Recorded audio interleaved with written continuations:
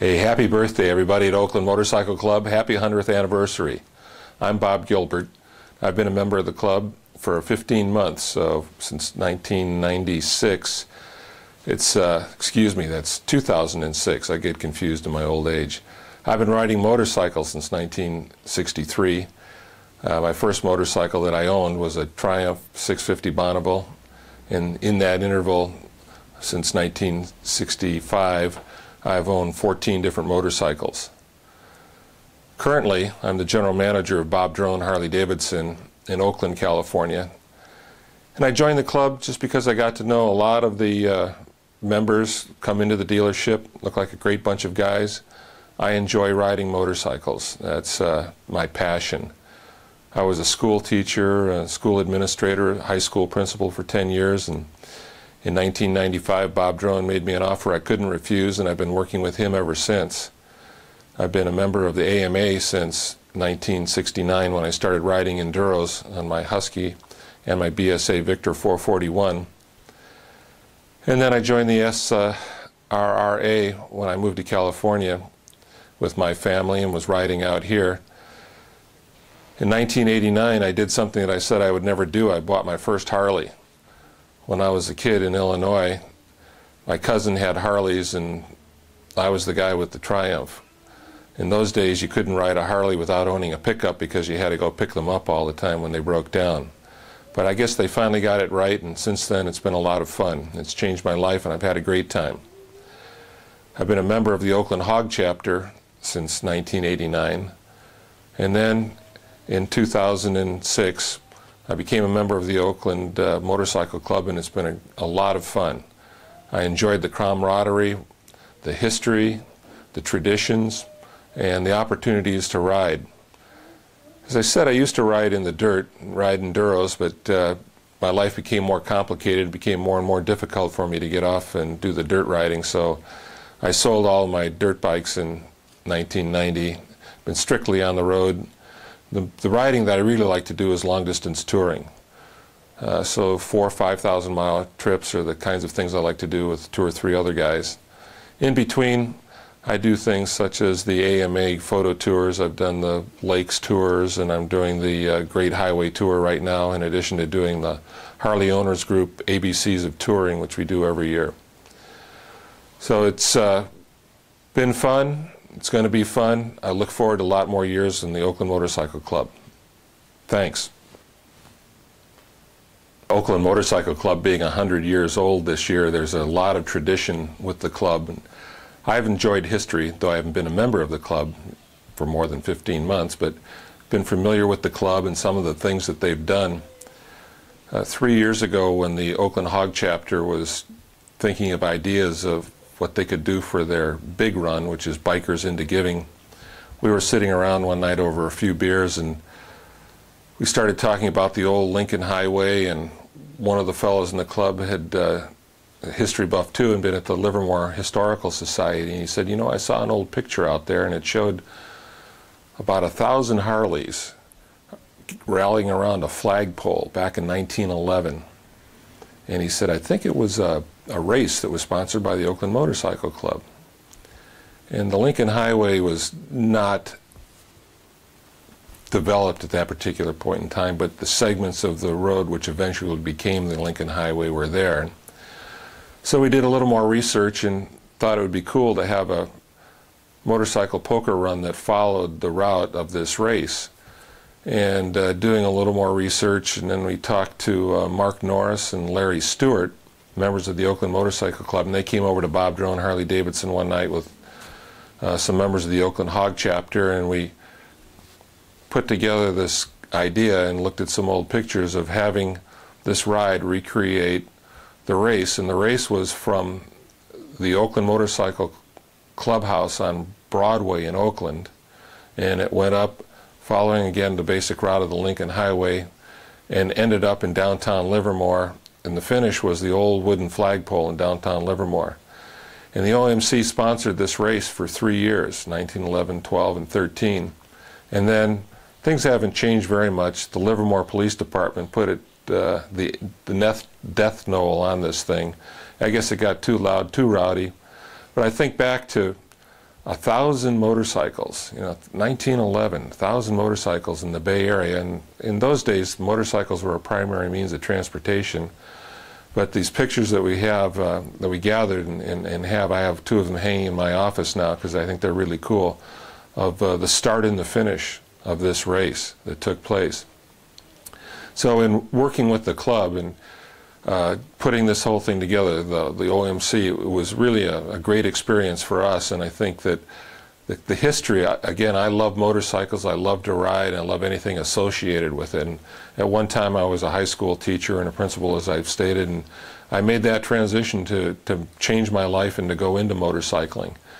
And uh, being a member of Oakland Hog, we meet on Wednesday nights, the third Wednesday, and we have our officers' meetings that I have to go to on they're on the second Wednesday, but every other Wednesday night I'm at the Oakland Motorcycle Clubhouse.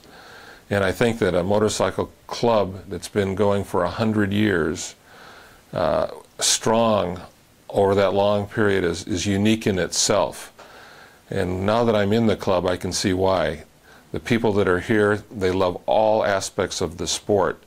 Whether you have the dual sport ride in the spring, and the Three Bridges run for street bikes in the middle of the summer and concluding with the uh, Enduro, the Jackhammer in the fall. We're putting on major events that spread motorcycling and give everybody an opportunity to ride motorcycles.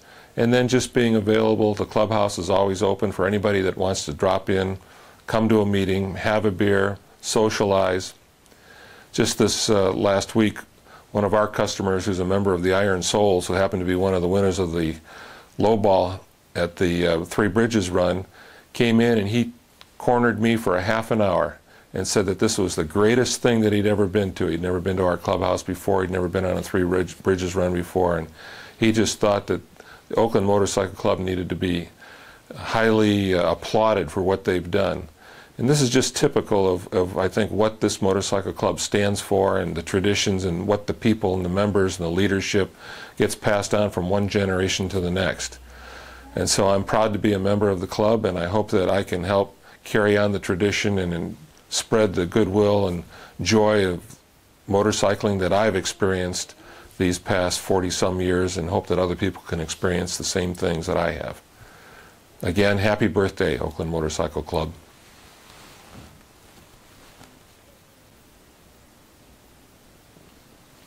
Hi, my name's Tom Rosa. Uh, I've been in the Oakland Motorcycle Club uh, since 1998.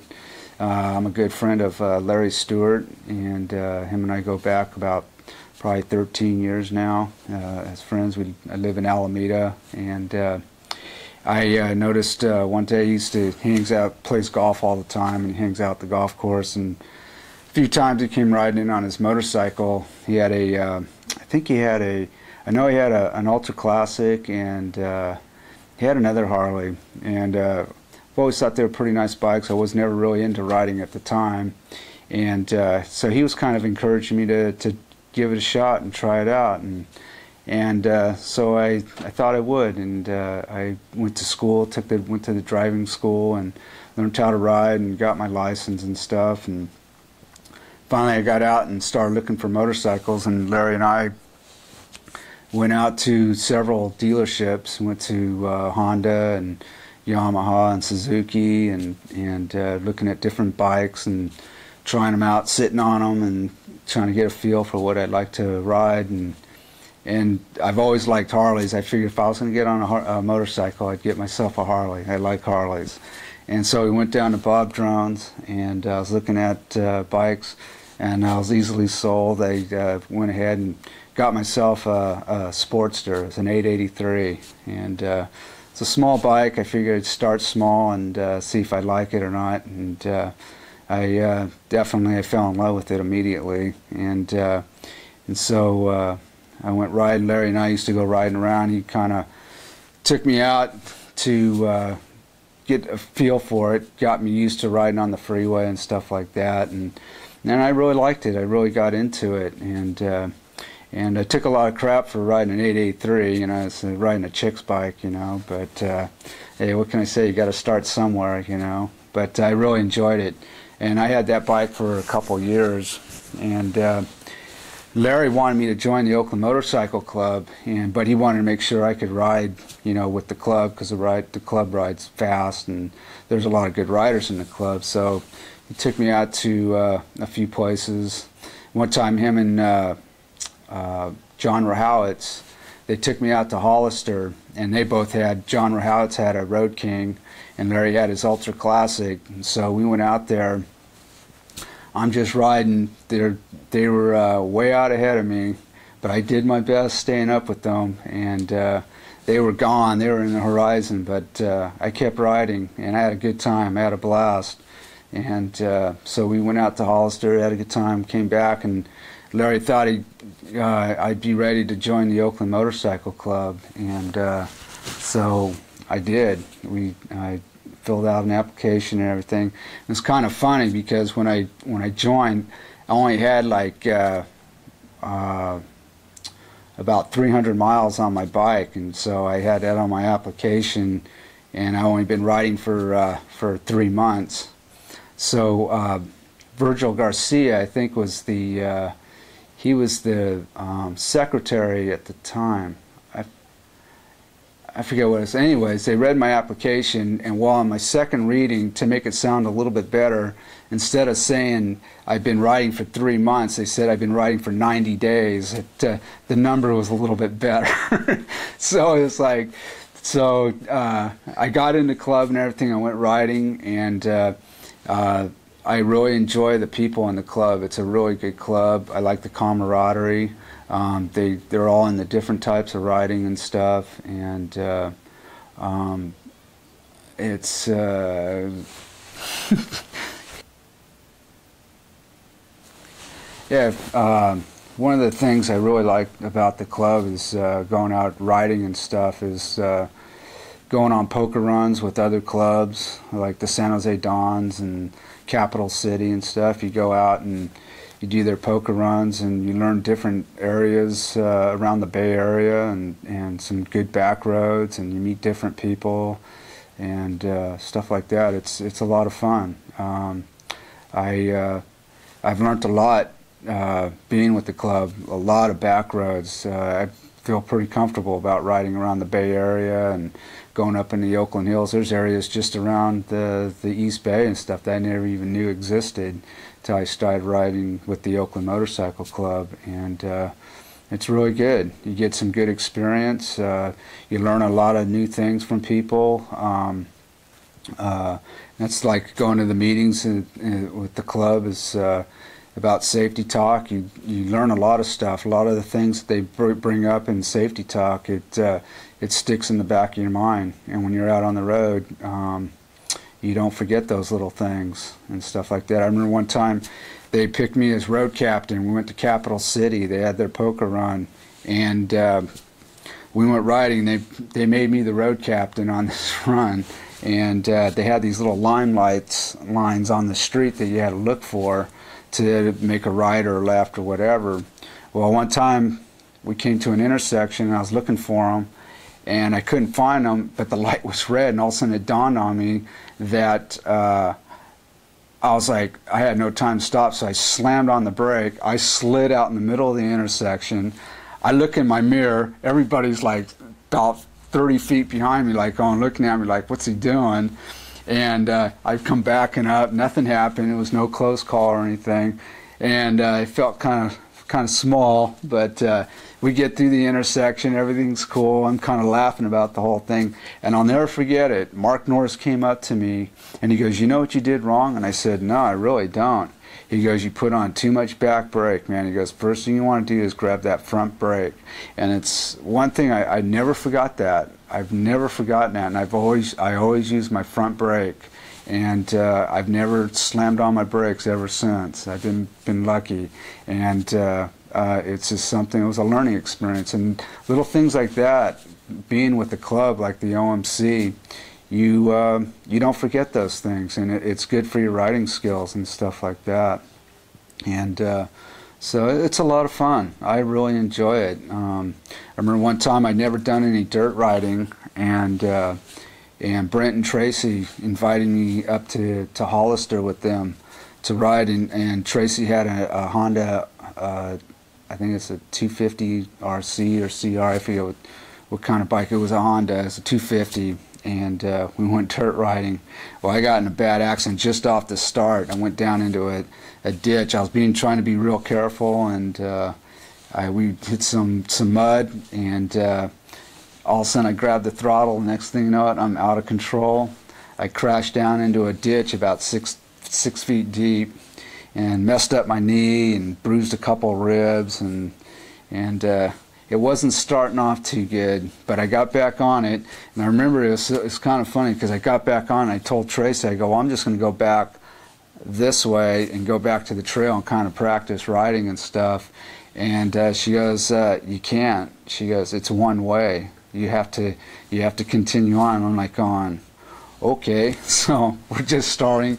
I went up the trail and got myself up to the top, and we came down. Tom Krohn, they already got word at the top of the hill that what had happened to me. And Tom Krohn, everybody's stripping off uh, safety equipment and giving it to me to make sure I was okay. And it's kind of, I got down to the bottom of the hill, went the, the, the one way, got down to the bottom hill, and went riding up and down the dirt trail and stuff to get used to the bike. And I rode out the rest of the day. I had a good time. Unfortunately, it, it the accident kind of put a little bit of a damper on the whole thing, but uh, I had fun, and uh, it took me about uh, six months to fully recover from my injuries, but uh, it was fun. I haven't done it since, but I'd like to give it another shot, and uh, no, it's fun, and it, I just like the, the camaraderie and the and the company with the OMC. They're all good people, really good people.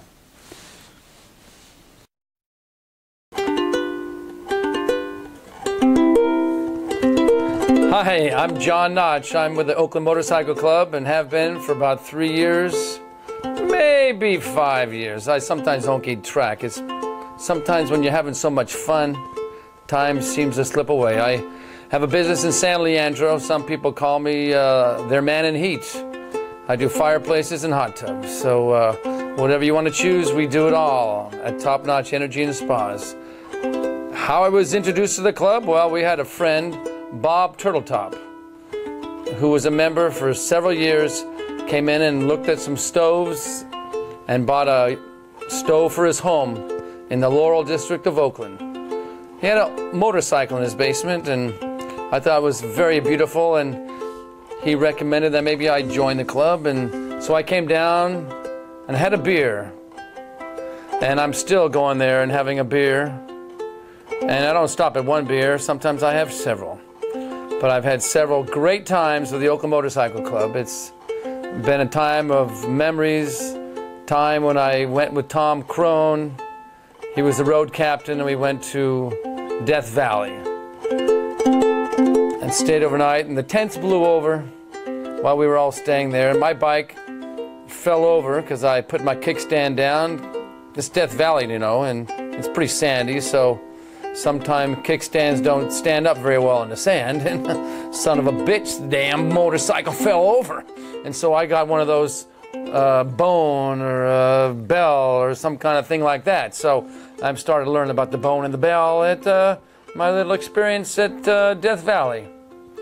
But one of my better experiences was taking a two week trip with Mark Norris. I remember Mark, and I think he, along with Chris, uh, Chris Vetter, led the trip to Cabo San Lucas a couple years back. And I went with my reliable, for a while, BMW R1100 RS until it started making a lot of noise. One of the fun things was bringing some uh, coffee with me. I had my espresso machine with fresh coffee in Mexico. And I remember Dean and Mary Chownhill, they said, I want to know which room John Notch is staying in because he's got the best coffee on the friggin' trip. But there was one time that uh, I expect, I remember uh, there, and it was a song when we finally got to Cabo area, and I remember Virgil, Virgil in the club sang the song, and the song talks about a white sandy beach, and it goes, I saw you in my dreams. We were walking hand in hand on a white sandy beach of Hawaii. We were playing in the sun. We were having so much fun on a white sandy beach of Hawaii. Sounds of the ocean soothes my restless soul. Sounds of the ocean rocks me all night long. Those long, hot summer days, lying there in the sun on a white sandy beach of Hawaii. Sound of the ocean soothes my restless soul. Sounds of the ocean rocks me all night long. Last night in my dreams, I saw your face again. We were there in the sun on a white sandy beach of Hawaii. On a white sandy beach of Hawaii. The beaches in Cabo San Lucas were fantastic. And then we went on to Los Barriles. And my friend Carla, here by my, by my side, an OMCA member, was very smart. She flew down to Cabo San Lucas. She flew down, didn't ride on the motorcycle. She joined me for five days, two of which were in Cabo, three of which were in Los Barriles. And on the way to Los Barriles from Cabo, my sister, Kathleen Notch, had a little restaurant in San Jose del Cabo where we had breakfast. We had a great time there. And the way back, I remember Sandy Vetter was saying that, John, your motorcycle looks like the Sea of Cortez blue. But all the way home, still drinking that wonderful espresso coffee, and Mary Chown, you know, trying to find my room. I remember that so much. But the club has been a fun place for me, a place where the it's the camaraderie, uh, the camaraderie of people, and uh, and uh, so I'm a proud member of being uh, of uh, the OMCA and or, um, the OMC. I'm OMCA kind of, but I'm not really. I'm just really OMCA kind of guy. So I think that uh, we, I look forward to many very great memories of the OMCA and. Uh, camping trips. I hear so much history. One of my golfing friends is Don Demerse, and uh, he's kind of like one of the godfathers of the OMC. And uh, anyway, look forward to the upcoming next weekend, the halfway run. So, mahalo nui loa, and I will talk to you again soon. As they say, in Hawaii, aloha no, a mea hui ho kaua.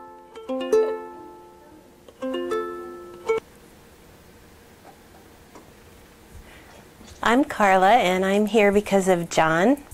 I've been a member of OMCA for a year, and I've been uh, kind of hanging out at the clubhouse for a couple of years now.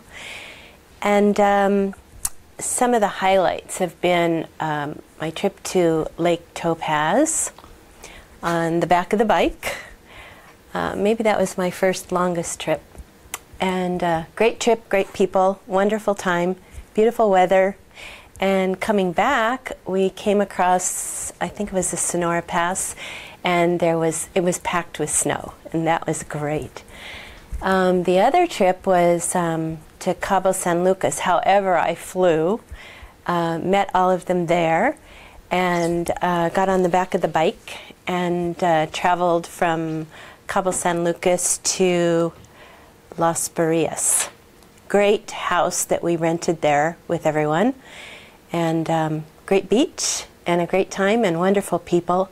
They've always been great, and um, I think the thing I like the best about the group is how they're all together all the time. I mean, even holidays, um, Thanksgiving, Christmas, they're always together.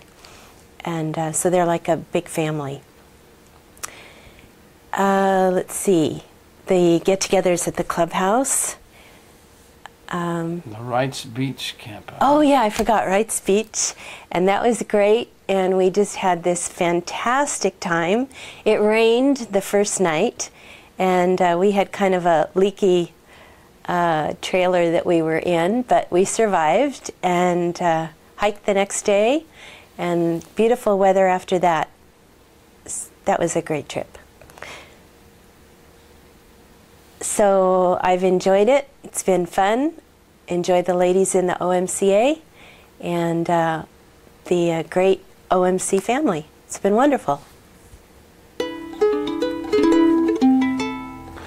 Hi, I'm John again from uh, the Oakland Motorcycle Club, and a couple other memories I have with the Motorcycle Club are with taking the club to a luau trip on the island of Bradford, Bradford Island, where we all gathered and we took a ferry boat, the Jersey Island Ferry, from Jersey Island Road all the way over to the Bradford Island. And in doing so, I took the club on a detour. We went and we did a shortcut, or in Hawaii they say cut short.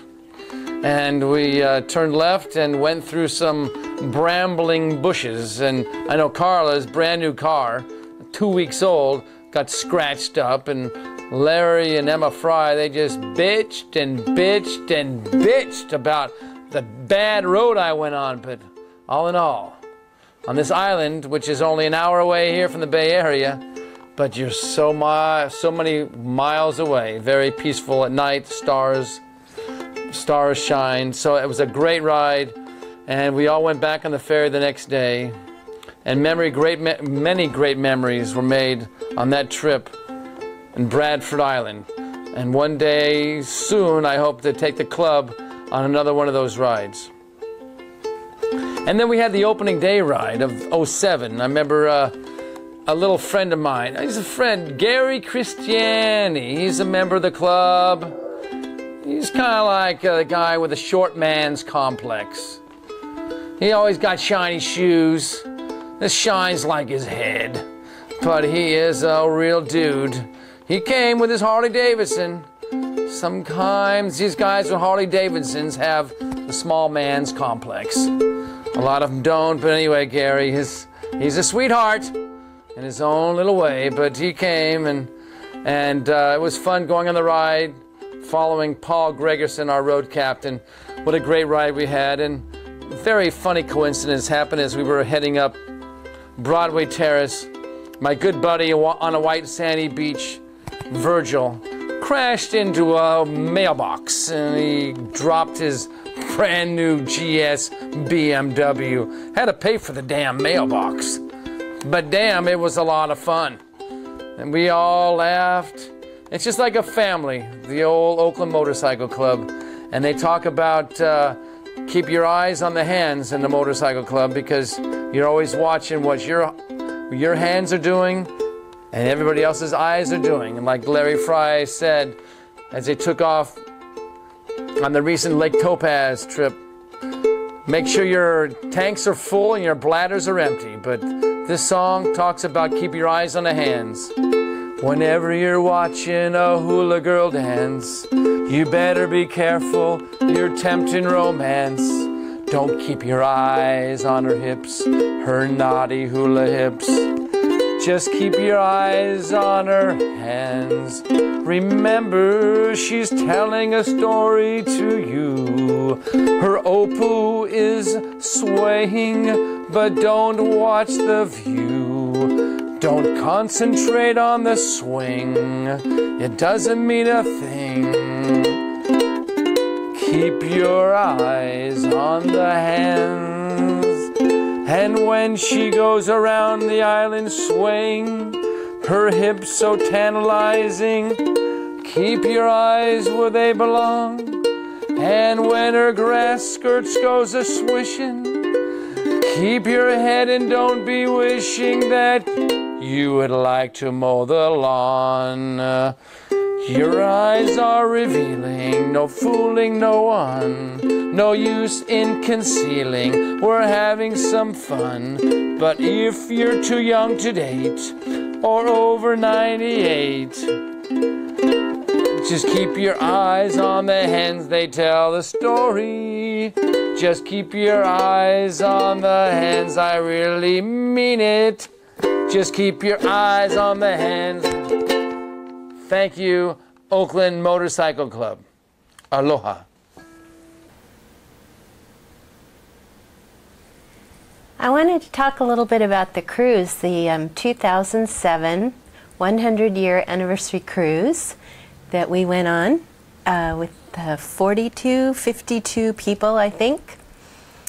And it started in, uh, actually, it started at the uh, San Francisco airport where we met everyone there, and then we took off and we flew to Miami and boarded the ship and had a week of fun. It was great. Anywhere you were on the ship, you'd run into somebody from OMC on the ship. Uh, Want to tell a story? I think the the trip was wonderful. We all flew into Miami. We got into Miami, and there were about seven to eight Canadians there. Uh, they weren't in their rooms; they were at the bar. Hello, where are will the OMCA Canadian members be, or the GVMC? They be at the bar. These guys like to drink. The first person I knew that went to go greet them was the Godfather, Don Demerse. And yes, he had a few glasses, well, a few bottles of uh, Chardonnay. And no, they did not have the two buck chuck there in uh, Miami. They had the Tisdale, the special $2 bottle of Chardonnay.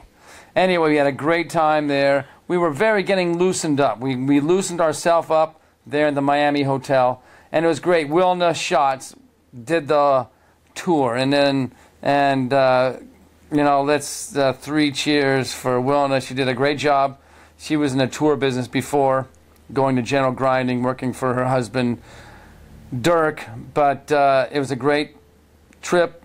Then we went on to Miami in the morning. We boarded the ship, and it was like uh, aloha oi, aloha oi, as we board, boarded the ship and we went out down the waterfront where they film Miami Vice and all these various shots that they film on this causeway there in Miami Beach. And we were leaving it and having a great time. We stopped in the Virgin Islands and it was a wonderful trip.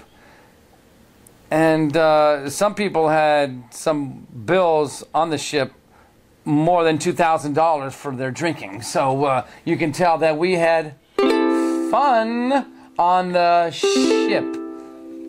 Carla, some of your other memories. Uh, the evenings, I guess, the shows, the lot of drinking, a lot of eating. Um, uh, we celebrated uh, the wedding of Kelly And Smitty. and Smitty. Um, we had a get together one night, a pre formal party get together. That pre-formal party, I was fined, or they wanted to give me the bone because I came wearing Carla's tank top. Hello, I wear an extra large. That night, I wear a extra small. I came with my shorts on and my extra small OMC tank top, and I was not received very well. And that was only the first time. Mr. Bob Davidson, Mr. Bob, the old man of the club hall there, he was very upset with me one night when I came to dinner wearing my hat. I got a beautiful Bahama hat in the Panama area, Panama hat, and I wore it to dinner once and I kept it on through dinner. Again, mashed potatoes, garlic mashed potatoes taste so much better when you're wearing your Panama hat. So I'm here, I'm wearing my Panama hat. What do I catch in the morning from Bob Davidson? Nothing but shit. He gives me shit, shit, shit. The Bob Davidson. So anyway, I'm still proud to be a member of the Oakland Old Motorcycle Club. As much shit as I get from this Bob Davidson fellow. Thank you.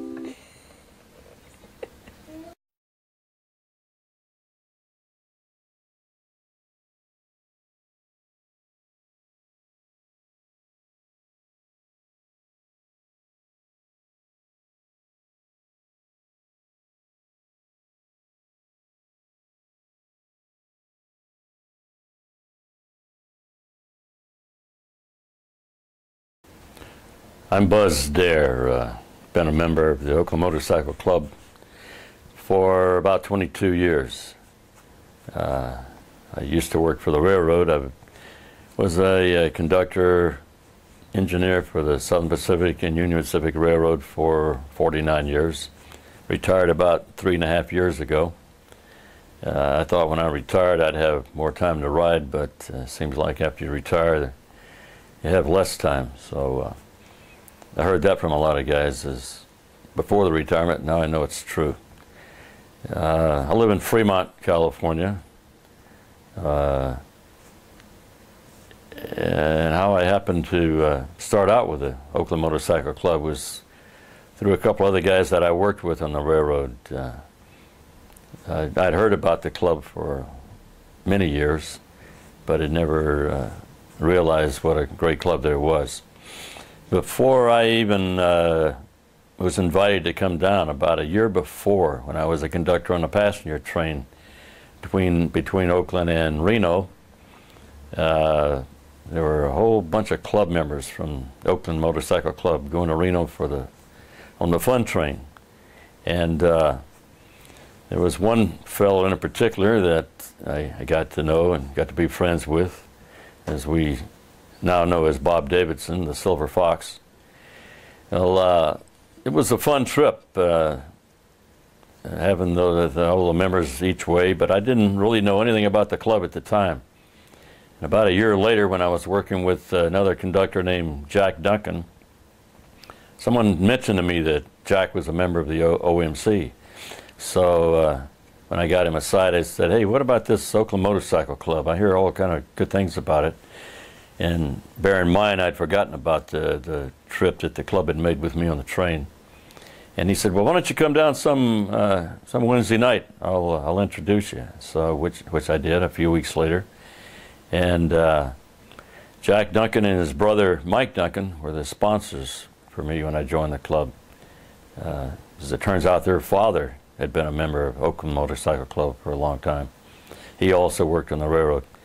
Anyway, while I was in the club meeting that night, I, I noticed this guy behind the bar, and I couldn't figure out where I knew him from. And we were talking to each other, and he couldn't figure out where he knew me from. So when, when I did uh, turn in my application and I was standing up in front of the club, telling everyone uh, what I did for a living, and I worked on the railroad, Bob Davidson yelled out across the bar, "Hey, you were the conductor on the on the uh, fun train. That's where we know." So, so it's been a long love affair especially with that guy, the old Silver Fox. What a great guy he is, and we won't let anyone else be a bartender. Uh, of course, uh, he doesn't have much competition, but great bartender and a great guy too. Uh, I was in the club about a year or so before I took on uh, or was nominated for an officer, and I think my the first post I held was uh, secretary about two or three times in a row. I forget now how many times, but I, I do recall that when when I was uh, up at the table as secretary, one of the some of the best times that I had sitting up there was when Mike Duncan was president, because he made it fun. He was what a character he was. And another time also was Gary Christiani when he was president. Those two guys made it fun, at least for me anyway, and for the members some of the, the, things that they came out with and the way they handle things. Uh, then after that, I think I was vice president for a, for a term, uh, and haven't been in been an officer for some time now.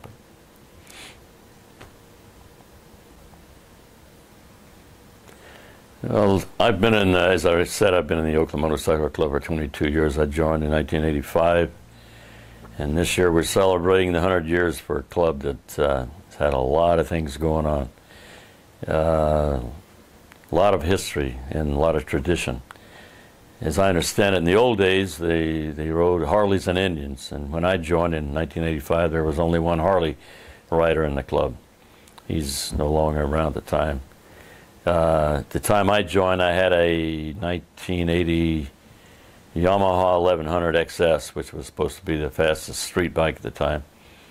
And uh, just before that, a friend of mine who, who owned the Fremont Yamaha shop was trying to talk me into buying uh, their Venture Royale, the new model that had just come out.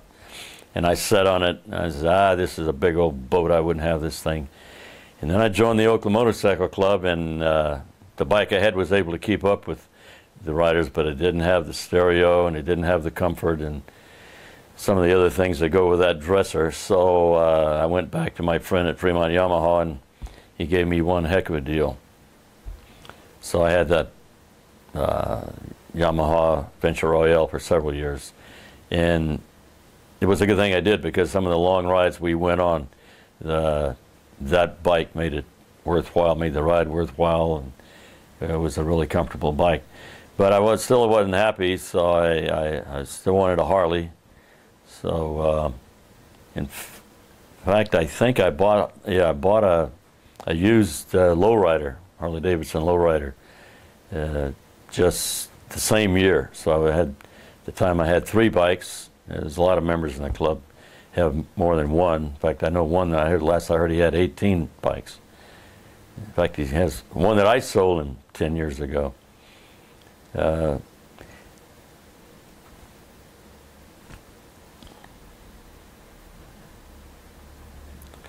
as I said, when I joined the club, there was only one Harley rider.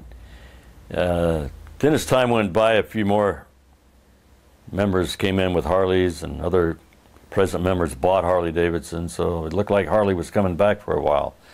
Because a lot of the members had Hondas and uh, other type of Japanese bikes. I think Don Turkletop was the first member to buy the, the first Honda from the stories I've heard. And now it's uh, a lot of the members, if not the majority of them, ride Beamers. I even tried one out a couple of years ago, but Harley is my forte, so I'm back to riding the Harley, which I have a night or a 2005 uh, Electric Glide Classic, which is pumped up to 95 inches and is really a great bike. Even has a stereo on it, which I didn't have on the Harley before. I'd like to say one, of a couple of my favorite rides uh, is the Stag Run and the Halfway Run.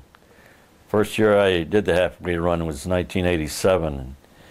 Uh, a member of the club, Jack Duncan and his wife, and my wife and I rode up to Coburg, Oregon to meet the sister club uh, from Canada, which we do every other year. Uh, that was one, one heck of an adventure. Uh, really great ride, and we had some great times. If you look at the calendar, you'll see that there was a picture in there of the, the halfway run of course, the calendar says has a different date on it, but it was 1987. Uh, the other favorite run, as I stated, is the Stag Run, which uh, the guys get out and and have a great time together. They don't tell uh, anyone where we're. The, usually, the road captain doesn't tell where we're going, and sometimes it's a surprise. Sometimes it isn't. Uh, but uh, that's one of the best runs. And also, we have the Three Bridge Run which is uh, a lot of fun. The members work the Three Bridge Run instead of riding it. Once in a while they do, but it's uh, a lot of fun and camaraderie. Uh, when we put on these runs, we see members from other clubs that come in. And when I joined in 1985, uh, I had also just joined the Harley Owners Group. But uh, we didn't have a Harley's owner group, Harley owner group in the Bay Area at the time. Uh, and then when the Oakland Hogs started, uh, I became a member of the Oakland Hogs. That was 1988. And then I was a charter member of the Fremont Harley Owners Group and vice president of that for a couple of years. Uh, kind of funny thing is, I even though those hog members were pretty good riders, especially the old time Harley riders, I told them in a couple of meetings they could never keep up with the Oakland Motorcycle Club the way the guys in the OMC rode. Uh, I can remember going out on some of the first. I thought I knew how to ride till I joined the OMC, and I learned a lot more after doing so. Uh, I can remember going on rides where we would be on a run from another club, and we would start out, hit the first bar we came to, have a few drinks, start out again, go around everybody, hit another bar, come out of that bar, go around all these. In fact, uh, we went around so many other clubs heading for the next bar. We uh, we uh, got complained about a few times. Uh, people didn't like the way we did things, and then we would ride into the last checkpoint just in time to make it under the gun. That was one of the great things about the Oakland Motorcycle Club that I loved. And at that time, it was uh, it was all men. It was all men's club. When they started the Har the Harley clubs, uh, there were a few women that were members, and now of course there are a lot of women members in the hog clubs. But in the Oakland Motorcycle Club, been a tradition for 90 or at that time. Uh, almost 80 years. It was all men, and, and has been until just a few years ago. I guess I'm a traditionalist, and yeah, I look at things if it ain't broke, don't fix it.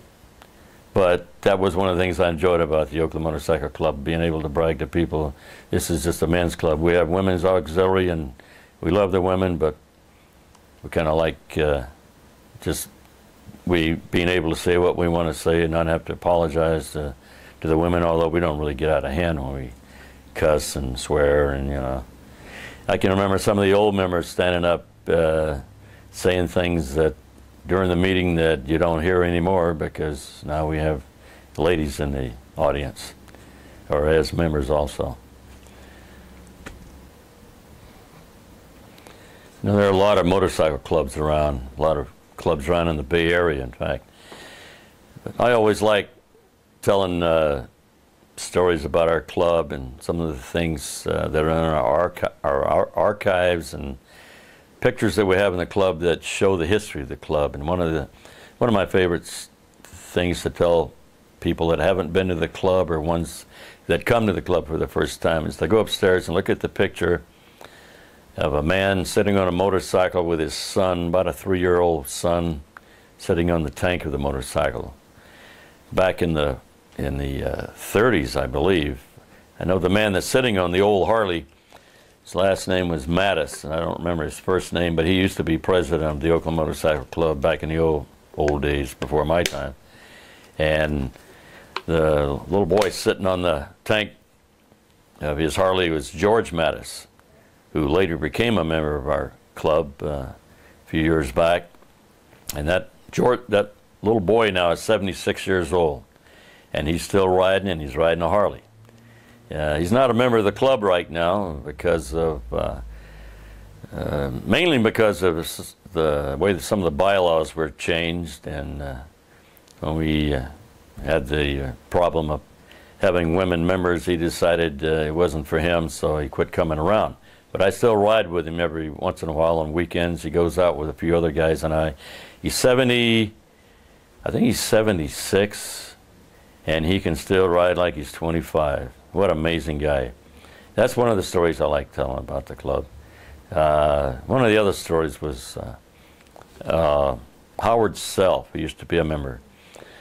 For 57 years, at the time uh, I joined the club, he'd probably been a member for uh, close to 50, because I forget what year he died, but I, I can remember Howard being like the godfather, not, not the godfather, but the, the, the patriarch of the club. Uh, members would have different opinions about things we do in the club and changing rules and rides, and Howard would just sit and listen to everything. And there would be arguments and discussions, and we, people would disagree, and Howard would raise his hand and stand up. And when he was called on, he would stand up and make his little speech, and Every time the club went along with what Howard Self had to say. Howard was the prince of a man, and everyone loved him. And uh, I can remember riding in the rain one day when Howard was around, it, around 80 years old. And the bike I had was faster than his, but I guess I could see him in my mirror right behind me. So I, not that I uh, that he couldn't have passed me anyway, because I don't think he could have because of the speed of my bike. But I slowed down just to see that guy pass me because uh, it was an honor knowing Howard Self. I still have a keep a copy in my vest pocket of uh, the drink that Howard, of a recipe for a drink that Howard made. Uh, call it Howard Self's Fizz. I think there's another name for it, but that's what I call it. Uh, for members that come to the club that have never been there before, they're always in awe when they look around and see all the, the history that we have, the trophies that we have. And another thing that uh, we do now, which we used to do, was uh, is uh, read minutes from the old days. That's another story I tell people about.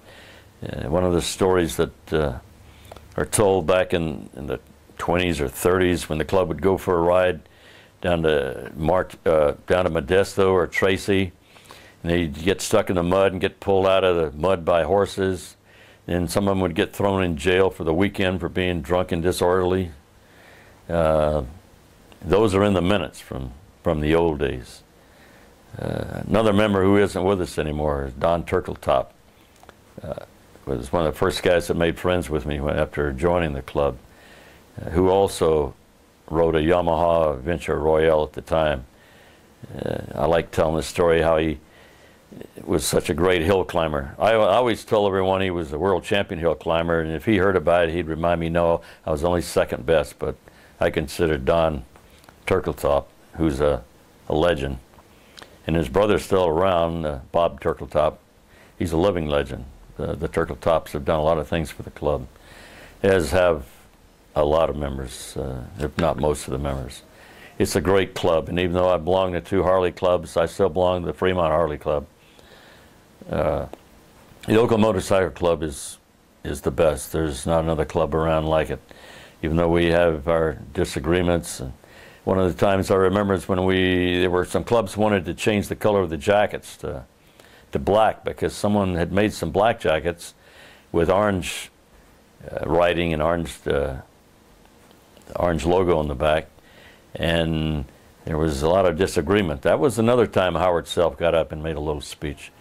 Anyway, we were going to have a vote on it, whether to have orange or black, because the colors of Oakland Motorcycle Club is orange and black, mainly orange. So at the night that we were going to vote on it, members came out of the woodworks that hadn't been there for, for months or maybe not even years. Members who were dead set against having black were making phone calls as it turned out, uh, the black went down. The Orange became uh, the main, orange and black became the main color and still is, although we do have a black jacket this year for 100th uh, anniversary. So who knows how things will go in the future. One of the other members uh, of our club, one of my favorite people, the Godfather, uh, course, his name is Don Demerse. But from what I understand, he got the nickname Godfather because before I joined, the club was meeting up on San Pablo uh, for a number of years, and it became so unsafe to hold a meeting there, you had to start packing a gun to uh, to go to a meeting and protect your motorcycles. I was told that one guy had to sit at the window and look out all the time to keep an eye on the motorcycles. Uh, even Gary Christiani uh, had to fake drawing a gun out of his jacket one night when he was being approached by uh, someone on the street that looked like he was going to maybe cause, uh, bring on a robbery. Anyway, it, so the club started looking around for uh, some place to move, and they bought the present building and turned it into a club. And the stories I hear is that uh, Don Demerse uh, put his house up uh, for, for collateral to help build and help pay for the the building which we have now. So if the story is true, that uh, he got the name Godfather. And I've been on many a run when Don Demerse was road captain, and what a ride he did present, because the road captain has to come up with a run, inform the run, and uh, be the leader. And it was a lot of fun riding with Don Demerse as road captain. Fry Guy, another great road captain. He, these guys can make come up with uh, ideas to make the, the run entertaining, uh, something you want to look forward to because they make it make it fun. I remember one time when uh, uh, McCusker was road captain. About halfway during the run, they would pull over to a stop, and there was someone with uh, champagne and and uh, treats to eat. Uh, I think Fry Guy did that too, because Fry used to drink champagne all the time. One of the other runs I remember is on the halfway run out of Susanville, when we are all clicking along at about 80 or 90 miles an hour, and with about 50 of us, uh, the uh, sweeper radioed to the road captain, uh, well, we got the black and white here behind us wanting us to pull over. So we all pulled over, and when the highway patrol got down and uh, talked to Gary Christiani, who was a road captain that time, uh, he complained that uh, after talking to Gary, because Gary used to be a uh, uh, worked for the Alameda Sheriff's Department, Gary gave him a line of some kind of bull. I, I didn't hear the conversation. The guy told him that uh, told Gary you didn't have enough tickets to ride everybody, but to keep the speed down because people were calling from cars and homes telling them they need to get out here and get this motorcycle gang because they're going too fast. And so Gary promised them that, that we'd be good, so he let us go. And of course, as, you would, as uh, luck would have it, a few miles down the road, the Oakland Motorcycle Club was up to their old tricks again, crossing over the double line to get around cars. Uh, but everybody stayed together. Uh, no one got lost. Of course, that's what the sweeper's for. But the way the OMC used to ride, and uh, I suppose still does, greatest uh, motorcycle club I've ever ridden with, and I've ridden with a bunch.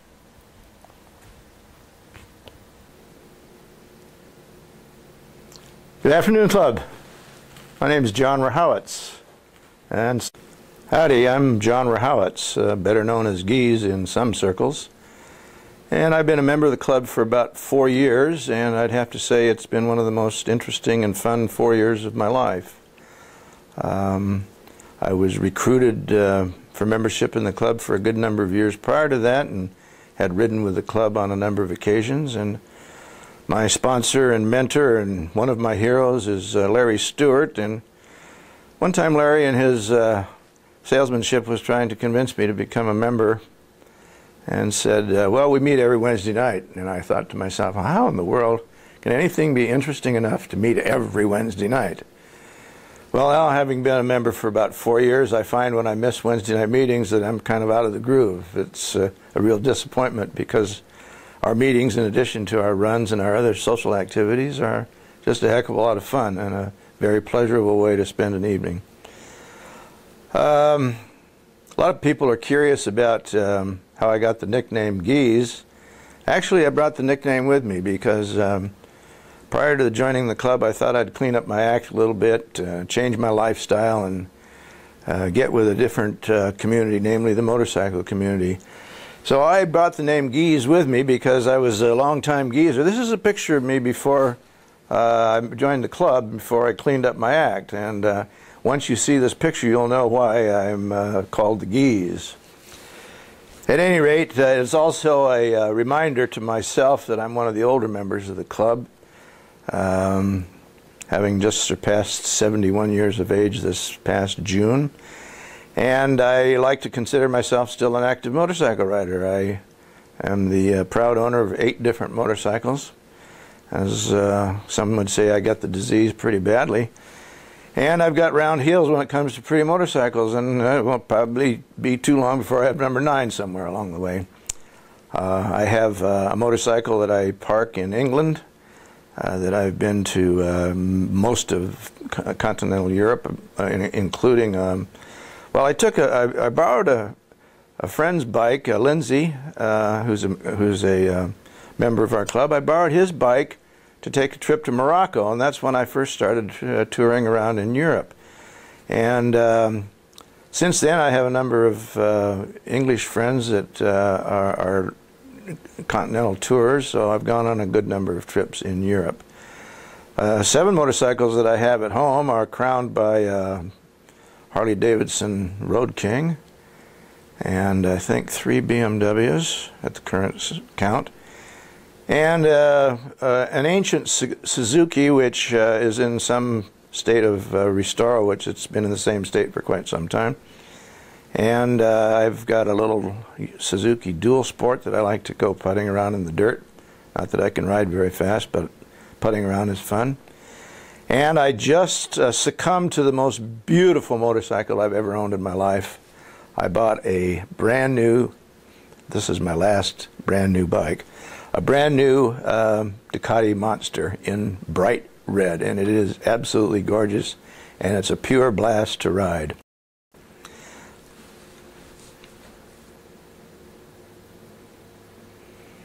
Yeah, I'd like to comment briefly on uh, what I find so interesting about the club.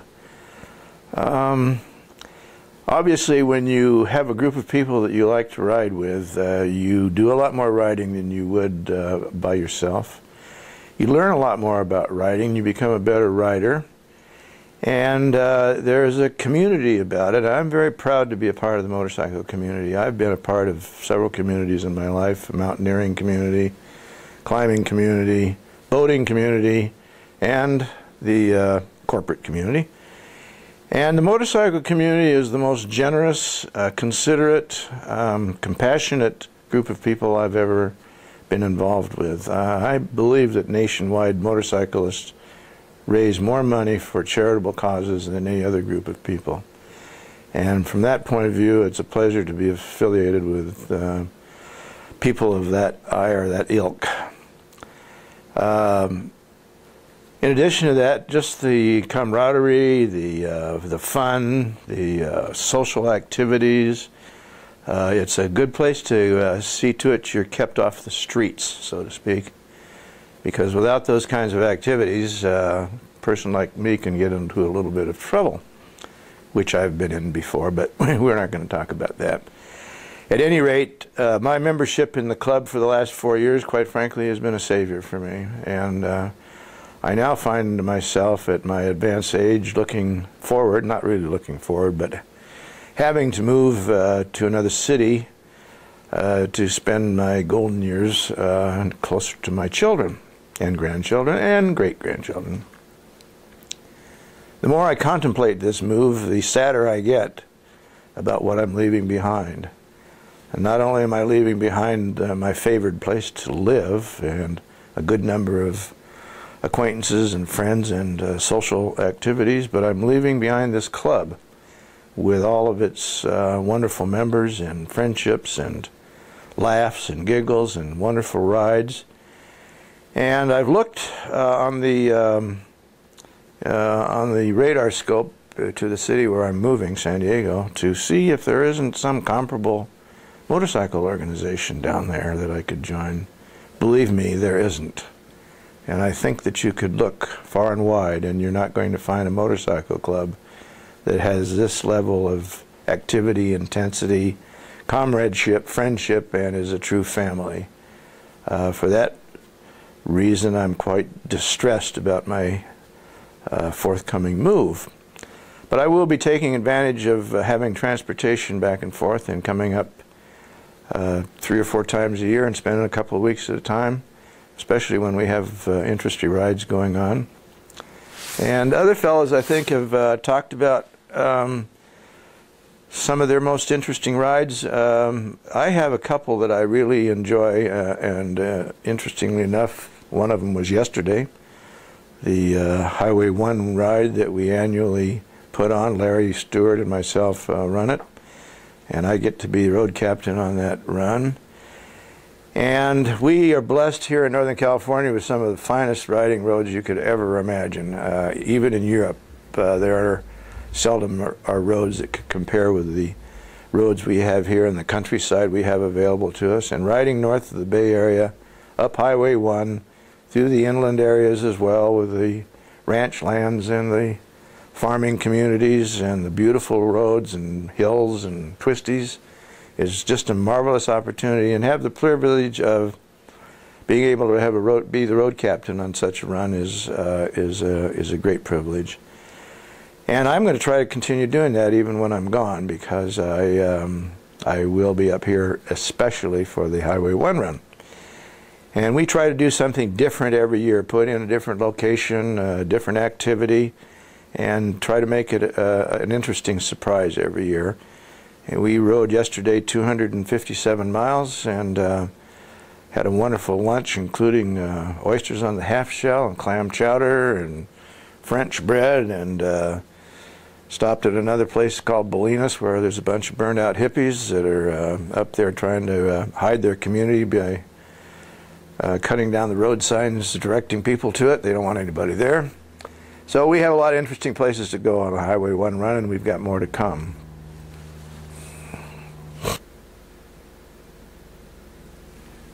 Among the other uh, interesting things that we do uh, in the club for rides is uh, we have occasionally an unannounced, unscheduled geezer ride. And the geezer ride is especially for us older folks who don't have to work for a living, who uh, are, are, capable of taking a ride in uh, Monday, Tuesday, Wednesday, Thursday, or Friday. And we get the roads all to ourselves and the campgrounds all to ourselves. And so we pick out an interesting place to go with interesting campsites. Uh, camping is required to be a geezer. And you're a double geezer if it happens to rain because we do not back out if, uh, if the rain is uh, in the forecast. And uh, actually, to get your geezer badge, you need to camp out in the rain once. So we've had a, a number of fun geezer rides. We hope going to uh, continue that little exercise as we have new and new geezers coming on, older and older members coming on all the time. Speaking of older members, one of my uh, responsibilities of late has been to uh, keep track of people's birthdays and uh, monthly uh, announce people's uh, birthday for that month, uh, what day they were born, what year they were born, and they get a free drink on, in honor of their birthday if they happen to be there on the announcement day. And one of the things I'm concerned about, um, I've had a lot of fun putting that together because um, try to make it light and airy and say a little bit about what happens on what has historically happened on somebody's birthday or who they might share a birthday with. And I also pass along a little wisdom from the geezer community. Uh, call, we call it geezer wisdom. But uh, everybody seems to have a good time with it, and I especially have a good time putting it all together. But one of the things that causes me concern about it is looking at the uh, 93 members that we have and looking at the average ages of them. And I, uh, every month when I do this, I give a senescent report, which uh, speaks to how old these six people, eight people, however many are having a birthday that month. Oh, by the way, uh, they they're not birthday celebrants; they're they're birthday celibates, and uh, most of our guys are old enough that uh, they no longer can celebrate, so they are celibates. But at any rate, the advancing age of our club sometimes gives me concern, and it means a couple of things. It means we're very, very experienced, but it also means I think we need new blood, and I think we ought to all take it upon ourselves to encourage new blood to come into the um, club.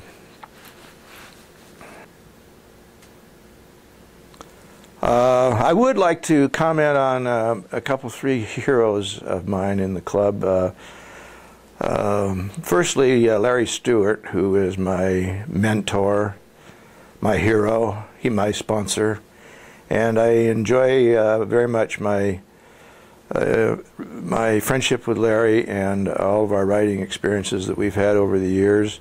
I feel like I'm a member of Larry's family in a way. And uh, I also rode uh, quite frequently with um, Tom Rosa before I actually became a member of the club, so I enjoy that relationship as well. But I have a couple of riding heroes that impress me a lot. Uh, they impress me because of their riding capabilities, their continued stamina and interest in riding, and uh, one of them is uh, George Oldershaw, who I rode to Alaska with last year on a 9,700 mile trip. George and I and a couple of other people rode up to the uh, Arctic Circle. And I can't remember how old George is, but he's in his mid 80s someplace, I think. And um, he's awfully difficult to keep up with. And we rode a gnarly 250 mile round trip, uh, excuse me, 400 mile round trip in gravel to get to the Arctic Circle. And um, as much as I tried, I was constantly behind him. And uh, the other hero of mine uh, is uh, Knobby Robertson. And uh, Knobby is just one heck of a dirt rider. And he's been out there plowing through the dirt for so many years. He knows every inch of every trail up around, uh, uh, up in the mountains there where we do a lot of dirt riding. And he's another guy that is not only hard to keep up with, for me, it's impossible to keep up with him. And uh, I hope when I'm Knobby's age, I'm still bumping along on trails and, uh, and pavement as well. And I think that's about all I've uh, have to say about my experience in the club. Uh, as I said before, it's been a savior for me. I love uh, all of my brothers and sisters who are members of the club. It's been a great pleasure to be affiliated with each and every one of them. It's a magnificent uh, organization with a wonderful group of people, and we should cherish uh, our opportunity that we have in uh, being a member. Thank you very much.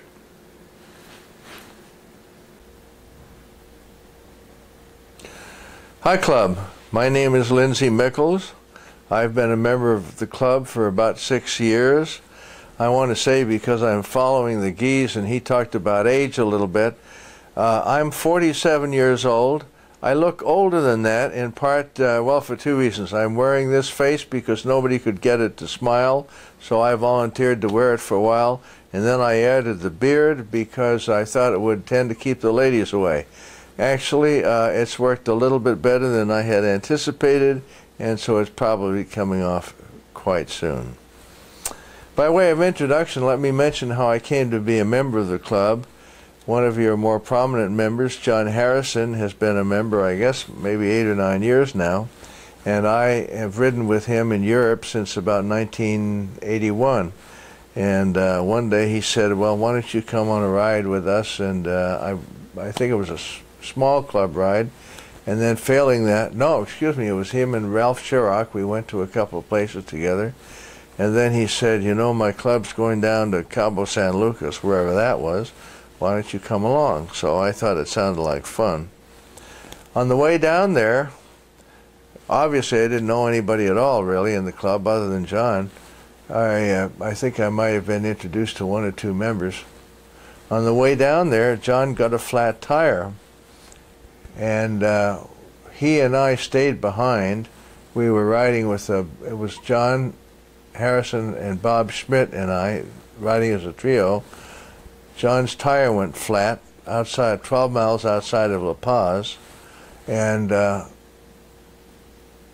Bob Schmidt, excuse me, Bob Schmidt went on ahead to La Paz, to, uh, let, us break for a second. Bob Schmidt, John Harrison, and I were on our way to Cabo San Lucas with the club, and uh, John Harrison got a flat tire outside of La Paz, about 12 miles out of La Paz. So we sent Bob Schmidt on ahead to Cabo San Lucas, and John and I followed about five hours later after we had repaired his tire in La Paz. Well, recall that I knew very few members of the club, if any, other than Ralph Chirac. And upon our pulling up in front of the hotel in uh, Cabo San Lucas, everybody from the club came out to greet us as though we were long lost buddies. I was so impressed because maybe five or six people came up to me and they patted me on the back and they hugged me. You'd thought I'd come across the Arabian desert. And they helped me with my saddlebags, helped me unload the motorcycle, and at that point, I decided, by God, a group of people like this is the right group to travel with. And I've been a member pretty much ever since. Now, a couple of little stories that I brought along in my head to uh, share with you. The first one is a story about how it is that we are the only 100 year old club that has a picture of a pit bull mutt up on the uh, club wall presently on the uh, eastern wall of the club, directly above the water fountain and the coffee machine. Uh, no, excuse me, not the coffee machine, but the, uh, the popcorn machine. Uh, in the late 90s, I had some business that took me north of Santa Rosa, and I had to do some business with a guy who ran a disreputable junkyard. In the disreputable junkyard was a little dog that had been obviously mistreated, not fed well, and was filthy and not well taken care of. And the little, the little dog, I think, saw a sucker as soon as one came upon the scene, and I was that guy. I wound up taking this mix, this pit bull mix home, named him Jameson because I thought he needed a little class, and that was the classiest whiskey that I knew of.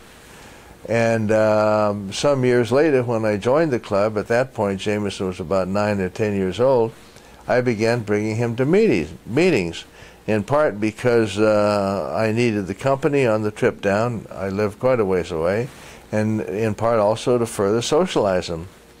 Well, it so happened that he and Tracy Snyder fell in love. And whenever I came to the club, he would make a beeline for Tracy and usually sit alongside of her through the meetings if I'd let him. And I left him in her care whenever I had to exit the club for one reason or another.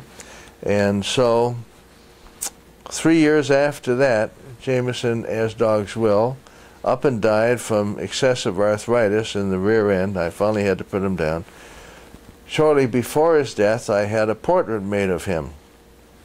I had copies made of the portrait, and I presented one to Tracy Snyder.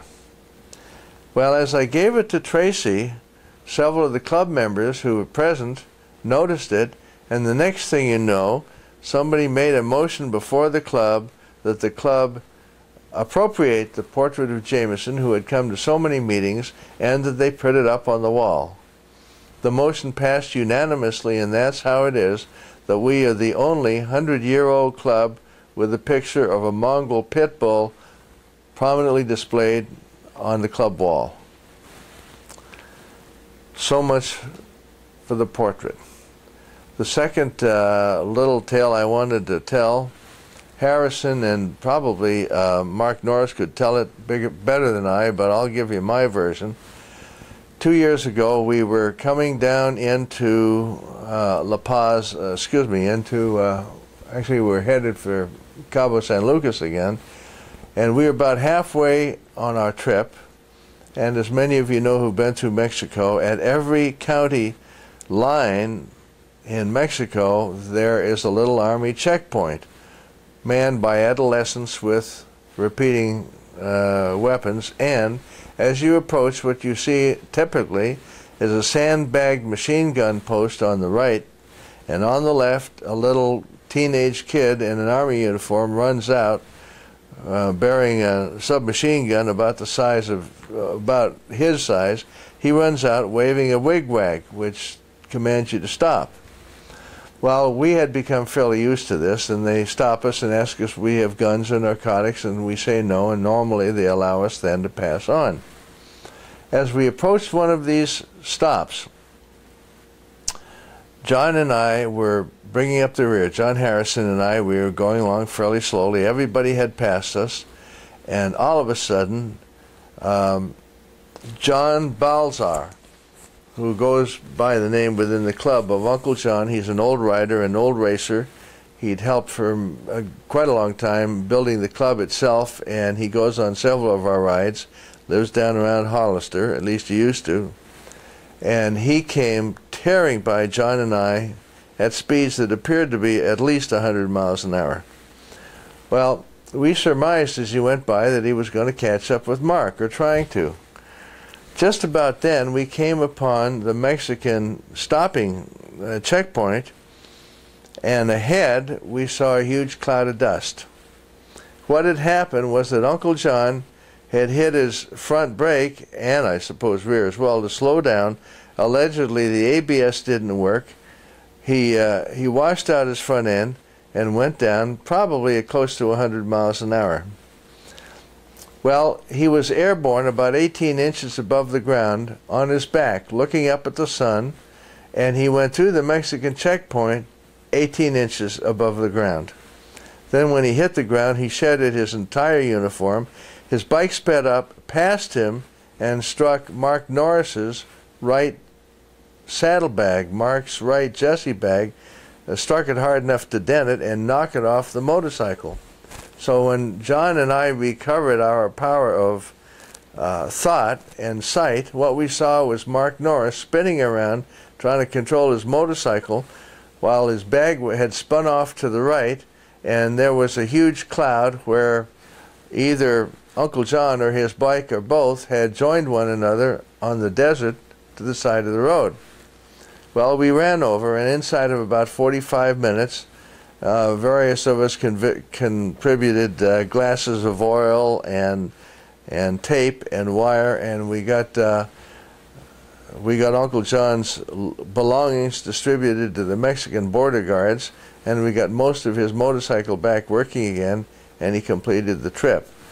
But I must say that the specter of seeing Uncle John flying through the checkpoint 18 inches above the ground on his back, that is inverted in a sense, was one of my uh, most memorable uh, thoughts of those frequent Cabo trips that we do, one every every year from January. Let's see what else. Um, I think that's about it. Uh, oh, in summation, let me add to something that Geezer said. Like John Rohowits, I have been a member of quite a few what sociologists call outgroups. That is a law enforcement group, uh, an attorney's bar group, uh, ski club, and sailing club. And uh, I must say that I think that the uh, I think that the motorcyclists that I have traveled with, particularly in the Oakland group here, have been the uh, happiest, most generous, friendliest, and most enjoyable people with whom I've had the chance to uh, interface. And they are a continuing source of delight, inspiration, and fun for me, and I hope to continue that. Actually, at uh, 47 years old, I have a good many years where I can still enjoy the club, and I'm quite looking forward to that. Thank you very much. In exiting, let me add a postscript to the Uncle John and the 18 inch levitation story. We ran over to where Uncle John had landed, and of course, his entire outfit looked as though he'd been in a cement mixer for about a month and a half. And uh, we expected to see a mountain of blood, gore, brain matter, and instead, Uncle John leaped into the air and he yelled, Yippee, he said, that's the easiest get off I've ever had in my whole life from a crash. And he was absolutely beside himself with joy because obviously he wasn't hurt and he was ready to continue on to Cabo as soon as we got his motorcycle back together. And on to Cabo we went and had a marvelous time as usual. So that's the Uncle John levitation story. Well, I'm Miles Goodman, and I've been a member of the Oakland Motorcycle Club for a little more than a year. Um, I believe it was May when uh, I finally had my final uh, reading and the vote on, on me, and they voted me in, uh, surprisingly.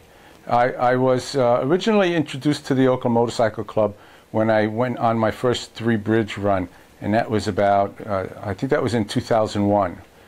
Um, and after that, uh, after that run, um, I went back with the club that I was riding with and just forgot about Oakland. But it was always on the back of my mind, just kind of forgot about it. Um, a couple of years ago, I uh, started a job for a short while in Los Angeles. And everybody that I was riding with um, wasn't riding anymore. They went their separate ways. So I said, oh, I'm going to go back to the Oakland Motorcycle Club and that was in January of um, 2006. And um, I started coming to the meetings and uh, was voted in in, in, in May. Um, let's see, I was sponsored by uh, Paul Gregerson and uh, Larry Stewart. And um, I really enjoy uh, everybody in the club. It, the camaraderie is, is, is really good. Um, the trips that we go on, uh, I, I, usually have a good time. I mean, there are ups and downs, uh, but I have a good time. Um, we just finished our 100-year anniversary uh, cruise, which I thought I thought was great. I, I love the Caribbean, and uh, uh, my wife and I had a, very good time. Um, and then again, the th we worked the three bridge run run this year, and um, that that did very well. I thought it, it was pretty good. Um, the hamburgers are great because I didn't have to cook them. Um, but I, I, had an easy job. I think it was an easy job. I was uh, administrative, um, walking around and, and, and doing um, uh, crazy things, I guess. I, I, don't know, just helping everybody out. Um, oh, but I forgot, but um, last uh, February, I was elected sergeant at arms. So uh, I've been doing that. That's kind of a good job because you uh, get to meet everybody new and get to meet everybody old. And uh, before you know it, everybody knows your name, and you know everybody else's name. So uh, I kind of enjoyed that. I, I like meeting all the new people, and they get kind of surprised when they see this big white-haired guy uh, get up and say, "What's your name? You know, where are you from? Uh, who's your who's your your who's your sponsor or who you were guest of?" So um, I'm really not mean, but I try to be as nice as I possibly can to keep them coming back. One, one of the things that, that I'd, I'd like to mention is uh, some of the people that I met. Paul Gregerson, uh, I was like his best friend when I came in, when I came into the club. Always sit, sat near him. Uh, he like took me under his, his wing, and um, he has no idea how much uh, I appreciate that. And then we finally got this nickname called the Evil Twins. Uh, We're not evil. uh, We're not even twins, but because we're tall and gray hair, they call us the Evil Twins. So that's kind that was that was kind of funny, and we're still friends to this day. Uh, I like his company. He's a great guy. Um, I met Doc Marvin. Doc Marvin and I uh, ride together quite frequently. Um, I know he has a crazy schedule. Uh, mine is more sedate um, because doctor schedules are, are just insane. Me, I'm an electrical estimator. I sit there with numbers all day long, fool around with a computer, uh, put pricing together, uh, design power into a building, and that's it. I'm done. I go home at five o'clock. Uh, Doc doesn't. Uh, so we whenever we get a chance, we'll have a Starbucks together, or we'll take a ride together um, and have a good time. And some of the rides are, are really good. Um, I especially like the Lake Topaz ride. And Elaine, uh, everybody met my wife Elaine. Um, the the Topaz ride is really really good. Um, going through the Sierras and then coming down into Lake Topaz. Just before we come down into Lake Topaz, uh, there's this um, area in, in the mountains. I don't know, the open moon or the big moon or or something like that. You just come around a turn, and and all of a sudden you're in awe of this, just this beautiful place. Um, I, I don't know what it's called, but it's beautiful, and it's just before Lake Topaz. And uh, I enjoyed that. The dinner there, and um, the, the party out on the grass, and um, the the gambling at night. And, uh, we have a, we had a good time. Um, this year we didn't get to Lake Topaz because half the place burned down and it wasn't ready for us um, by the time we were ready to leave. So we went to Carson City, which was just as nice, but it wasn't Lake Topaz. Um, but we had a good time, a good time anyway. Um, I don't know about any other uh, rides that I can think of. The Stag ride, the Stag ride last year was really funny. Some of the guys did some funny things. I'm not gonna rat on them. I'm not gonna tell what they did, but they they, they did some stuff that uh, is unmentionable. Uh, that was a fun that was a fun ride uh, also. Oh, and this year I don't know. Should I can can I mention that I played this um, uh, special character around Christmas time that runs around in a red suit. Um, I never in a million years thought that I would uh, play that part and be that that guy with the red nose and the red suit and the white hair. But um, the pictures came out great. I thought it. I thought I looked great. I never thought I'd be a good Santa Claus. Uh, even Bungee's laughing at that. I, I'll do it again this year. That was a lot of fun for me. Um, the kids had a great time, and then afterwards they were saying, "I know who you are. I know who you are." You know, they thought they knew I was Santa Claus, but I don't think so. But um, that that that was good. That was good. And we'll see what comes up in the in the next few years. Next few years. Let's see. I'm 57. I should be in the club until I'm about 90. Um, uh, everybody else seems to last that long. I hope I do too. Um,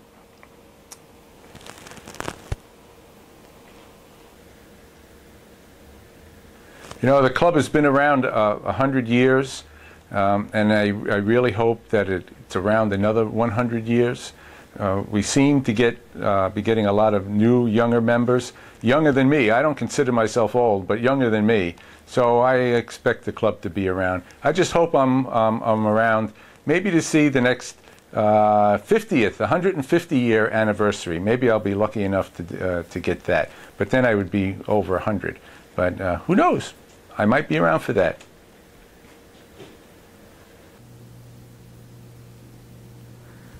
Tom Krohn with the OMC. Joined the club in 1990. Probably one of the few people who had their second reading at the uh, hot dog feed, which was a pretty big tradition with the club each summer. And uh, just wanted to uh, give my rendition of the last 17 years of being around the Oakland Motorcycle Club. So uh, maybe I could come back to this in a little bit. Great.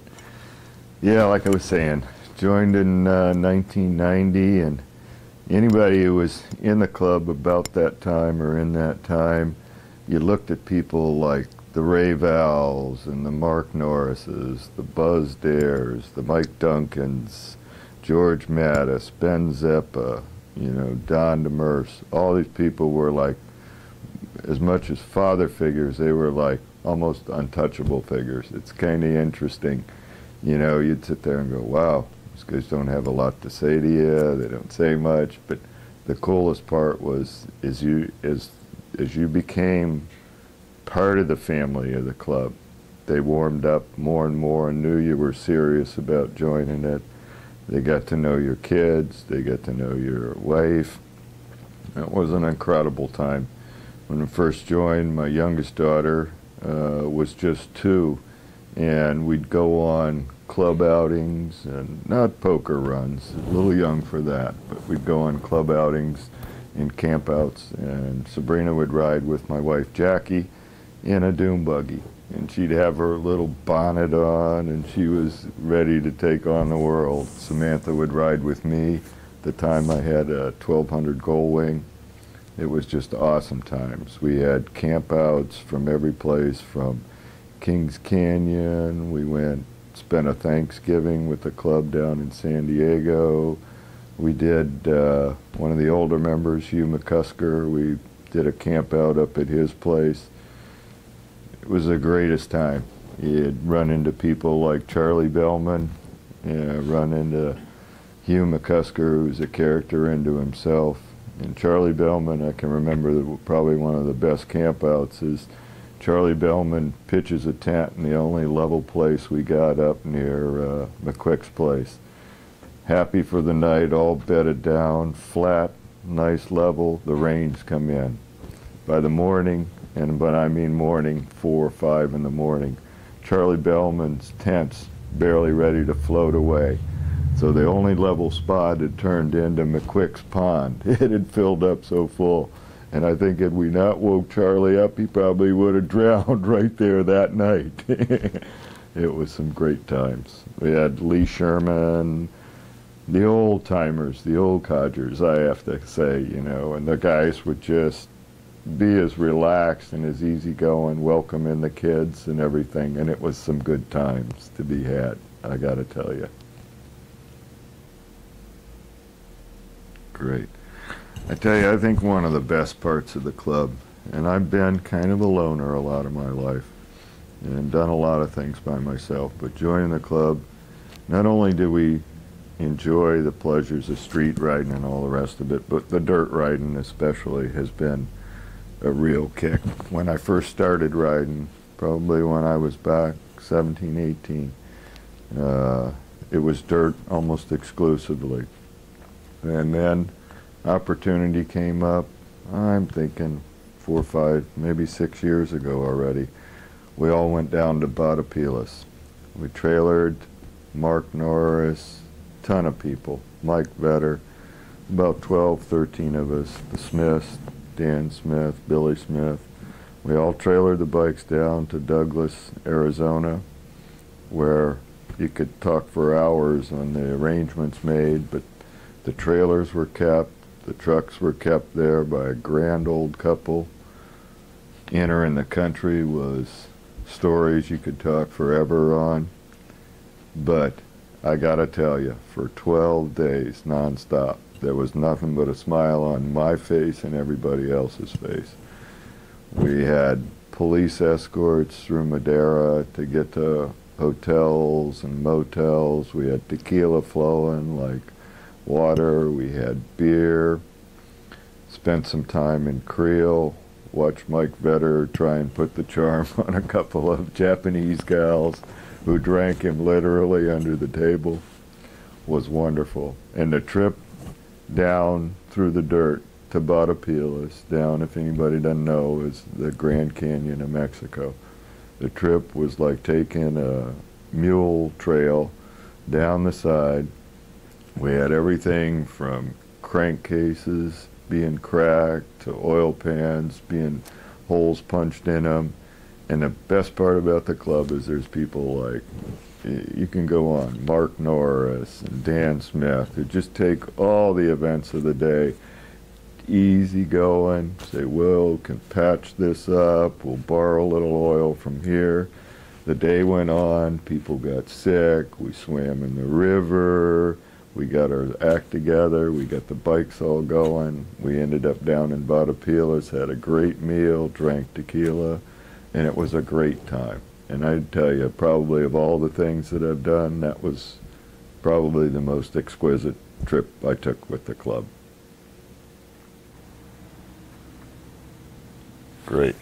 And just to close up, I'd, what, all I'd like to do is really just kind of say a special thanks to a lot of the members that have gone since uh, I've been in the club and have made the club even that much more special to me. But we certainly have lost Art Sullivan and Howard Self. We lost Don Turk, who anybody who never got the thrill of listening to a story from Don Turk has missed a piece of life. Charlie Bellman, I saw Charlie probably the day before he died, and he still talked to me about being a submariner and wanting like crazy to go through the Panama Canal. George Bacon and the stories you could tell with George Bacon would make your stomach laugh. Jerry Reynolds was a wonderful member and passed early on when I was in the club and was great to ride with. Matter of fact, uh, when we rode the thousand miles in 24 hours, Jerry Reynolds was uh, tailgating us the whole time, just saying he'd ride for another hundred miles, ride for another hundred, and by the time we ended up finishing the ride, Jerry had already ridden 500 miles before we started on our thousand. So he come back gloating like a stuck pig, flashing out his 1,500 miles and 36 hours nonstop riding. Crazy guy. Rob Stevens, who'd come up from LA sometimes for a Wednesday night meeting, have the meeting and head back to LA and drive a truck the next day spoiled my kids with some chocolates down on that San Diego thing we were talking about. And then, God bless him, Lee Sherman, probably the best smoker in the club. We'd ride together, tail gun and sweeper, and, and Lee would see me starting to shake a little as we're going down the road, and he'd pop in his cigarette lighter and light up a cigarette and hand it over to me, and I was good for another 50 miles. and that was great. And that's all I got to say.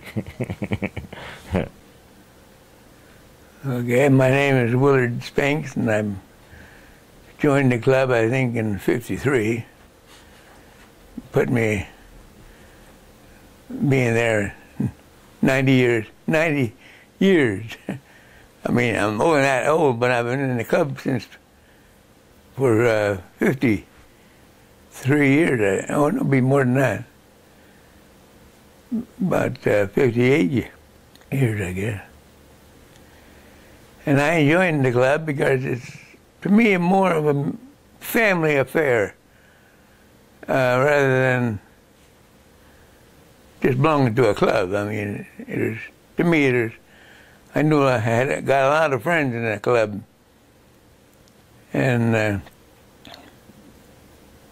I, uh, I, I can't think of. Since I had my stroke, I had a little trouble thinking what I'm going to say. But uh, okay, when I first joined the club, they uh, they had quite a few different rides. Uh, one was a snow run ride, and the, I uh, to show you how much cheaper things were then. I I uh, paid 75 cents for a bed to sleep in at Snow Run. and we slept in the basement with a mattress, and my I used my own sleeping bag. And uh, they, I gotta say, uh, oh, and I woke up in the morning, there was six inches of water on the floor. So I had to go from bed to bed to get to get rid of it. You remember that, Mark? No, Uh, I was that was after me or before me. oh, you mean you're that young? anyway, another run that I used to like to go on is they uh, call it. Uh, I don't know what they call it, but it, we went to Willows, and uh, it was a run that it was a kind of a illegal ride. We all raced each other, and. Uh, I, um, if you don't mind me uh, mentioning Howard Sells, but uh, he was uh, he worked on motorcycles all the time. The police motorcycles. He owned a motorcycle shop, so we were ra- racing up by Willows up there, and up at 100 miles an hour, and the cop pulled uh, all of us over and was was going to write us a ticket. But Howard drove up and said, "Hi there, Bill. Hi, George," to the policeman, and we all, "Okay, we'll see you later." We all rode on. So uh, are things like that, and I I I was in those races a little bit, but I don't think I could keep up with some of those guys. They'd work a long time fixing their bikes so they could go fast. And uh, the uh, I'm Mark Norris, and I wanted to jump in here and ask Willard a few questions that uh, would he could remember uh, some of the things that we used to do in the past. And uh, one of the things I'd like to ask him is, uh, Willard, do you remember uh, when out at the ranch at the uh, pipeline yeah, when we put in the pipeline? yep, I remember that good. Yeah, well, I'm going to tell a little story about Willard for that. Uh, we put on a Willard needed a pipeline to go across the ranch on a, a water line, and it was going to be put in steel line. It was half an inch and a half uh, water pipe, and uh, we ran it all the way across. And Willard made up a little uh, uh, walker to go out on the uh, line and do some work, and and the thing worked really good. He got way out there, and all of a sudden that thing let loose, and he dropped about, I'd say about 11 feet. And uh, but it was it was hooked over the top, and it caught him, and was able to pull him back up. Remember that one, Willard? Yep. Yep. uh, let's see, and then uh, some of the times that we used to ride to the ranch late at night and go, go leave about noon here and go to the ranch and get up there. Remember those days? Yep. You want to tell? Yeah, the ranch was a place that we used to go to. Willard has a 40 acres up on the Klamath River above uh, Willow Creek, and uh, you go up, up uh, what was the highway? 90, 96, 96. You- out of Willow Creek, and you go up uh, to Somes Bar, and seven miles past Somes Bar, he had a beautiful place up there that we used to go up and spend some time up, and we'd do a lot of dual sport riding up there, and riding up and back on our street bikes, and we just had a good time. And I just wanted to re- relate to the, some of the stuff that we used to do up there. I think Willard had a time, and I'd like him to tell a story, which I don't know about, but he did hit run into a bear on uh one of the trips up there. Yeah, I was traveling back in, through Willow, Weaverville, and uh, 12 o'clock at night. And all of a sudden, the bear is coming running full speed right across the highway. And uh, I'm thinking how close I was to getting killed or something. You have to name it in hundredths of a second. He took his nose and hit my crash bars, and he probably spun around a lot, and uh, didn't throw me off. But if I'd have hit him dead on, I'd have, probably wouldn't be here to tell you about it. so, uh, What kind of bike was you riding, uh, Indian. Yeah. I bought a 70, 47 Indian, I think it was. And uh, I was, it's a heavy bike, so it, it, you never know what it feel. The, uh, riding there, and when it hit the bear, it didn't throw me. It just stopped me. Not dead, but you know, I, say I was going 70, probably hit me, and I was going 45. Soon as I hit him, he just stopped me like that.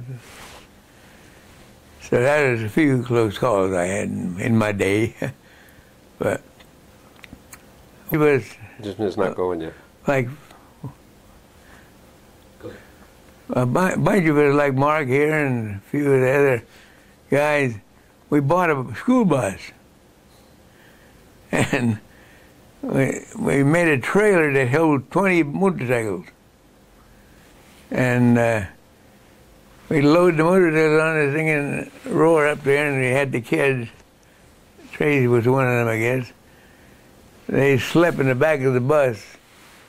Well, we kind of had parties all the way up, I guess you'd say.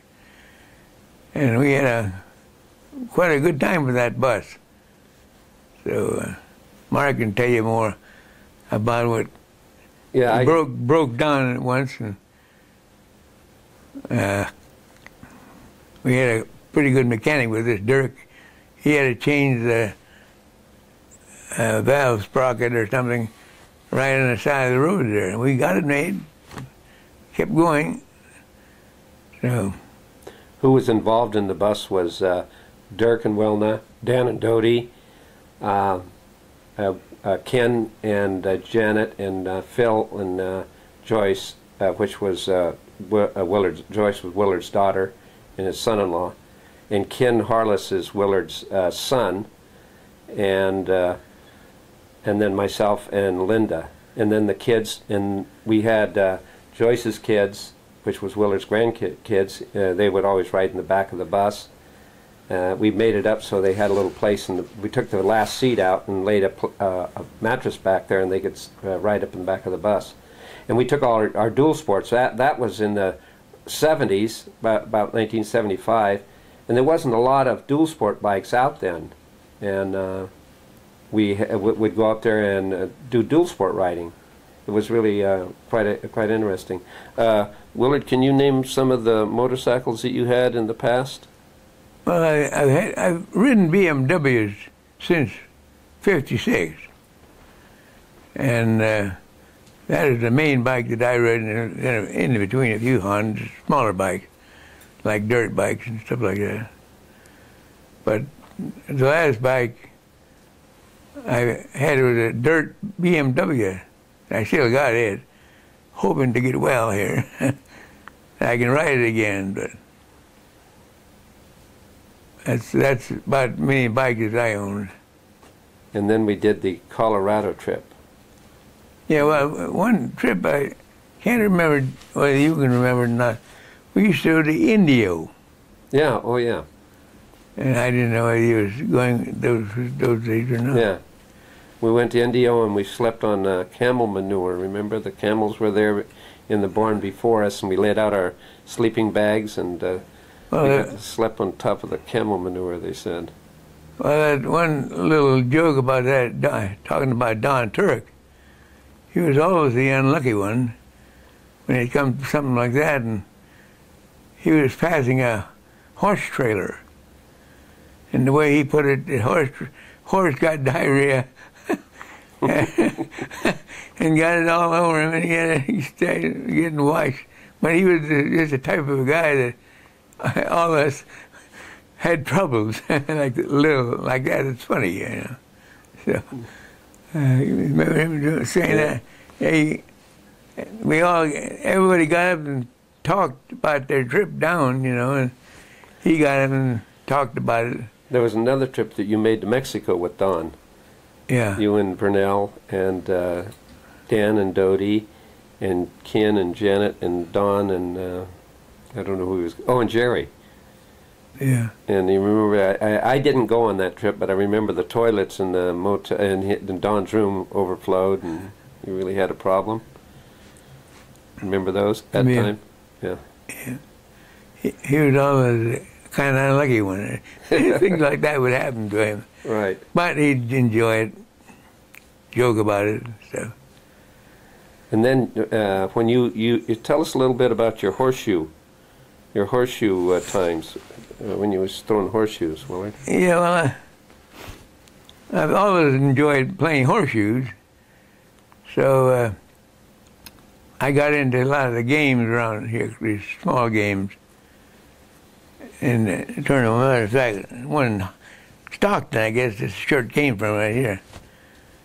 And uh, I I got to play.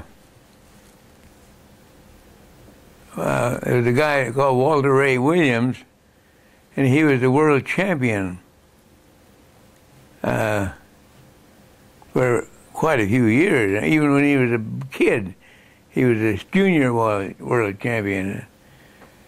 Anyway, one day they got uh, they had we had eight people had to play at once, so they didn't have a, the eighth one at all. So they asked me if I would play with the experts. Walter Ray Williams was a world tournament. So I said, well, sure. I mean, I know I couldn't beat him, but at least I was up high enough that I to play with him. So, and and like I said, Walter Ray Williams could have been off that day, and I could have beat him I too. I had that to think about. So I uh, got to play a few things like that. And one thing I could talk about a boat we had. And this boat was made by the Indians without tools. They they would they'd burn burn it and scrape. And uh, we crossed the river since 1910 in it. And uh, you ever ride in it? I did one time. Yeah. Uh, Let me just say that, that uh, Willard's talking about a uh, a boat that uh, he used to go to his home in. Uh, in the past, when I used went up there, they had put in two bridges. They were just putting them in then, but before that, the road was on the other side, and they had to take a boat over to to the ranch, and that's the boat that he's talking about. Yeah. So I got it's over in San Francisco now, in a museum. I gave it to him for a. I had a hard time getting them to. They, they uh, funny thing, we were up there and they drove in with a small truck, and I said, "Well, how come you're you're gonna haul this boat and that thing?" And he said, "Oh yeah, we're gonna do that." So. I uh, I always call these guys, I guess I got a nickname for 'em, city ginks. but they were going to pull the old wagon out with the boat sitting on a wagon, and they were pulling it out, and the rope broke.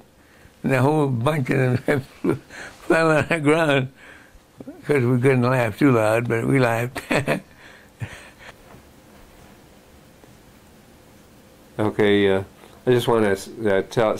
I just want to talk a little bit about Willard and some of the writing that I've done. I did a lot of writing with Willard in the 70s, and uh, Willard is a very good rider. There's a lot of people that are racers and stuff, and they go out and ride. but Willard was a very smooth rider. He, uh, I used to ride a, a, a two-stroke, and I would be when we'd pass cars, he'd go around the car, and I'd have to wait until he got all the way around the car because I'd have to go around real fast. But uh, uh, he, Willard could just pull away. He was very smooth, knew how to use his brakes. He was a very, very good street rider. I just had to say that, Willard. He did a lot of riding up and down those hills. yeah. Yeah. And let's see, uh, there's other things that uh, we've done, and uh, uh, we did dirt riding. We went over to Carnegie. We used to go to Carnegie sometimes and ride in the dirt with uh, when Jerry had uh, the uh, uh, Jerry Taylor used to have feeds over there at Carnegie. Be- that was even before it was a Carnegie. It was called Site 300. It was a free. You just go over there and ride. Remember we go over there and do that? Yeah. And uh, Jerry would have uh, feeds over there. And uh, let's see, what else? Uh, there was uh, so many things that there, uh, you was in the club way before I was, so uh, I know you've done a lot of things uh, that uh, I'm not sure before, but uh, Well, that's why I've enjoyed the club because it is more family. You was like you was in a family, not a club. So that's why I stuck it out quite a few years, and I think I was, I got perfect attendance down there. I think I don't think anybody's gonna ever beat me, but maybe some of the younger, younger ones. But uh, if you go every every week, you get two weeks off if you're on a vacation, but riding a bike. I was, I made a lot of a lot of. I would have still probably been doing it every year, but I, I joined the police auxiliary. And there's a funny thing about that. Uh, it should be about the end of it anyway. They shouldn't. Uh, the, the policeman that is teaching us how to shoot. We had a our gun in a holster, and he said, "Okay, back up 50 feet and dra- pull your gun out and fire. Now see where you hit." There wasn't a single one that hit the mark, hit the statue there, except me, and I just grazed the top of his head. uh, that's one of the good, funny th- things that they, they hear him say, "Now look where you hit it," and nobody hit the, hit the skeleton or whatever they call it. It's a man-sized dummy or whatever you want to call it. So, but anyway, I spent a few years in that. Few, not years. I think I don't know how long. I guess I'm still a auxiliary policeman, but it's been quite a while ago. Okay, I can't think of anything else to say. Can you? I think that's about it. Yeah. Okay, Willard, uh, we're uh, in our 100th anniversary year right now, 1907. We're celebrating it all year. And uh, how old are you? I just turned 70 about three months ago. 70? Uh, excuse me. Yeah, that's okay. I, I, I thought you looked a little old for 70. I uh, I make that I mistake. mean, a little young for 70. I make that mistake with 70 and 90 for some reason. I don't know why. But I'm 90. 90 years old. 90 years old. Yeah, we had a pretty good party at the club, too. Yeah, we- Your 90 year old party. You're following right up with the club. Yeah, I was telling the merchant, oh, where'd he, where'd he go? Uh-huh. Uh, I got it, and I told him too, both. They hung a 1960 or 70. No, minute. 90. 90 on the wall, you know, that I was 90 years old. Well, I just took it off the wall and told Mark I'll save it for him when he hits 90. Yeah, well, are you going to be around for the uh, two when we when the club turns 200? well, I will. Uh, will you be 90 by then? Well, yeah, I'll be nice by then. So, uh,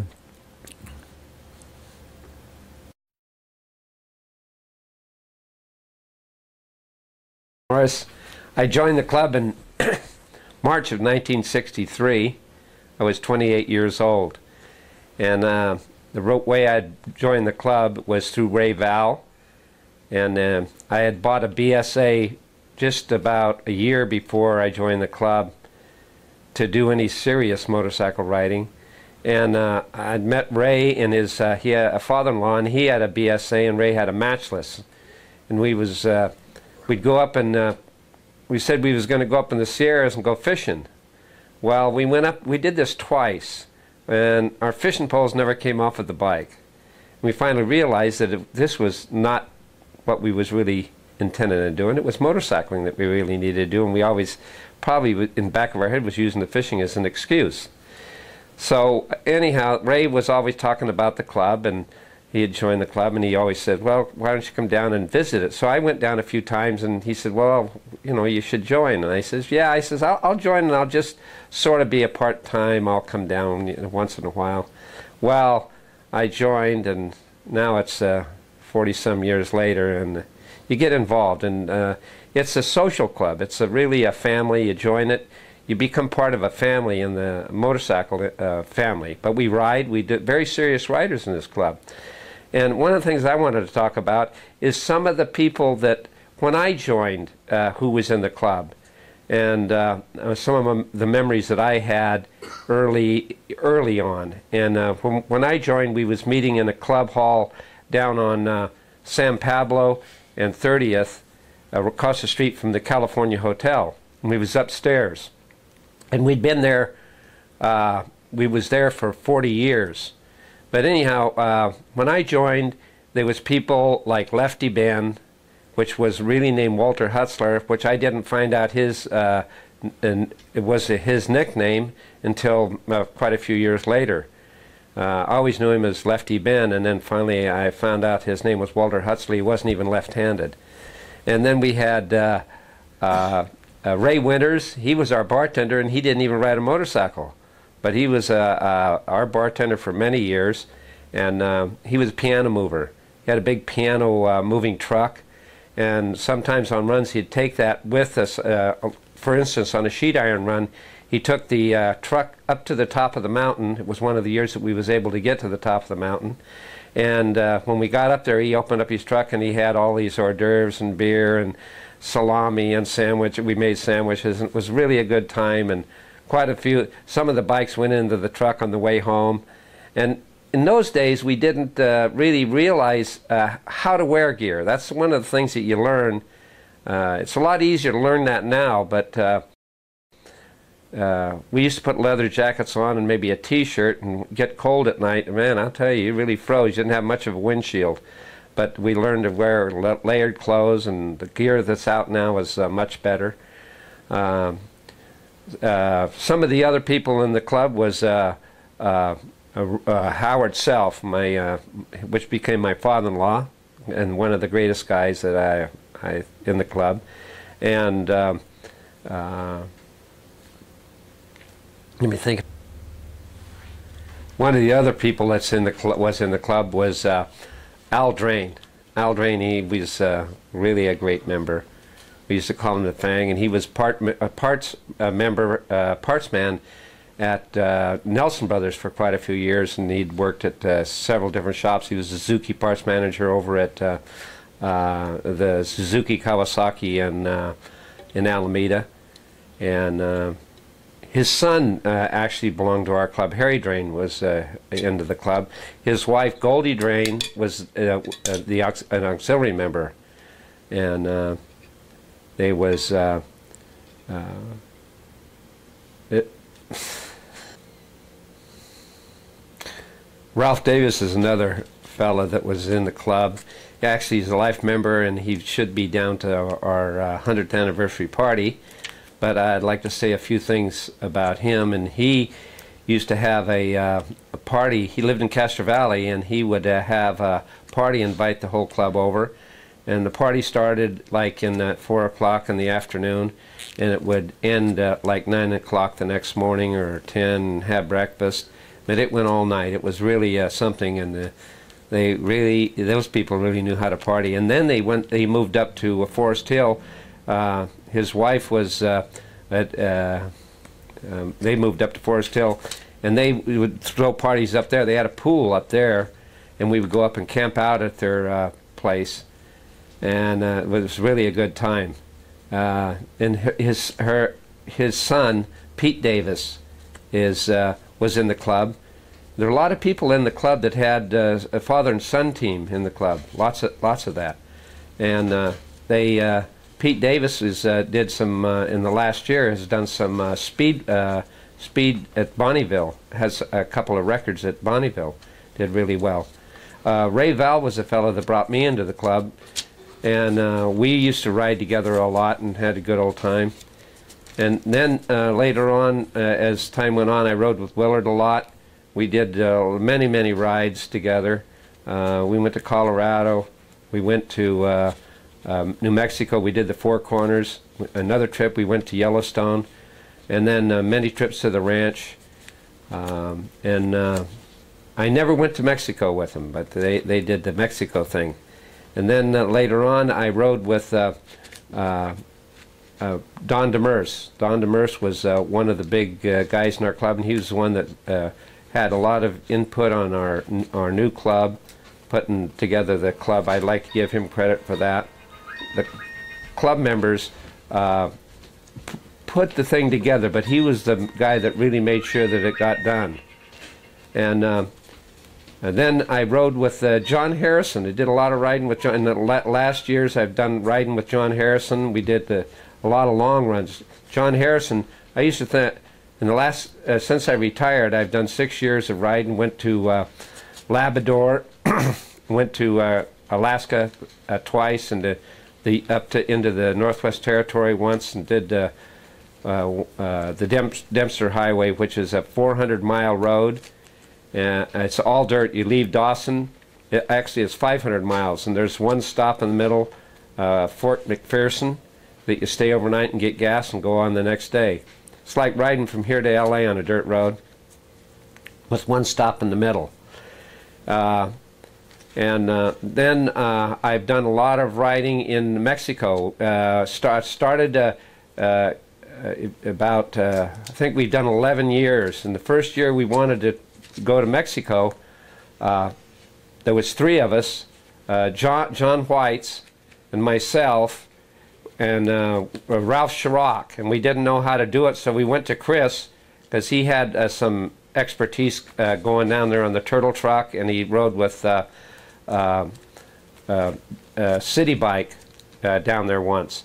So we got a hold of him and asked him if he would sort of give us a little hint of how to get down there, and so we did. And uh, so the four, uh, I think we had uh, oh, and Lee Sherman was with us on that trip, the first trip, and we stumbled and fall, fell, and we got through it. And now, 11 years later, we're, we know pretty well all of the twists and turns and places to stay, and it's really been a nice ride. Mexico is a very good place to ride in. The road uh, in the Baja from uh, Tijuana down to uh, Cabo San Lucas is uh, one of the nicest roads uh, to, for a, a street bike to go on. And uh, also, they have uh, dirt, dirt riding. I'd like to say a little bit about our sister club. We've uh, been uh, with our sister club for uh, about 27 years, might even be more than that. But we, the Greater Vancouver Motorcycle Club, we became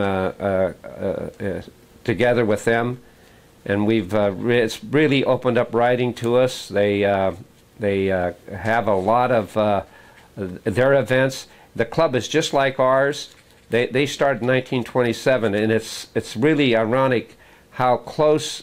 Uh, even before we met them, how close our clubs were together. They were their club, their their cl- uh, club colors is orange and white, or pardon me, or, orange and black, and uh, that's one of the reasons how we met them. They they uh, uh, seen our colors and they got a hold of us. I wasn't on that particular run, but uh, then later on they uh, came down and uh, we became associated together. And we have a halfway run that we do every two years, and every fourth year, the the other club's responsible for the run, and uh, we're going to go up in uh, next week actually, and it's the uh, Greater Vancouver's turn to for them to put on the run. We've met at different places. We've met at Coburg, Oregon, for about the first five years, and then they sold that uh, particular uh, establishment, and then we moved down to Sutherlin. We've been to Ro- uh, Roseburg, we've been to uh, Florence, back to Sutherlin, uh, Cottage Grove.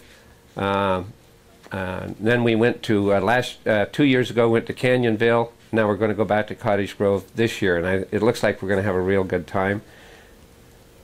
And uh, yeah, I'd like to say a few things about uh, when we moved out of the old club hall.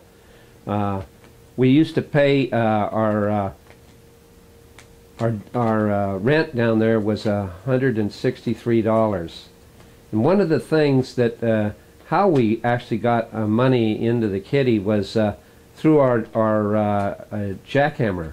We, when the jackhammer became popular in the club and we was doing a really good job, we decided to take the uh, money and put it into a building fund. And we voted on it, and uh, every bit of our money went into the building fund. And we actually bought two pieces of property, and each time we would buy the piece of property, we would uh, double our money on it. So we was doing really well in that respect. We had uh, like uh, forty thousand dollars in in the club, and in those days that was quite a bit of money. Uh, Don Barksdale owned the club hall at that the particular time that I was in it. I, I, I was treasurer for quite a few years, and I was paying Don Barksdale.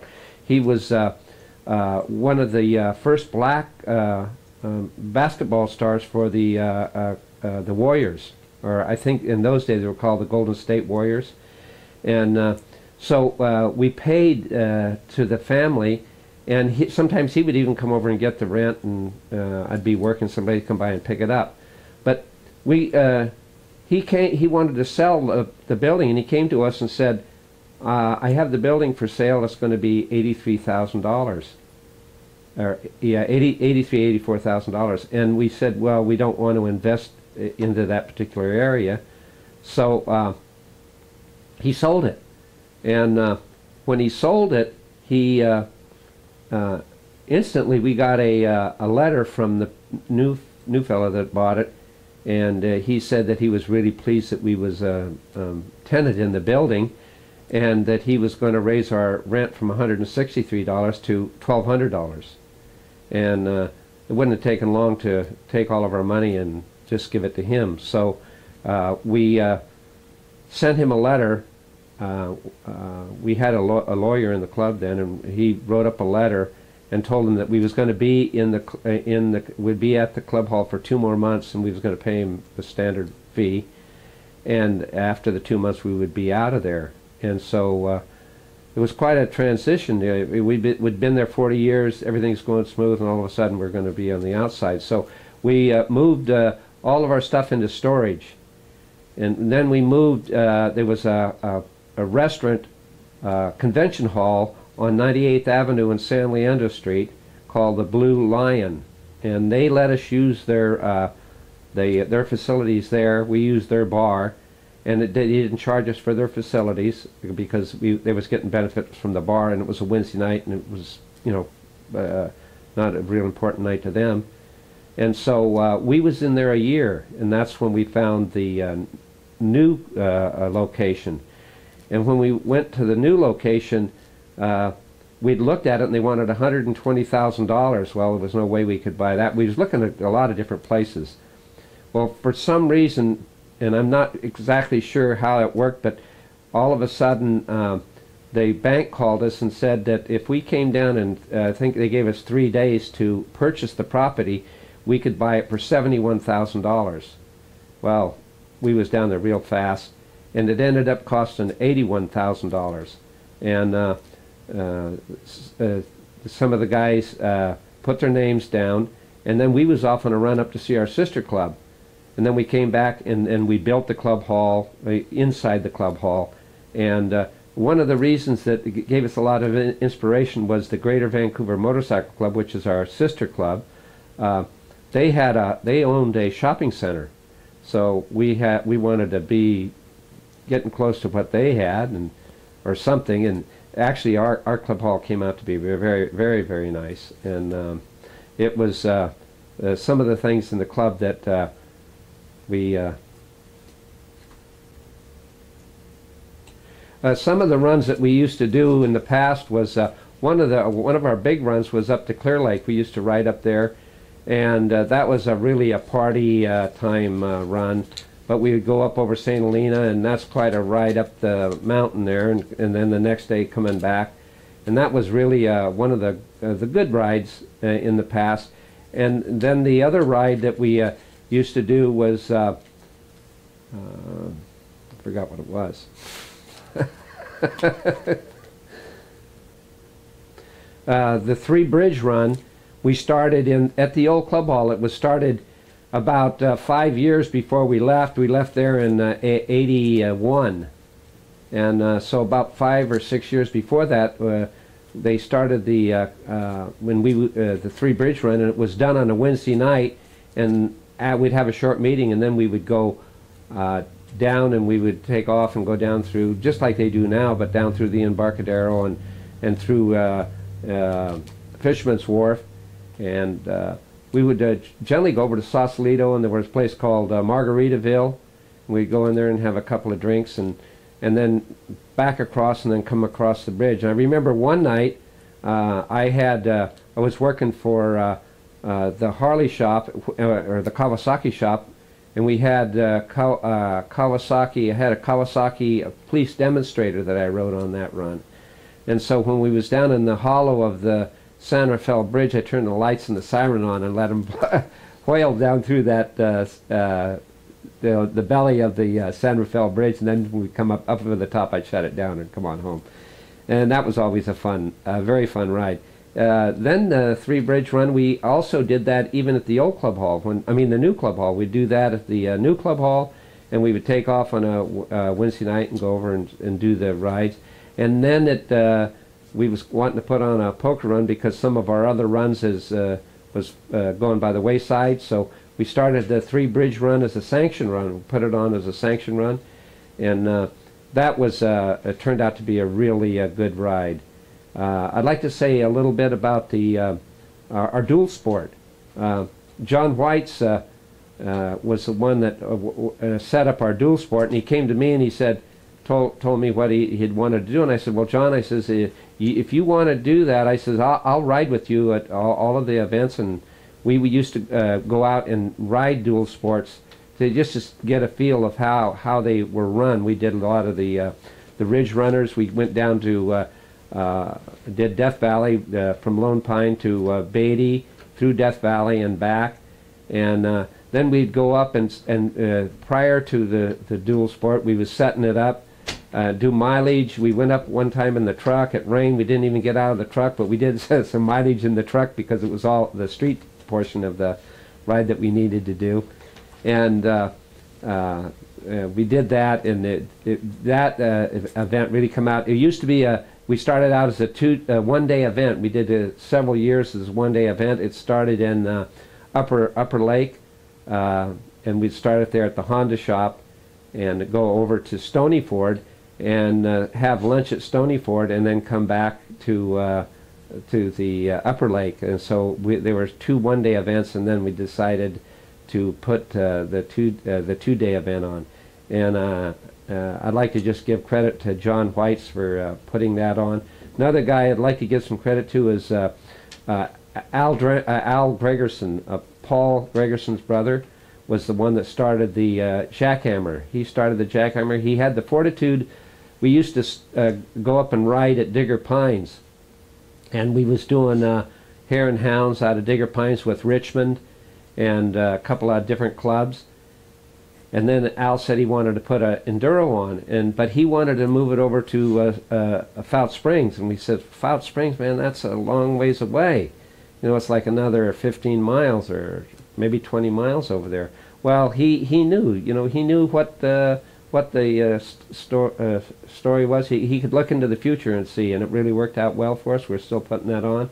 Uh, I don't know exactly what how many we put on, but I know it's about 37, 38 uh, years that we've been putting it on, and I, I've worked on every one of them except one. Uh, I went over the handlebars and had a broken arm and didn't get to go on that one, but uh, and an enduro the, the week before.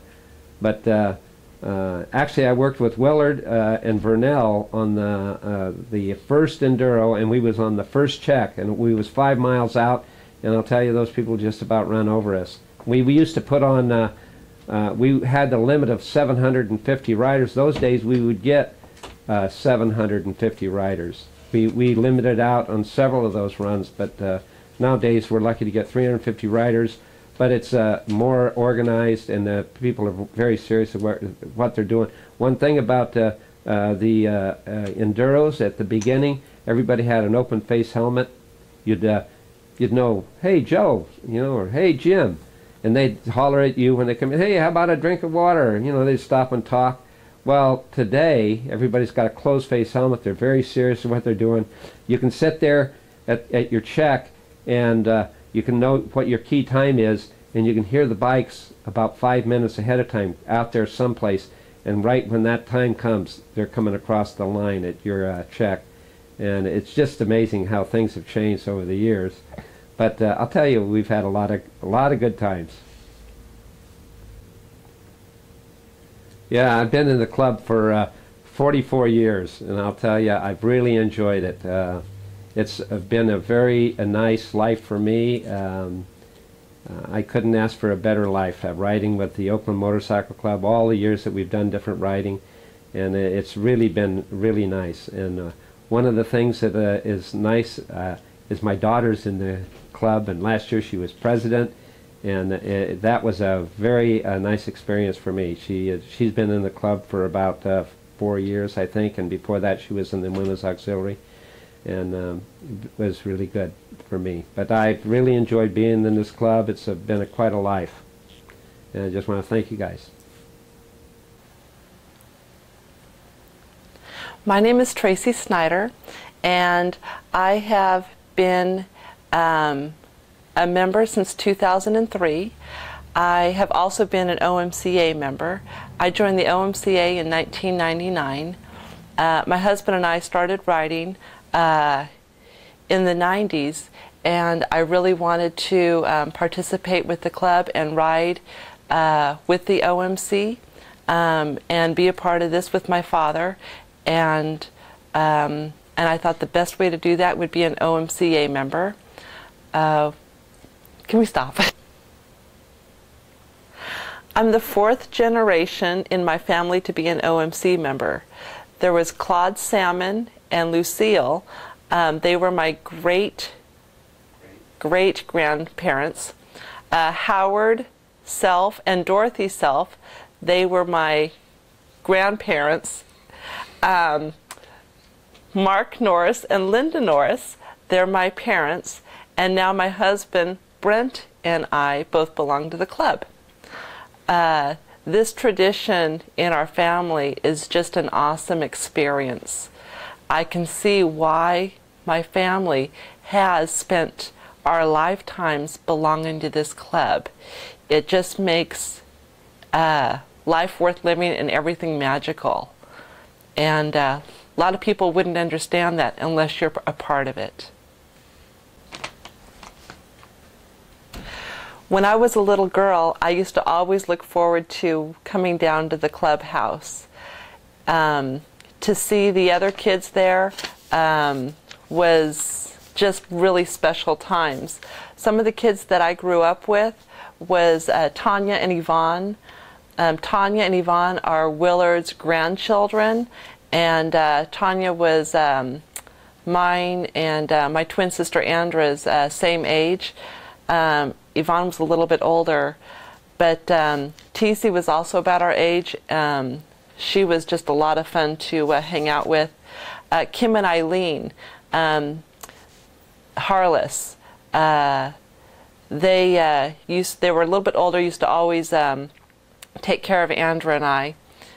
Uh, Billy and Allie Smith, that's Dan Smith's kids. Uh, we used to spend a lot of time with them up at Willard's Ranch. Uh, Mike Vetter, um, he was uh, also part of our group, but Mike Vetter has turned out to be um, almost like a brother to me. Um, he's a member of the OMC, and uh, he is just one of my very, very, very special friends. And it's nice that um, I grew up with these people.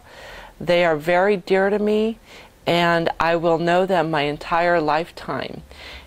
Now I see the uh, the young kids, um, who I call the young kids, um, running around our clubhouse today, and different members bring down their children and how they have this very nice bond. And I know in my heart that they will have these friendships their entire life. And I can just see the future of the club. Um, as a uh, youngster, I used to go on poker runs with my father.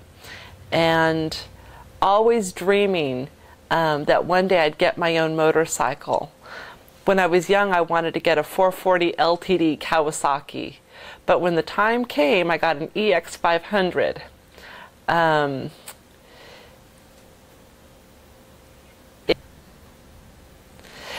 being the uh, daughter of Mark Norris, who was also known as the Kawasaki Kid, of course, my first bike was going to be a Kawasaki. But um, after, um, when I decided to get rid of that bike, I got a BMW K75. Um, and that was just so I could keep up with the people of the OMC. Um, having that K75, I became a big BMW fan. Um, and since then, I've had the 1150 GS and the 1200 RT. Um, oh, and I recently got a Hayabusa, um, which has always been a lot of fun. Um, and uh, but where the club has been a lot of influence in me buying motorcycles was the dirt bikes. Um, I wanted to learn how to ride in the dirt. Um, so I talked to a few members, and um, they suggested an XR250. And we went out and got a lot of gear and um, started going up to Stonyford with uh, the OMC group. And uh, boy, did I need a lot of hand holding, but um, they got us on all the trails, and I've had so much fun riding in the dirt. I remember when we went up to Willard's Ranch, and that's where Tanya and Andra and I all got to ride um, a Little Sax motorcycle for the very first time.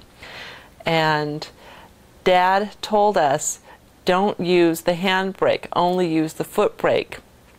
So um, we were going around and around and around um, the circle at Willard's Ranch, and where we, we stopped was right next to some berry bushes. And so Andra came in and she accidentally hit the handbrake instead of the foot brake and accelerated right into the berry bushes. So when uh, dad takes and he pulls Andra out of the berry bushes, pulls the bike out of the berry bushes, Andra's covered in head to toe in uh, scars and blood, and it was just awful.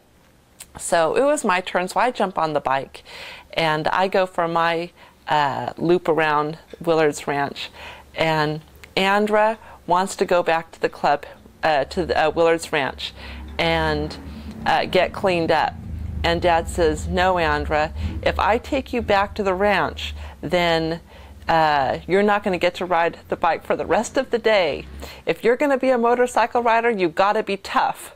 So Andra toughed it out. She went and got leaves, scraped all the blood off of her, and um, anyway, that comment, you got to be tough if you're going to be a motorcycle rider, was maybe a hard lesson to learn, but very true. And to this day, I get myself into just very difficult uh, terrain in really bad weather conditions where you're just not prepared right. And I think back to those words if you're going to be a motorcycle rider, you got to be tough. And uh, Dad was a good one to teach us that lesson. Um, being up at Willard's Ranch was um, just the best place for a kid. And Willard is a great storyteller and he would tell us these stories about Bigfoot. Um, and we would just be completely scared out of our wits. And I think he did it because he enjoyed to scare us. But I also think he didn't want us to wander off too far because we were a little adventurous. And he wanted to keep us sort of close to the ranch. And uh, we always knew that Bigfoot was lurking. One of the best memories I have is of the opportunity to go to Baja. Not only is it a wonderful place to ride, but um, my dad has been going there for like the last 12 years every January. And in 2001, Brent and I got the opportunity to uh, take two weeks off and go to uh, Baja. Um, and it's just beautiful riding. um, to get up and, and the only thing you have to do during that day is ride a motorcycle is just too much fun. Um, and it was a great group of people. Um, and I hope that um, I get to go back there and uh, do that with him again. Um, about that trip, um, he, my father actually um, was on his KLR. He was leading the trip, and he um, had a bad bearing in his rear wheel. And right before we went over the um, border to enter Mexico, he um, realized that there was no way he could um, take his bike. So I told him, Dad, you and I have put on so many miles as um, with me as your passenger. Why don't you ride my bike and um, I'll be the passenger? And he says, Oh no, I can't do that. I'm like, Sure, you can. By the end of the night, um, he did say that he would double up with me. We had a, just a very good experience. He did tell me that he would let me ride the bike and he would be the passenger. We did try that once and uh, went about um, a half of half a mile and um, I think it was a real bad experience for both of us. And by the end of that half a mile, I said, Hey, Dad, why don't you just be the rider and I'll be the passenger? And I think we were both a lot happier. Um, I was, uh, I'll say one thing about him. um, he did crash my bike that weekend. um, we were um, coming back. We were in Catavina, and uh, we had stopped to look at these uh, writings in some caves and we had jumped off the main road and we were in this this uh, this dirt. We were going down this hill and there were so many ruts. And we're on an 1150 GS. We've got these big metal bags, all of my stuff, all of his stuff. The bike was was really heavy. I mean, I'm on the bike. The the bags, you know, are full of just all of our junk and we're going down this really steep hill with all of these these ruts. And i'm sort of looking over his shoulder and i'm thinking i am so glad i'm not riding this bike. And we hit this rut and we went tipping over. I stepped off the bike. Um, and my father was just absolutely mortified. He just couldn't believe that he crashed his his daughter's bike and um, put a little nick in the saddlebags and um, he's just upset. And I looked at it, I said, Dad, I liked my saddlebags before, now I love them. But uh, we just had um, a wonderful, wonderful, wonderful time, and it's something I will always remember for my entire life. I feel very fortunate to belong to the OMC um, to have relationships with all of you. You guys are incredible, and I love you all. Thank you very much. Hi, uh, my name is Bob Orme. I'm a member of the Oakland Motorcycle Club. Uh, I think they let me in because before they actually figured out what kind of guy I was. uh, basically, I've been in the club about, like I said, 10 years. Uh, uh, it's all been uh, it's been interesting. There's been ups and downs, mostly uh, mostly ups. It's been a good experience for me uh, for a long time. Uh, I kind of like ran around with a bunch of different motorcycle organizations that were never joining, that will shall forever remain unnamed. But anyway, uh, back in about 19, if I remember correctly, it was about 1969. I was uh, riding my uh, Harley Davidson uh, being a hard guy thing, and some kid blew me off on some weird looking motorcycle. So I went down to uh, the Kawasaki dealer in Oakland. It was near uh, High Street and East 14th Street, and Mark Norris owned it at the time. And I went in there, and he was, uh, you know, he was a real good dude. Got rid of the Sportster. Uh, this was like in 1969. It was a 503 cylinder. needless to say, uh, I uh, painted black and put psychedelic flowers all over. I was going through a stage at the time. Went through the 60s, did all that thing like that. Uh, and then I was running around with some guys in the, in the uh, San Francisco Motorcycle Club, and they said, hey, let's go over and we're going to play pool. So I went over there, and I recognized this guy at the counter, and I said, don't I know you? And he said, "Yeah, I used to own the Kawasaki shop." He remembered me, and uh, I went by a couple of times and started checking it out.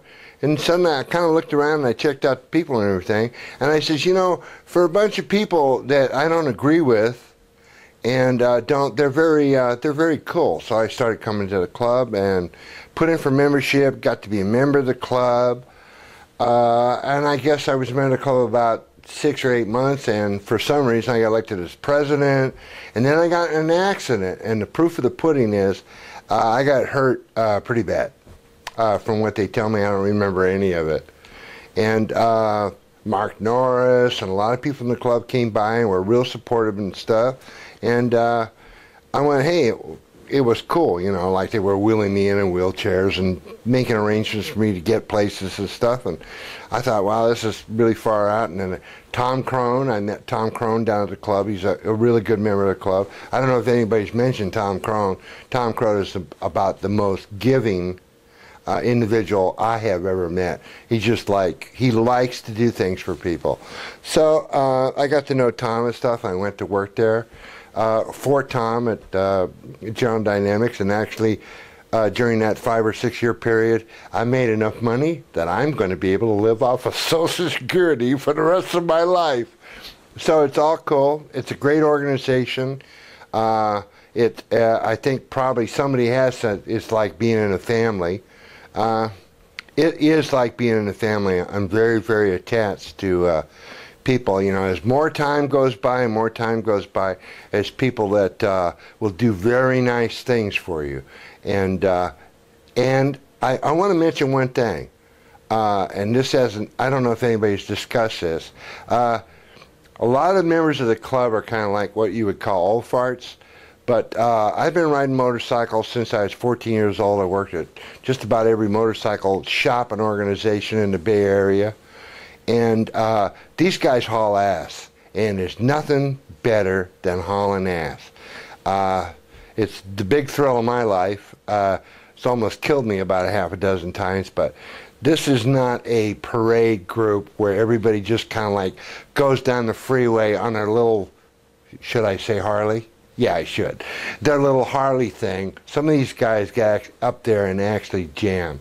Uh, uh, I've ridden with, uh, I've gone on stag runs where guys were going down the road on these like these lame ass BMWs and they were hauling ass. And uh, I like to haul ass. It's the only thrill I get out of life.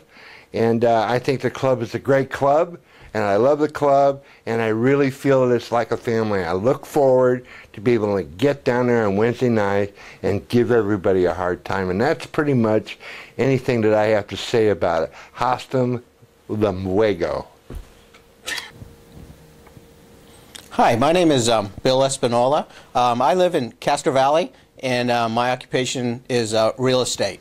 Um, I got involved in the OMC in uh, 2002. Uh, I was introduced to the Oakland Motorcycle Club through um, Tracy Snyder, who at that time was a friend of mine, and um, she had always been um, asking me to come down to check out the club. At that point, um, in my in my riding career, I had just been um, primary a dirt bike rider, and I really had no other experiences as in the street riding. So I really wasn't that interested in, in, in joining the club.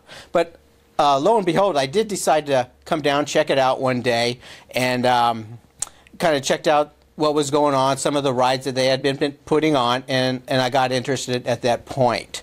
Um, my first ride with the club was um, to Copper Canyon, and that ride was, um, was made a great impact on um, on my motorcycle riding. I mean, it was just a great trip, um, something that I probably would never experience in my life if it weren't for um, the club, the, the, Oakland Motorcycle Club.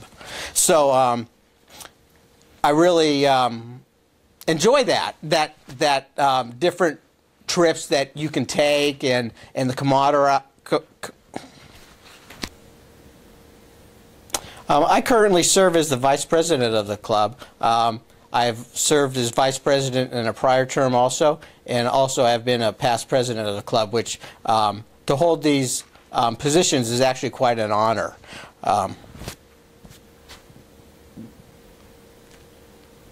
one of the most um, enjoyable aspects of being a member of the club is um, that we have members of all ages. And it's amazing to see when we have a function or a ride or some kind of social event how everybody of all ages can come together. Um, you know, we can have a few drinks, we can party, we all enjoy each other's um, company, and um, the common bond that we do all share is our love of motorcycles. Um, as I had talked about a little bit earlier, um, I was prim- before I joined the club. I was primarily, um, mostly just a dirt bike rider. My father had actually introduced me to um, motorcycles when um, he had bought me an SL70, and it probably was in 71 or 72, and that was my first motorcycle. And I pretty much, you know, had motorcycles all throughout throughout um, my um, as I've been aging up until now. Um, as of today, I own four motorcycles. I have a KTM dirt bike, I have a Honda Dual Sport, I have a Suzuki, and of course I have the most famous Harley Davidson. Um, before I joined the club, I did no street riding. Like I say, I was just primarily a dirt bike rider. And um, the club has introduced me to street bike riding, which is um, it's, it's really cool once you kind of get in it and you have some special friends to share this stuff with. Um, you know, what also, and I kind of want to touch bases on is, is amazing about our club. We have, you know, quite a bit of older members in our club. Um, and, and if you look at these guys, you know, their looks is, is extremely um, deceiving. Um, for instance, uh, on our last ride that we just got back from this week, we went on a Highway 1 ride. Um, some of these guys, they're in their 70s. They're riding these BMWs. And if you would look at them, man, you would think, man, these guys are just couldn't ride. But I'll tell you what, the, the, the pace is very, very fast. You better have a good bike and you better have some riding skills to keep up with these guys. Um, it, it, just on, on this one ride, uh, this past weekend, um, a couple of times I looked down and I'm, I'm hitting 110 on my bike. And, and, and just to see these guys and how smooth they are and how fast they ride, um, you could just tell that these these guys have been riding a long time, and that just comes with years and years of experience. So um, in closing here, I just kind of want to um, touch bases a little bit. I currently I have a five-year-old daughter. Um, I tend to bring her down to the club when I can, and um, hopefully she can um, see the friendships that I have that I've got and I have formed with the club. And hopefully, um, when she is older, she'll be able to um, carry on the traditions. Hi, I'm Brent Snyder, otherwise known as Chopped Liver, or better known as Tracy Snyder's husband.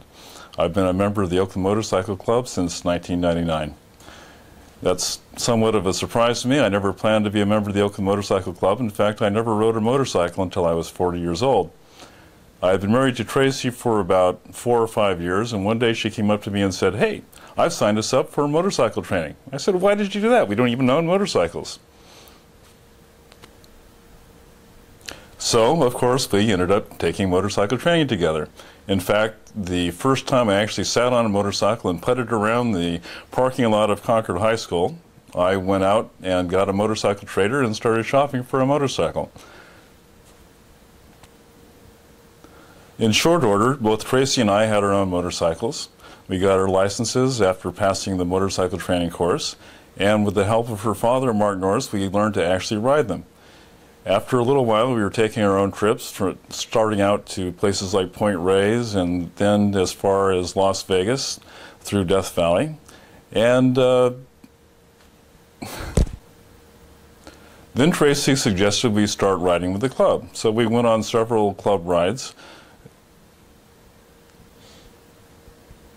To make a long story short, we both eventually joined the club. Since that time, I've rarely missed a meeting. I think I have several years of consecutive perfect attendance. And in the meantime, I've served as vice president tw twice, president twice, road captain twice, and secretary twice. And I currently serve as the chairman of the Sheet Iron 300 Dual Sport.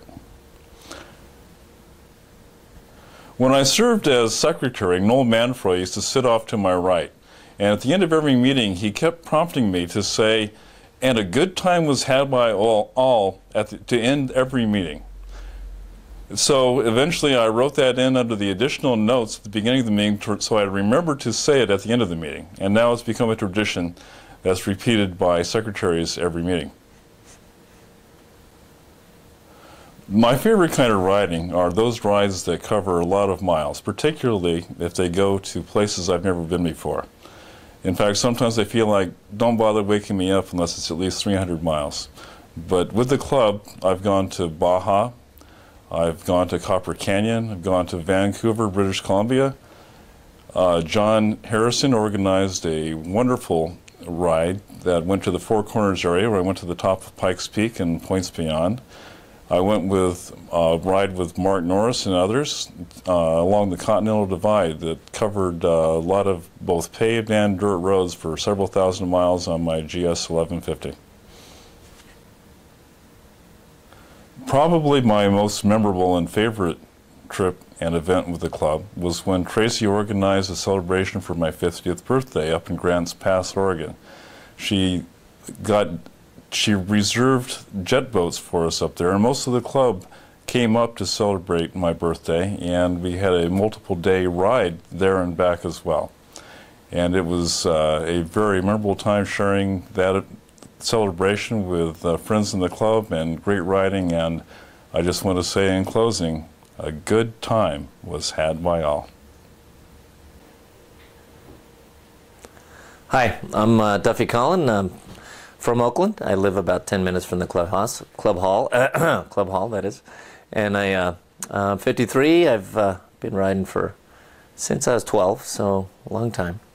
But um, uh, yeah, you know, coming to the OMC was sort of a, uh, uh, I thought sort of a destiny thing almost from from my perspective because I was I was always in East Oakland Moto Bro, which is an anti-club you know, they're a bunch of fast guys that uh, hang out and have been riding together for a long time. And East Oakland Motor Bros, they've always had a skull and crossbones logo that I never really wanted to wear when I was riding my bike because I felt it was offensive to some groups of people. You know, there's some groups of people that consider that very offensive. They just don't like to see skull and, skull and crossbones. And uh, I've always been kind of a, kind of a, uh, um, you know, when it comes to clubs and such, uh, I, I always wanted to kind of be with a club that had regular meetings because the because the EOMB was an anti-club and they're uh, they're fun they're fun guys and I love hanging out with them but uh, we rode we rode the I've ridden the jackhammer since the early 80s and uh, I mean, many times probably a dozen times. And then I rode the uh, the sheet iron probably six or seven times.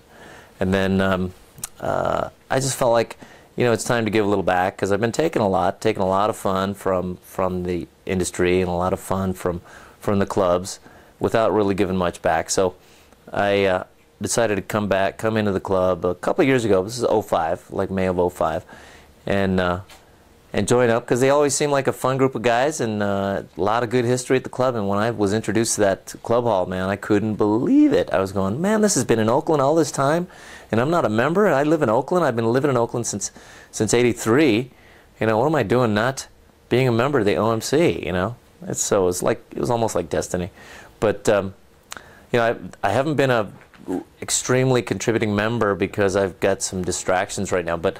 Uh, I'm sure that all's going to settle down here in a little bit. I'm getting close to finishing my house, and uh, so, but um, it's been fun. It's been fun. It's been a fun time, um, and uh, I, I, have yet to do some really killer rides with with everybody. Some really fun rides. Um, I've done a couple of fun ones, but uh, but uh, I still got to do the the stag run and uh, and you know some of those some of those good ones, some of those really fast ones, like this one on the Marin ride today. I'm, i regret that I missed that one. Well, speaking of bikes, um, I started uh, way back in '68 um, on my Jawa 125, and then a Yamaha 80, Yamaha 175, Yamahas, and then I started racing motocross in the in the 70s and uh, uh, reached pro level, but um, mm, didn't really do that well as a pro. Um, made a little bit of money, but always thirds and fourths. You know, it was just it was kind of minor.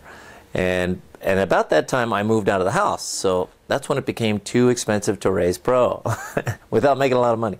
So uh, moved up to Humboldt County, and uh, I was the new kid in town. That song by the Eagles was playing. Uh, There's a new kid in town, and uh, and I was the new kid in town up in this little cute little town called Willow Creek, and there was a hare scrambles track. There, there was a little scrambles track with a wooden jump up there. It was pretty famous actually. A lot of a lot of flat trackers used to talk about it when I was in Fremont, and uh, lived up there for a couple of years and rode my my motocross bike. In flat track in the expert class, no, in the novice class, because I was I was an expert motocrosser, but they but they wouldn't let me ride the expert uh, flat track class. So so I had to ride the novice class and then intermediate and that kind of stuff. It was pretty fun. It, there was a lot of real fun time of my life when I was 22, 23 years old.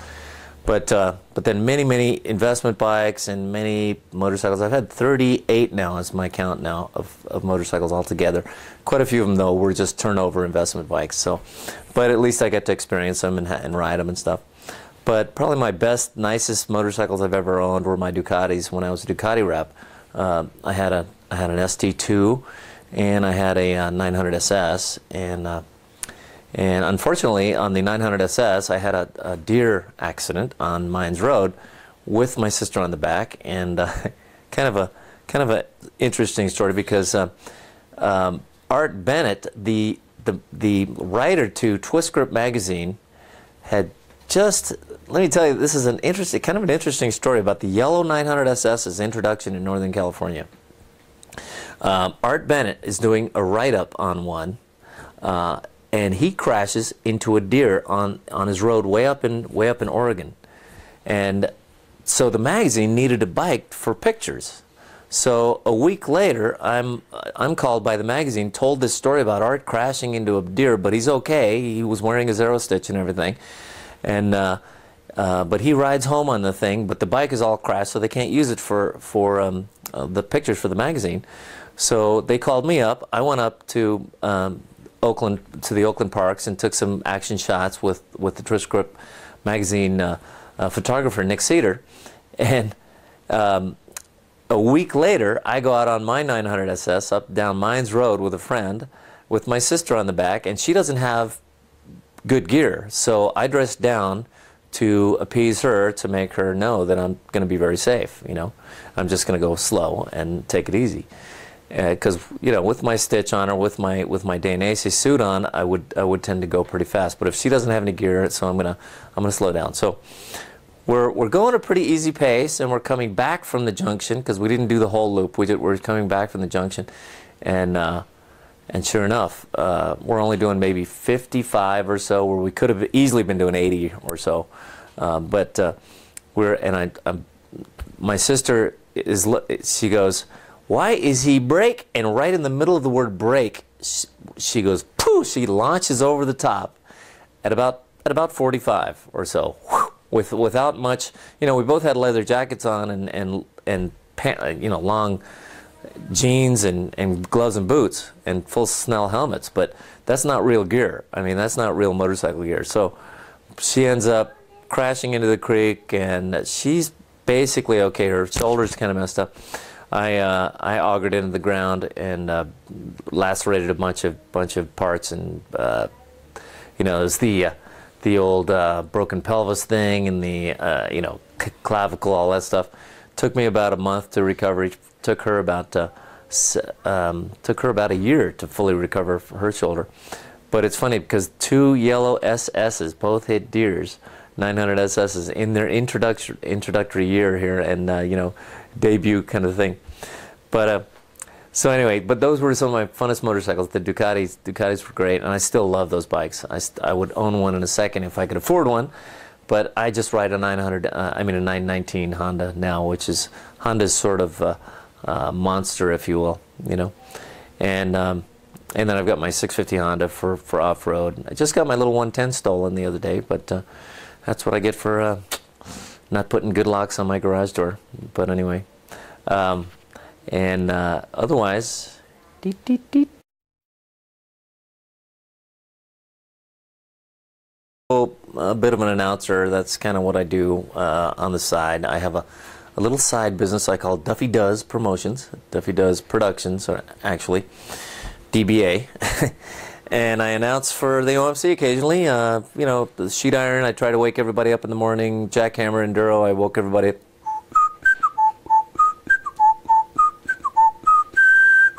And they and I did it really quietly at first, and I just slowly brought the level up until it was.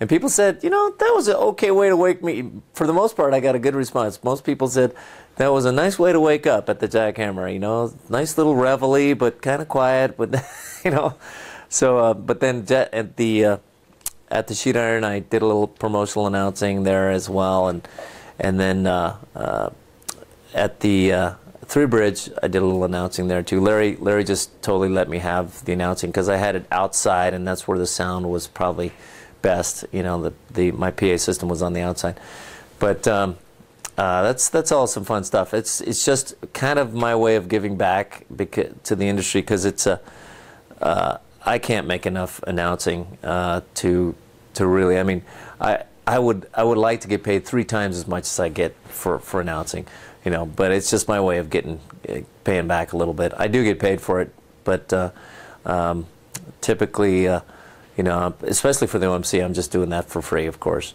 But uh, it's it's all good stuff. It's all fun, and I try to inject my uh, my history of you know, for years, uh, I've always been uh, a guy that's been real animated. I'm, you know, I, I tell jokes with, with a lot of, lot of, per, uh, a lot of different kind of accents and such.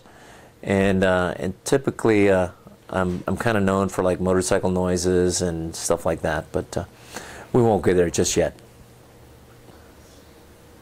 So I guess, you know, this is sort of how I'd announce a race. If I was announcing like a supercross, um, and it's it's Carmichael and it's uh, it's Bubba. You know, this is sort of the excitement I would try to bring to it.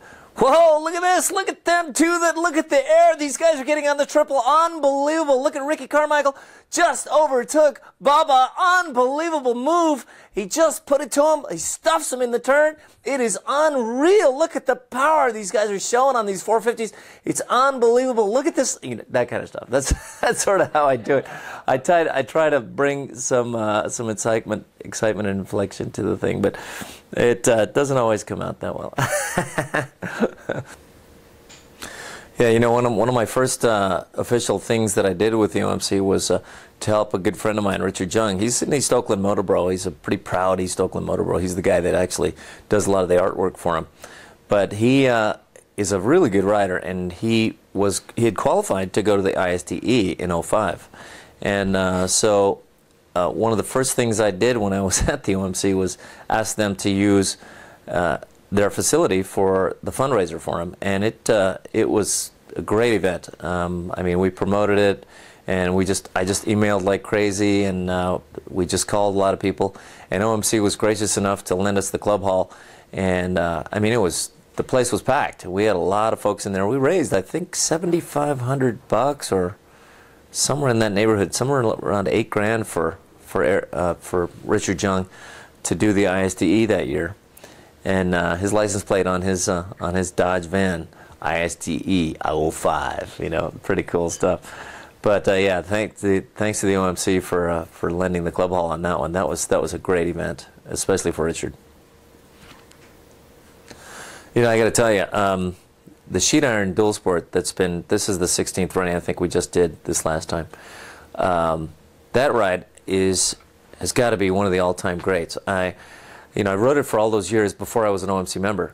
But um, my friends and I, uh, my East Oakland Motor Bro friends, uh, will, uh, I mean, are just, we just have such a good time on that ride. We, we're constantly uh, dealing with, um, you know, we're sort of racing the whole ride. We, we really, really go fast on it. And especially the last day, the second day, when we're going up the Go Road, which is, which is the back of Sheet Iron Mountain and it's literally four lanes wide gravel and it's just awesome i mean we're doing 70 mile an hour broad slides on our 650s and my buddies on their ktm 525s and it's just it's unbelievable. We stop at the top and we'll take videos of this this high speed sweeper and everybody just laid out sliding sideways on their 650s we'll we'll go back and do it again and again you know just to get video of it. And it's uh the sheet iron uh, that that particular uh, section that that we all look so forward to that section because it's it's a good 15 minutes of, of fast fast turns with hardly I mean hardly any traffic. Of course, we're always watching for that, but you know it's uh, I don't think we've ever seen anybody coming down the hill uh, on that particular one, but we're always ready for it. But it's uh, it is just the most fun part of that whole ride is that is that one 15 minute section of the back of Sheet Iron Mountain. You know, and uh, uh, one, one of the things I do occasionally, uh, uh, I do this thing, it's sort of a motorcycle comedy routine, if you will. I, I, I started like Rod Serling. I go, ladies and gentlemen, imagine, if you will, a man in his 40s, uh, early 50s, making motorcycle sounds with his mouth. You're about to enter the moto zone.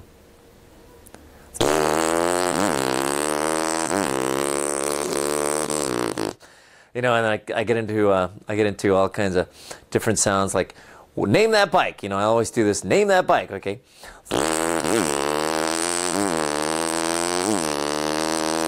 I'm the only guy I know that needs windshield wipers on the inside of my car. That's my Honda 100, right, with a Bassani pipe. Wait a minute, Bassani pipe. Bassani, are they around anymore? No, I don't think so. But okay, here's my Triumph 750 on the half mile. Okay, this is this is one of my most coveted sound effects. Okay, now this is kind of graphic here. Well, hang on, it turns into a single once in a while.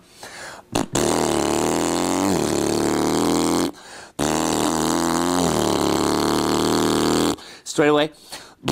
San Jose half mile. Oh, wait a minute.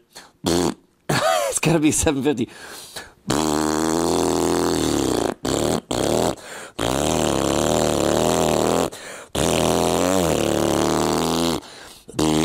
Oh, turns into a single again. Oh man, I'm losing the 750. Damn. Going by the crowd. Who's that, Hank Scott? No, I don't know, something like that. But, and that's the end of uh, Duffy Collin's interview. Thank you very much, ladies and gentlemen. I'm the uh, the sound effects guy, if you will. Hi, I'm Larry Stewart. Uh, I've been a member of the Oakland Motorcycle Club since 1993, and uh, I joined the club after meeting Don Pitcock, one of our longtime members. He brought me down to the club, and we went through uh, the usual introductions where you have to remember 65 people's names in two weeks, and that sort of thing that every new member goes through. Um, during those early years when I was in, uh, it was quite a different club than it was now. Uh, many of them were long-term members, 20, 30 years at a time. And I particularly wanted to mention uh, Lee Sherman, George Bacon, Charlie Bellman, and Don Turkletop, who were uh, the real anchors of the club at that time, who passed away, each of them within three to five years after my joining, but were very instrumental in keeping the club going and especially Don Turkletop, who was always uh, very friendly to new members, made sure they understood all the different types of rides and events that we did. Uh, Don was really a great guy, and I hope uh, the club remembers him for a long time. Uh, once you get in the OMC, it's uh, a lot of fun to do more things, uh, get involved in a lot of different things. I was president first in 1996, then in 2000, and this year, our 100th anniversary, 2007. Our members have made a really strong effort to make this 100th anniversary year a stellar event, and we've had some very successful ventures, uh, particularly the uh, sheet iron enduro that Brent Snyder organized, uh, the Three Bridge Run, and of course the Jackhammer Enduro that Brian Jagger does a great job with. And another thing that's very important, I think, is in the success of the club to notice how many really outstanding and participating new members that we've gotten over the last two years. It's something in the range of 16 to 18 new members over the last two years. One of the things that's most interesting about the Oakland Motorcycle Club is to discuss with the members how they first got involved in motorcycling. Mine was a little different uh, because when I moved out here from the East Coast to go to graduate school at Berkeley, I uh, couldn't afford a car and there was no place up there to park one anyway. And a friend of mine had a 175 Benelli who uh, decided he would teach me how to ride. Well, the first couple of weeks, I put a few dents in that Benelli, I want to tell you, on the streets of Berkeley. But after a couple of weeks, I finally got the hang of it, and I bought a, for the old timers, they'll remember, a Honda 150 Dream. And I commuted from my apartment to the campus for a whole year on that. And I discovered I really liked riding, so after I got out of school, got a job, started to make some money. Uh, I got a 250 Ducati, which at the time was a reasonably big bike, and uh, rode a lot on the street. And then somebody told me about Hayward Speedway and how it was a lot of fun to go out there on Saturday nights and watch the races. So that's exactly what I did along with my friend uh, who had the 175 Benelli, which was now destroyed. He now had a BSA Victor 441. And uh, we went out to Hayward Speedway on Saturday night and watched the races and thought it looked like so much fun that we came home that week, took the license plate, headlight, tail light, everything off them. And the next Saturday night, we were out at the starting line at Hayward Speedway and didn't do very well. I remember the first uh, heat I was in, I said, man, I'm really going fast. This is about as fast as I can go. And I think I escaped being lapped by about 30 feet by the leader. So then I realized you have to go faster than this. And uh, I wound up doing that kind of TT racing, motocross, enduros for about 10 years. And then I didn't ride for about 10 more years and I decided I wanted to ride on the street and I bought a 1200 Harley Sportster that I rode for about a year and it got kind of boring riding by myself and I met Don Pitcock, who's uh, one of the greatest guys ever in the OMC, Papa Don we call him. And he told me about the OMC, and I went down there, and that was the beginning of a lot of fun. Yeah, the bikes I've owned, uh, they've been uh, quite a different lot.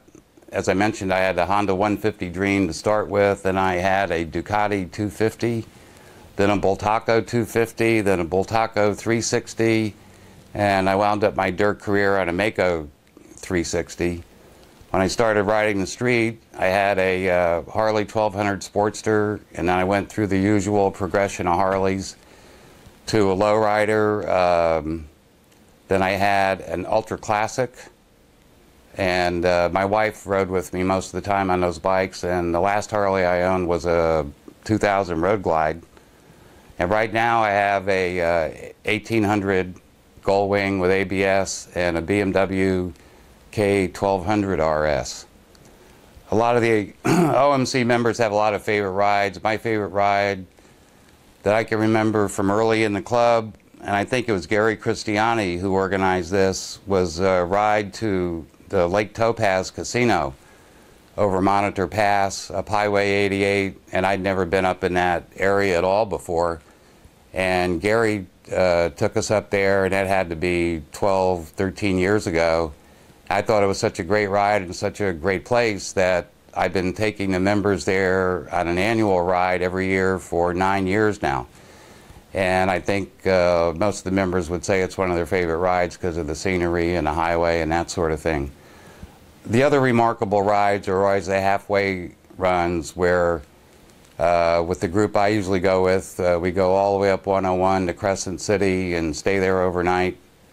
Uh, then we take the uh, eastern road uh, that goes into Oregon and then find some crooked road to come back on. It's usually five or six days. But the halfway run, uh, meeting the Canadians and partying with them for two weeks is really a lot of fun, and I recommend that to everyone.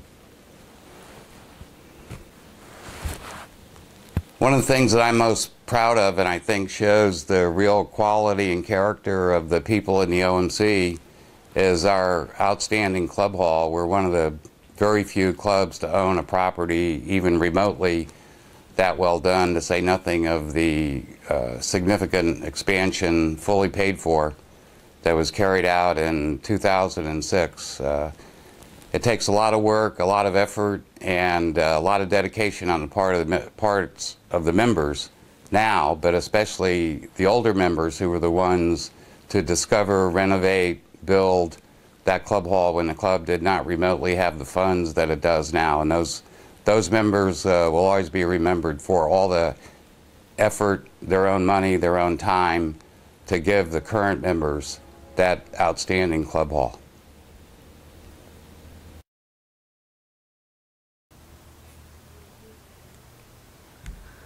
Hi, my name is uh, Brian Jagger. I've been a Oakland Motorcycle Club member for 25 years. I uh, worked for Xerox for 25 years and then retired, or early retired, went to uh, work as a handyman for the last 10 years. So kind of sticking around. Been uh, involved with the club and the Jackhammer in particular for almost since the Jackhammer's inception, which was 1970. I missed the first year, and then as a friend of the club, I kept coming up and wouldn't go away for about 10 years. Uh, slowly started uh, riding uh, the event the weekend, and then said, "Geez, that was fun," and I think I'll go uh, ride uh, one extra day, maybe help put it on. That worked its way even before I was a club member for a week of my vacation every year. and so I guess I enjoyed it. and uh, for the last 10 years, I've been Enduro chairman for the Jackhammer.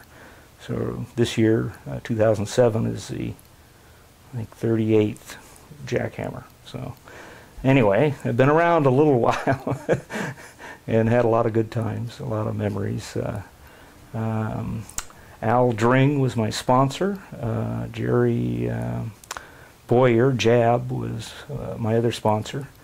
Uh, when I joined, the clubhouse was being built, so they uh, they did a lot of lot of work. I, uh, I must admit I did not participate in that work, but but uh, I saw the, the the results, which are really super. And uh, when I joined, they were having meetings at a restaurant bar kind of a place. So that's that's where I came into the club. Uh, most of my riding has all been dirt and dual sport.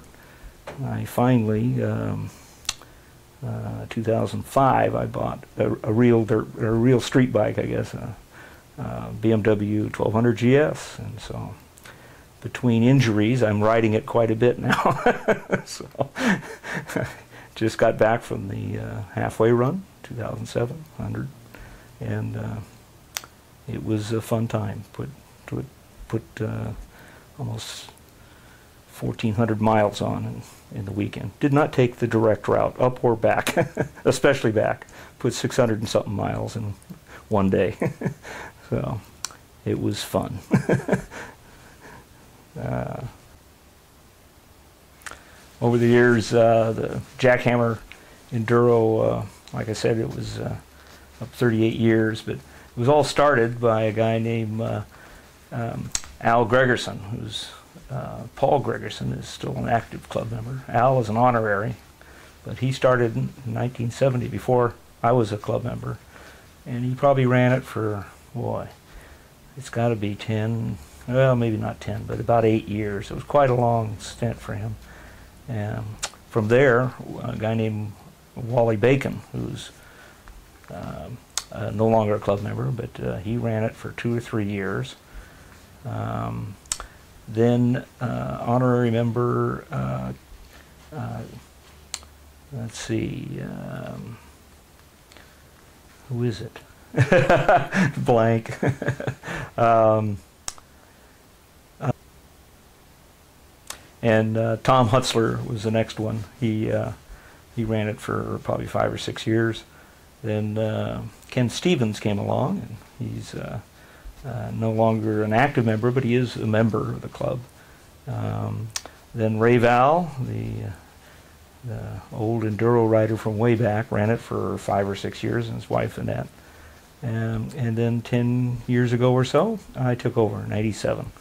and so I've been doing it. So that's kind of the all the people that were involved in the jackhammer from the start, at least chairman. Now, the rest of the club uh, has helped over the years a, a, heck of a lot because, uh, you know, it takes 75, 100 people sometimes to put on this enduro. The OMCA does a lot of stuff uh, on the checks, on the course, sign-ups, trailer. There's lots of activities on the jackhammer. And it's the first real moneymaker that the uh, club ever uh, got with the jackhammer funds, especially in the old days when you had 750 riders for a few years. We did a national one year, and uh, we had a lot of riders. Nowadays we're hovering around 200. It still makes money for the club, but it's not the uh, premier moneymaker, which is our sheet iron now. So, but it's uh, it's the one that probably gave us a bankroll that funded the clubhouse, and and uh, and gave us some opportunities to uh, develop some assets, I guess, and had a heck of a lot of fun at the same time. So still have big campouts and a lot of trips up to Stonyford, and uh, generated a lot of fun, I think, over the years. And you'd be surprised who rode dirt bikes in the old days, guys that you'd never think that ever saw dirt, and they started that way. So anyway, there's a lot of a lot of fun in the past anyway. So, over the years, I uh, I had other bikes. I'm trying to think. I started out with a 305 Scrambler. I, called it a dirt bike, but it really wasn't. and then uh, and I bought me a DT1 uh, 200 uh, Yamaha, 250 Yamaha. And I still have that bike, although it's sitting in a shed. If I touch it too much, it just kind of things fall off it. so it's a restoration project. But that was the original kind of dual sport. You know, I started out on the street with it, and then and slowly migrated over to uh, dirt only. Still have all the stuff though. One of my best vacations was on that bike, going up up north uh, with a friend of mine on a, um, a Bultaco Pursang 250. That kind of dates everything. but we had a good time. No no agenda. Just said we'd head north and spent 10 days up into Oregon and back down the other side of the Sierras and home and uh, on a 250 street bike. How's that? then uh, from DT1s I went to Maicos and Jerry Boyer, my sponsor, and uh, another good friend Dave Catano um, ran that shop. They bought it from Jim Johnson, which is Campus Suzuki, and goes way back. Uh, used to be on uh, University and well near University on San Pablo in Berkeley, and so I bought a lot of Maicos. And at one time, it seemed like if you were a dirt rider in the OMC, you had a Maico. so I went through uh, a good number of those and kept the last one, my poor 1981 Maico. I rode for 10 years until it just about, or probably more than that, almost 15. and uh, it never left me stranded, though. It's not like the name implies, Maico Breako. It was a, good running motorcycle. But anyway, from there I went to um, a Honda XR400, which I still have, still running. So it's been kept me going on uh, dirt and dual sport it. So. And as I mentioned, I went to uh, GS for a road bike. So I really have a bike now that I can call a road bike. so I think that's it. I probably have a couple of rides that I could talk about that uh, left impressions on me. And uh, one of them was an invitational from uh, GVMC, actually. It went up to Canada on their Poison Mountain ride. Uh, this is a few couple years back, about five or six years back. But uh, they uh, invited a, a, few of us uh, dual sport dirt riders up there. So I loaded up my uh, XR 400 and uh, uh, Jim Weiss, who's an ex-club member, and his brother John Weiss is still a member, um, volunteered to do the traveling up there. So we loaded all the gear and he put it on the back of a on a trailer and a van and and um, uh, took off with all the bikes, met his cousin up there in Washington, I believe, uh, and uh, picked us, uh, myself and uh, Steve Smith, who was an ex-club member, uh, at the airport. So we flew in for the ride. he picked us up after driving several days and, and stopping along the way with relatives in Oregon to dirt ride and stuff. So it wasn't all work, I don't think, for him. But but anyway, he picked us up, and um, at the airport we crossed into Canada and met Tom Tinnerman and a few of the other. So anyway, we met all the uh, all the GVMC guys that were up there, and and uh, we had to carry all our gear on the back of the bike. So we had it all in a big waterproof bag and weather the first day was uh, overcast but kind of nice. And they said this is the dry area of Canada so uh, we weren't uh, we were prepared but hoping for the best anyway. So the first day was excellent. You, you couldn't believe it. it it it had it rained a little it snowed a little the sun was out a little but never overwhelming you know it was just great. We went through beautiful beautiful country. Uh, they really gave us a good tour went up uh, looked at mines, old, old cabins and log cabins and meadows, and and uh, we got to uh, a couple of creek crossings, which was always interesting. I was on my XR 400, which was relatively new at the time, and uh, they kept volunteering me to go across these rivers because I had the smallest bike. so they were a couple of people were riding GSs and uh, some heavy bikes, you know, 650s and stuff like that. So they came wanting to throw me out in the water to get across. Well, Steve Smith took off with his uh, DR uh, 350 and uh, got about halfway across. And just as he went down, he killed the engine, but he, it went everything but the handlebar was showing. it was underwater. The handlebar was the only thing sticking out. So we were trying to stay halfway dry. Well, five or six of us ran out there and got soaking wet, dragged his bike out of the water. And, flipped it upside down, and pumped on it for I don't know how long. Finally got it running, got everybody else across, and then he says, "Oh, by the way, we still got to cross the same river about three more times." well, needless to say, after the a few extra trials and errors, we were we were all crossing them pretty pretty uh, quickly. And the, the last one we just blasted and, and got across, but everybody was soaking wet and. Uh, those nice Canadians, they kept saying, don't worry, there's going to be shelter for the evening. And here I am, my boots full of water, I'm soaking wet.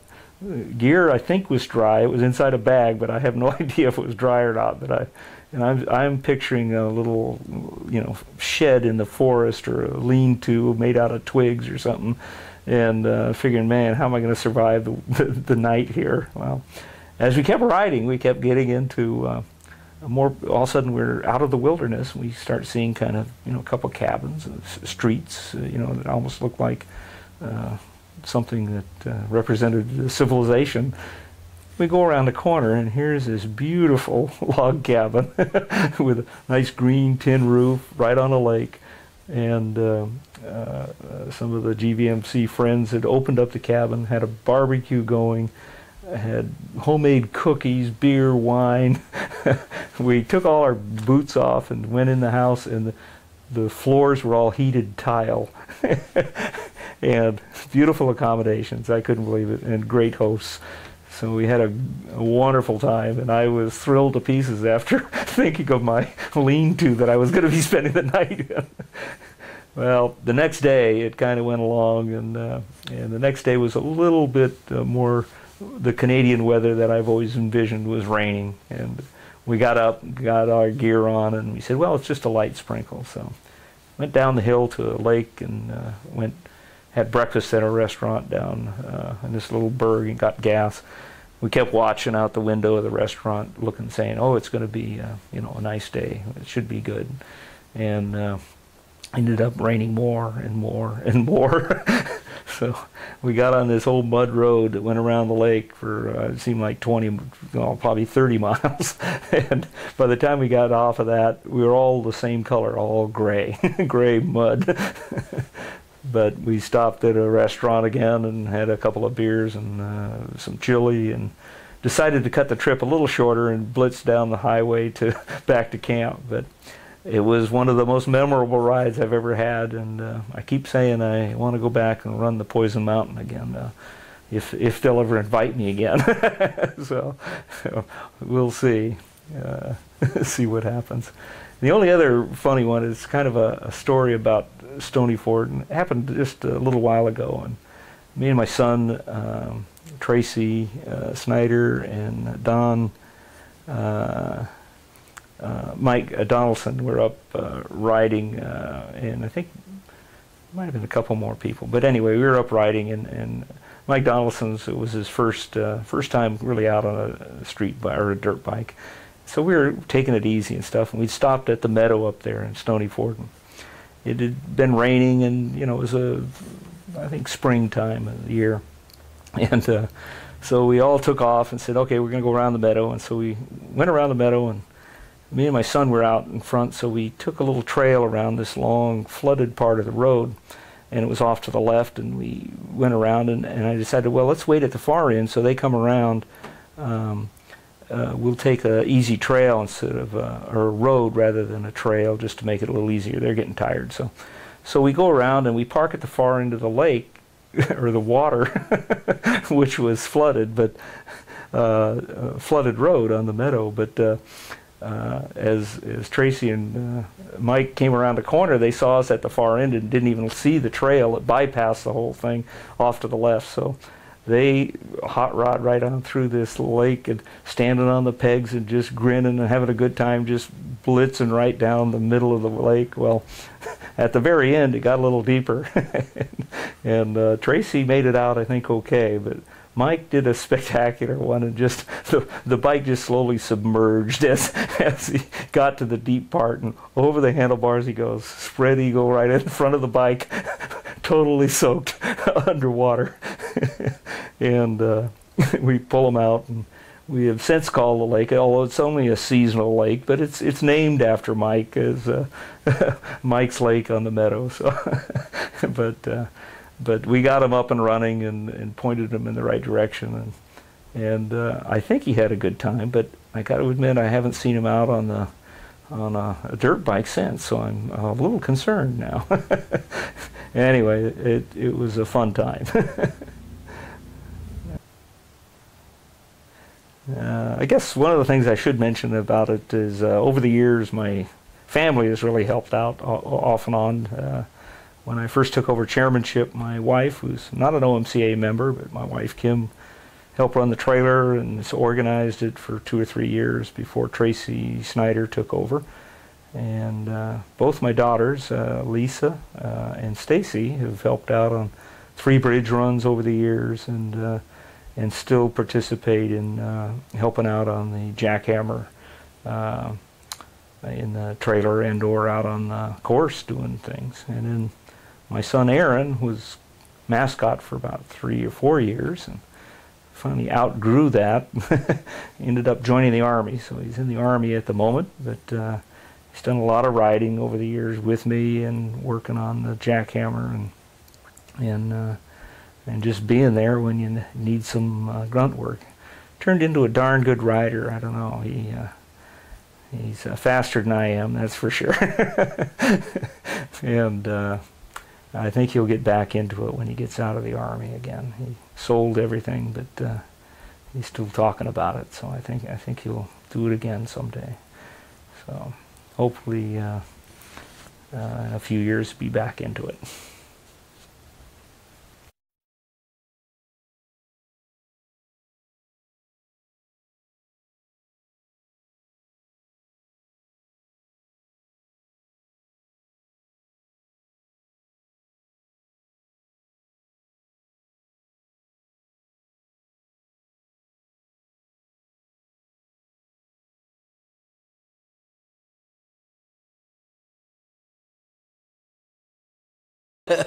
you wouldn't be Demerse if you weren't bad mouthing me, I'll tell you that. right. so you guys, you guys do know each other, I take it? yeah. No, we've all made a lot of club. we've made a lot of runs together. Oh yeah. Yeah.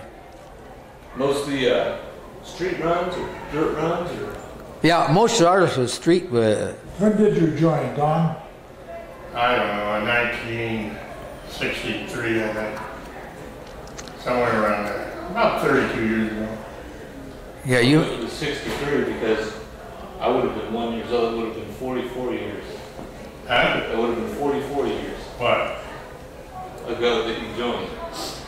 Now, 63 qualifies you as an old timer. 73. Well, you don't have to ask, just take a look. But that, that makes you and me very old timers. Well, I just Yeah. looked at a calendar out there that I made, helped make, and that was uh, 1967, or was it 70? Well, you and I've got, No, no, no, no, not the 60s, no, no, no, it's 73. 73, that's it. you and I got honorary member the same night, remember? Uh, Honorary life, life member. Mm-hmm. There's life member, and then there's honorary life member. Yeah. What's the difference? Well, 72. A life member, a life member is done by the amount of time you're in the club. I believe it's 20 years. An honorary member is voted on by the members before you ever get to that 20 years. Mine was given to me in the first 10 years I was in the club, when I finished this club hall.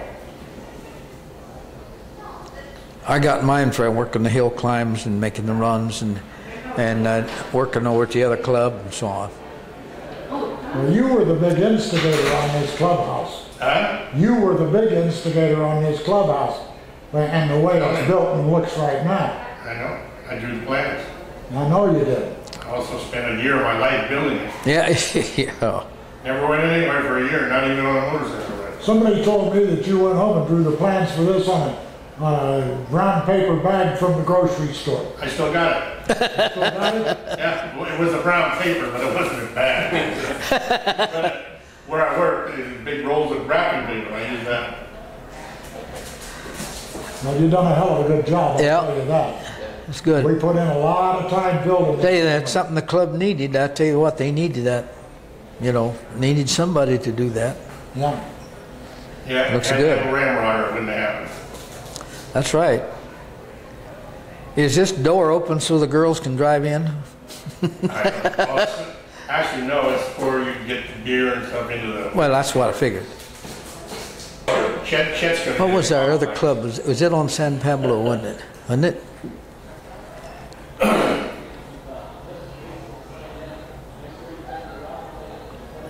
Okay, my name's Jim Means. I belonged to the club since 1953, and I joined when the old building we had. I lived over in in uh, Richmond San Pablo area. I came over here to join the club, and I got sponsored by all some of the old timers, which was Wendy and Howard and, and Turkletop. And Turkletop's the one that conned me into coming over here and trying it out. Made a few runs, and after I made a few runs with him, why he said, uh, "Well, you ought to join." He said, we ride the dirt and then we ride the street. Well, that's what we was looking for because we had bikes. Them days, most of them either dirt riders or they was street riders. So we, uh, I said, that sounds good. So I went ahead and joined. And then after I joined a little bit, they said, now, how, are, you, are you happy with the club? Oh, yeah, it's fine. We're doing this and we're doing that. He says, now it's initiation time. And I said, what's that? And me and Turk, and there was about, I don't know, there was 12 or 14 of us and uh, they had a whole line of us. We went through there, and he put old rags over our head, and we and all we had on was our shorts and our t-shirt, and then they wrapped us up in old, looked like an old towel or some kind, and then they. Ever, he come up and he said, "Tell me your name," and he smacked me over the head with an egg, and it run down through here, and then he marked me all up like that, and he said, "Boy, you guys are looking good. Let's go down and go for a ride." So we had to go out and get on our bikes, and we all up down the main street, and people looking at it, hollering at us, "Hey, here comes the freaks!" You know. And we got back in, and they said, "Well, you guys go clean up now," and said, "And we're going to have some fun." Turkletop says, "I can't. You broke my cigars," and he had a fit, so they bought him a drink and, and got him another cigar.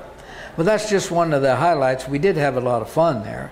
What we did also, we used to have the bicycle field meets up our real strong stair stairway we had going up. We had them them old uh, them old crates they used to put in the the beer and the soda pop, and uh, so they had them stacked up above the, the stairway. Then they got the old bikes out, and they had four rows. On each row of the bike, at the end of it, end of the hallway, they had an old tire, an old car tire or a motorcycle tire, each end, and back here, they give you five can beer cans. or, or oil, oil cans. That's what them old oil cans. And then we all got up, and you had to go down and turn around here and drop drop it in, come back, get another one, go back till you had all five of them in there. and You was a winner. That was a madhouse. We didn't knock each other down. They couldn't turn the corners. And them long-legged guys, they could just sit down like this and turn around like that. And the short-legged guys, we, we had it hard. But we had a road against the other clubs usually, or our own, whatever it was. That's just one of the highlights that we used to have a lot of fun through there. And uh, it's, it, was, uh, it was good. I, I really enjoyed it because there was something going on all the time.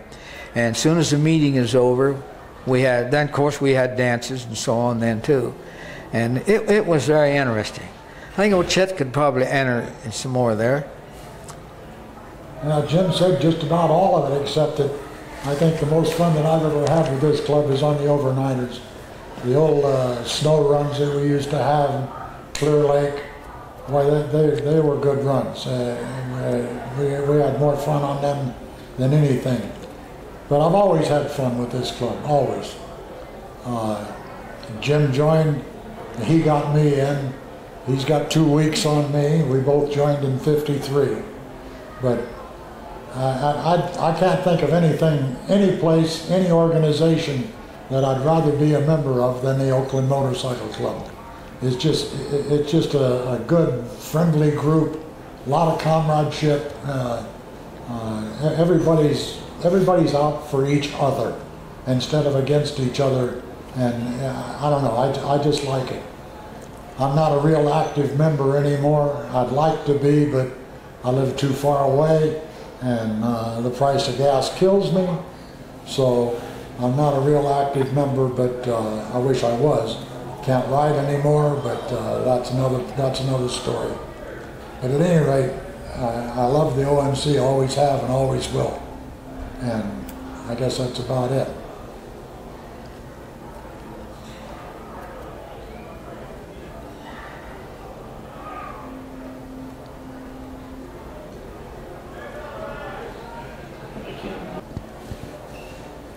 I'm Chet Gardner. I joined the club in 1953.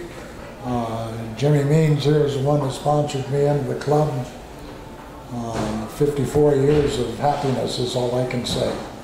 I'm retired, uh, was a long line truck driver and had to fight to get the club for a lot of, lot of times. But at any rate, uh, I, I guess that's about it.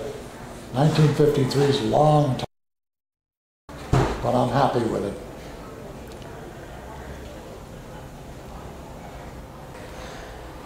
You know, up at Redwood Park, up there where we used to used to be a motor OMC playground.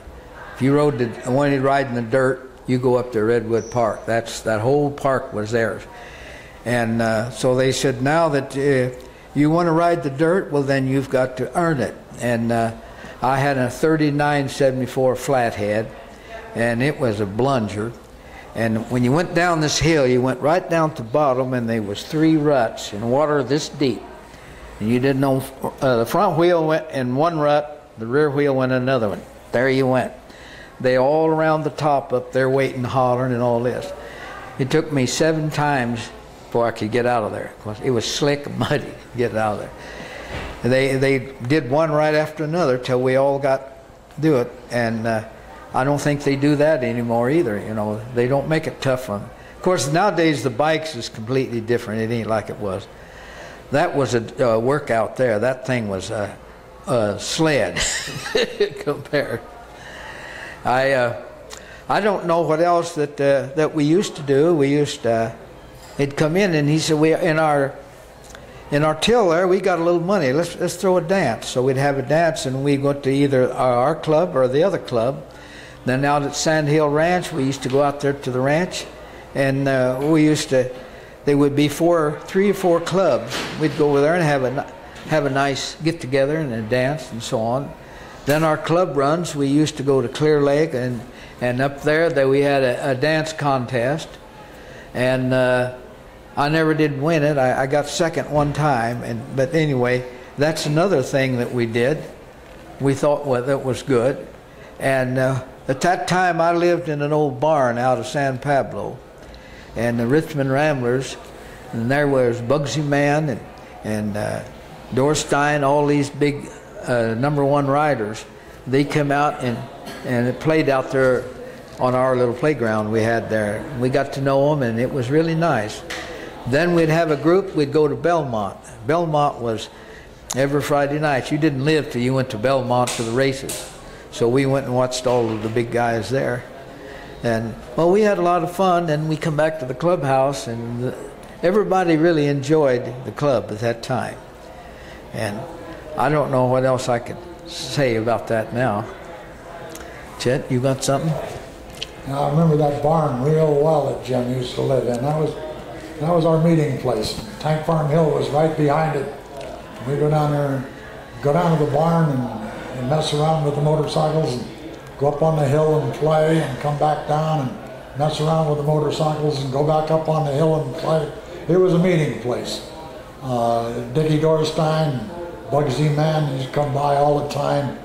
Uh, of course, they, they, they rode BSA and Triumph, so they didn't care too much for us. We rode Harley Davidsons, you know. But we, we had good times. We, we, we always had good times. We, whatever, wherever we went. Jim and I have been riding together since 1952. And uh, we, we, we always had good times, every place we went. We, we, used to, we used to strike out on our own. And uh, we went to, uh, where was it, Long Barn, I think, on the snow run one year. And Jim and I rode up by ourselves. And we didn't, we didn't go up with a club. We just went up by ourselves. And we went up some, some back road, I don't remember which one it was now. We come around one of them blind corners, there's a whole herd of cows in the road. And we both locked up the brakes. Cows looked at us, we looked at them. We honked our horns, they didn't move. We had a hell of a time getting through that bunch of cows, but we made it. But we, we've always had good times uh, riding.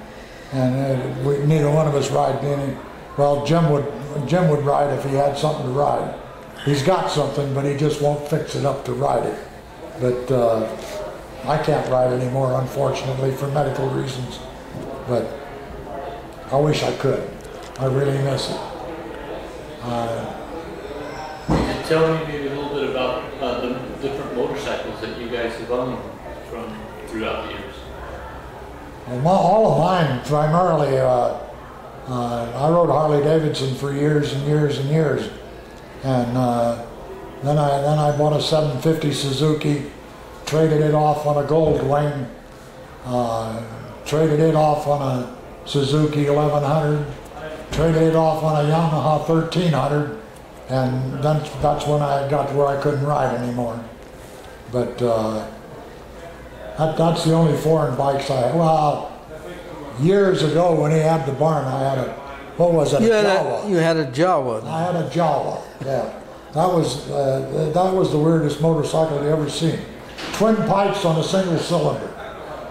Uh, it- but it, it was it was a little goer it was only about what 15 20 cubic inches something like Something that? Something like that. but it, it was fun. It was fun to ride. I tell you one thing about that bike. The Kickstarter, you start it, and after it started, then you take the Kickstarter and push it to the front, and then you, that's where you pumped it through the gears. Now that was weird. that, that was weird that's different I, I remember the first time I started it up, I couldn't figure out how to shift gears. I'm sitting there looking like this, and somebody came up and threw the Kickstarter over to the front and said, "Now shift it." It, it was fun. We had a member in the club. It was a big guy. Name was George Post, and he says, "Hey, I want to ride that little thing." He took it up on Tank Farm Hill. He virtually destroyed it because he he weighed over 200 pounds, and it was a little bitty motorcycle. But he says, well, he says, it goes pretty good, but he says, not like my BSA. But it, it, we, we, had, we had good times, always had good times in this club. Wherever we went, we've always had good times. But like I said before, uh, Snow Run, Clear Lake, uh, they, they were the best runs that I've ever been on with this club. We had fun on both of them. We used to have a good field meets. Field meets would would meet them, and they'd play games on them on their bikes.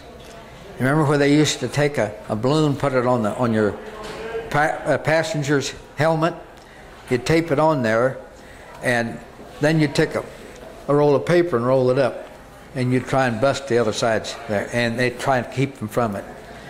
A lot, lot of games they played, which was good then. How many people would be on the bikes when this is going on? Well, there's like the guy and, he, and his girlfriend or his wife would be on one bike, and then the balloon would be on her helmet, see? and then the other girl would they're going to try and bust it. And they just had a lot, a lot of games we played, which was good. I, I thought. Yeah, those those balloon Something things, different. that, that was one on one. And you just come at each other like the old gladiators. Only we didn't have the big spears, you know. The, normally it was short couples deal, you know. You, your passenger was the one that was swinging the newspaper. You kept from trying to run over the other guy.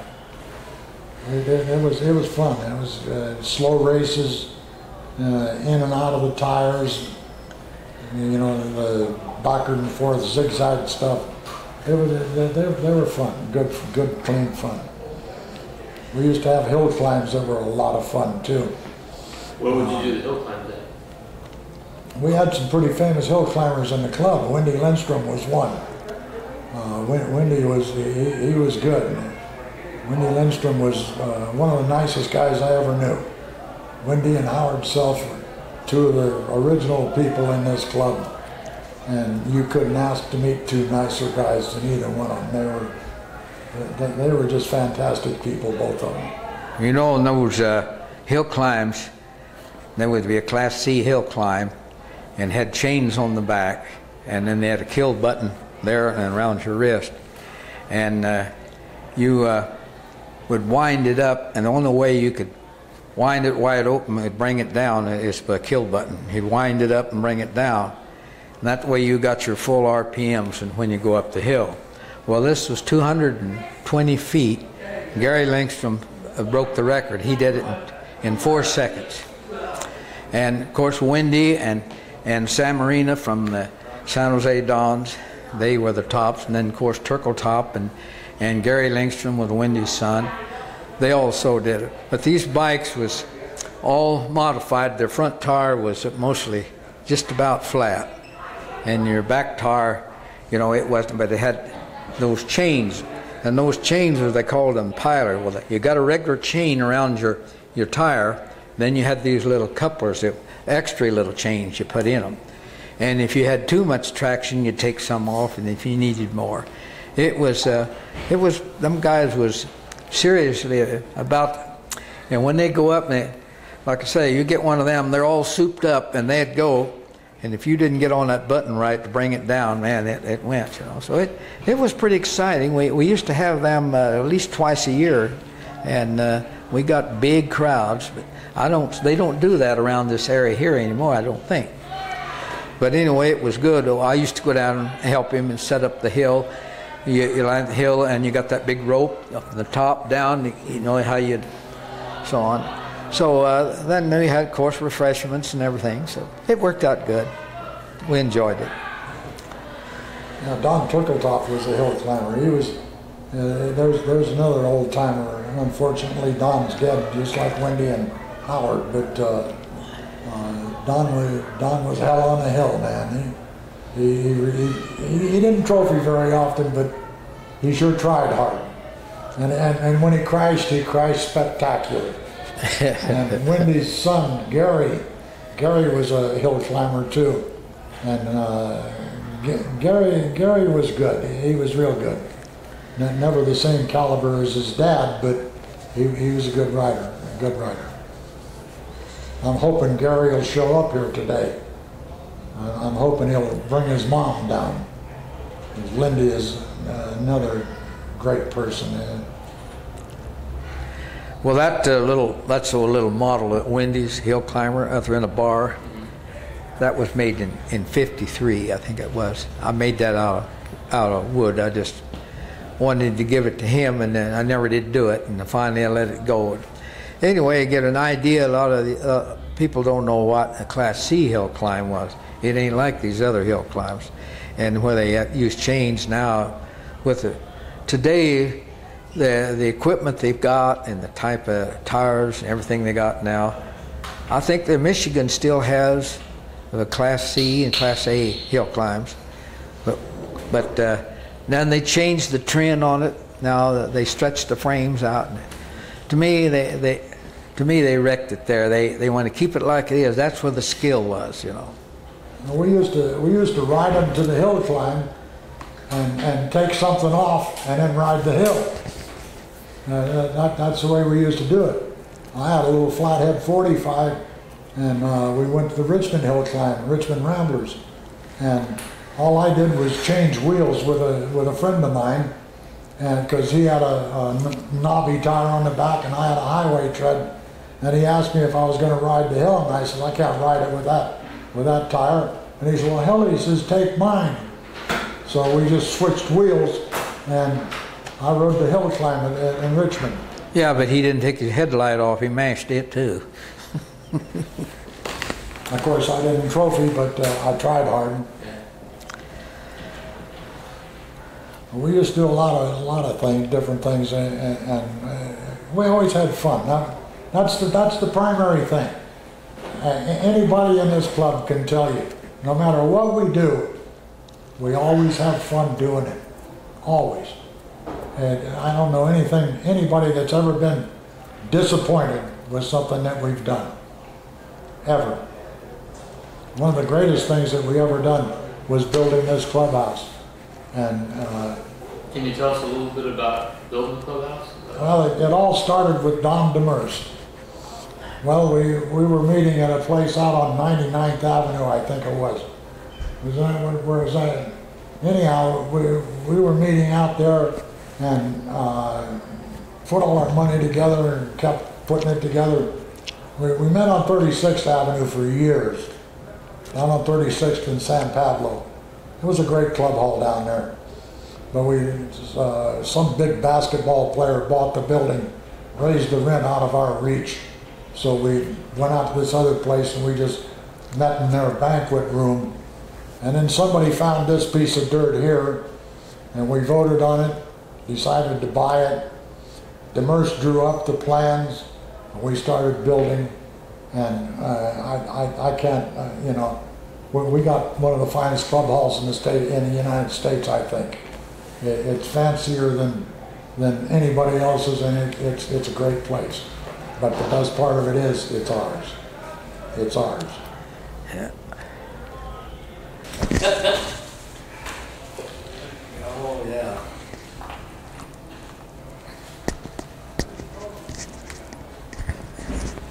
I, I told a, a joke that guy told about the club. He said, our club, we got some, some, some steam membership here. He said, we've got one day, he's here today. He said, our, he's such a, such a history behind him. They named the beer after him. And they said, what's that? And I said, Big Mouth, that big old Big Mouth. He said, his name's Chet Gardner. He's sitting right over there. About four or five people have mentioned Chet's here. So get ready for your ear to bend. Did you ever meet his mother? Uh-uh. I don't think so. I mean, she cussed like a sailor, I'm telling you. She run a bar, me and him went in there. He gets in there and he mouthed off, hey, what kind of a place is this? Oh. Now, just two guys got it, was standing there, they thought he was some loudmouth. She come out from the back, she says, okay, boys, that son of a bitch is my son. Okay, let me get this thing over. I'll get out and see Let people. me get out here, you don't need me no more. Okay. I can handle it. All right. Just out of curiosity, are you a member of the club? Yes. Oh, God. I, I thought I saw you. I don't come to many meetings anymore, so, but I thought I saw you here once, but I wasn't sure. Yeah. Uh, I got a half a disc in there. I got to get rid of here. And it's half up there. He's got the boat deal on. If I get it finalized, we can run it on the uh, Oh, you, oh, you have the, uh, little CD. the halfway run? Yeah, half of it's on there, and then I'll get around here and burn it off. Okay, You know. and then uh, I can play it in the stuff. Yeah, yeah. I I brought all my stuff. in. Uh, I brought another disc already. Oh, good. It's up on the bar Okay. of the halfway. Oh, great. You know. I imagine somebody's already told you how the halfway run come around, didn't they? No. Nobody's told you this? No. That's a hell of a story. Yes, it Maybe is. you could uh, tell us about Oh, it. yeah, this is, we're gonna be here a long time now. Oh, yeah, this is I got plenty of tapes. big time. Right. Third best after golf. After golf, then the- a What's, beer. what's your next best sport? Golf.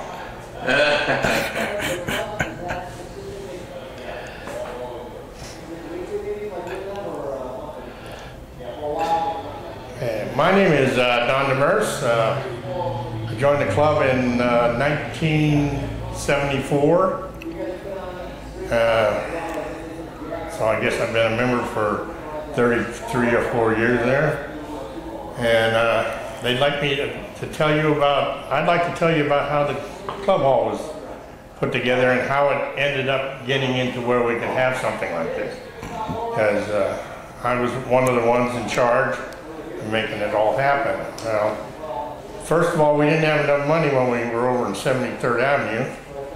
And so what we did is we took a little bit of money from the Enduro and we bought a little place out in uh, uh, South Oakland out there off on San Leandro Street. And it was a little house and we tore it all down, turned it all around, cleaned it all up and sold it. And we, now we got $5,000. So then we went and bought another place and we still didn't have enough money to make a down payment on anything. So we went and bought another place over in Oakland on 98th Avenue. And we ended up leasing it out. And the reason we had to lease it because we went to the city to see if we could put a club hall there. And this is after the fact, after we bought it. Well, there was a, a church right next to this building. And he was there with all his people saying that we didn't want no motorcycle club next to us. That because there's all uh, messing around and there'll be trouble and the girls are in the street and all kinds of bad things, which this club is not involved with. But he didn't know. So we couldn't, they wouldn't let us build a club hall or set it up as a club hall. So what we did is we leased it out to, one of our club members actually leased it for storage. And he eventually bought it from us after we, a year. But now we had 30, 25,000 I think it was, we sold that for. And uh, we took that money and put it in the bank and waited and we started looking around and all of a sudden this building came up. And uh, the real estate guy called me and Bill, Bill and I went and looked at it and uh, I liked it. What I saw I liked. So I thought, well, this would be really nice. We'll see if the club wants to buy it. So we went down and, but then the bank said, well, we went and made the bank an offer. And then the club voted to do it. But then we went and made the bank an offer and the guy turned us down. He says, I'm not gonna let it go for that little bit. Yeah, I said, well, we can't afford anymore. That's all we can come up with. So he said, I, he said, well, give me a phone number if anything happens. Well, all of a sudden the place come up under foreclosure. So the guy, actually I had a cabin up in the mountains and the guys came up there, or did come up there, excuse me, he phoned us. And, and he told me, he said, well, we're ready to take that dump and you offered us. That's exactly what he said, his exact words. And so uh, I said, we went back on Monday and when we closed the deal and bought the place. So then what we had to do is figure out where we're gonna get enough money to build this thing now, that we got the building. But the first thing we did, we spent three or four months cleaning everything up.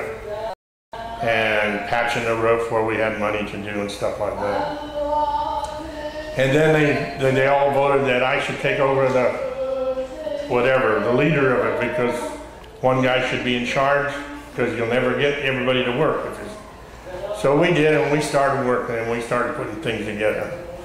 And uh, it was one year, almost exactly one year.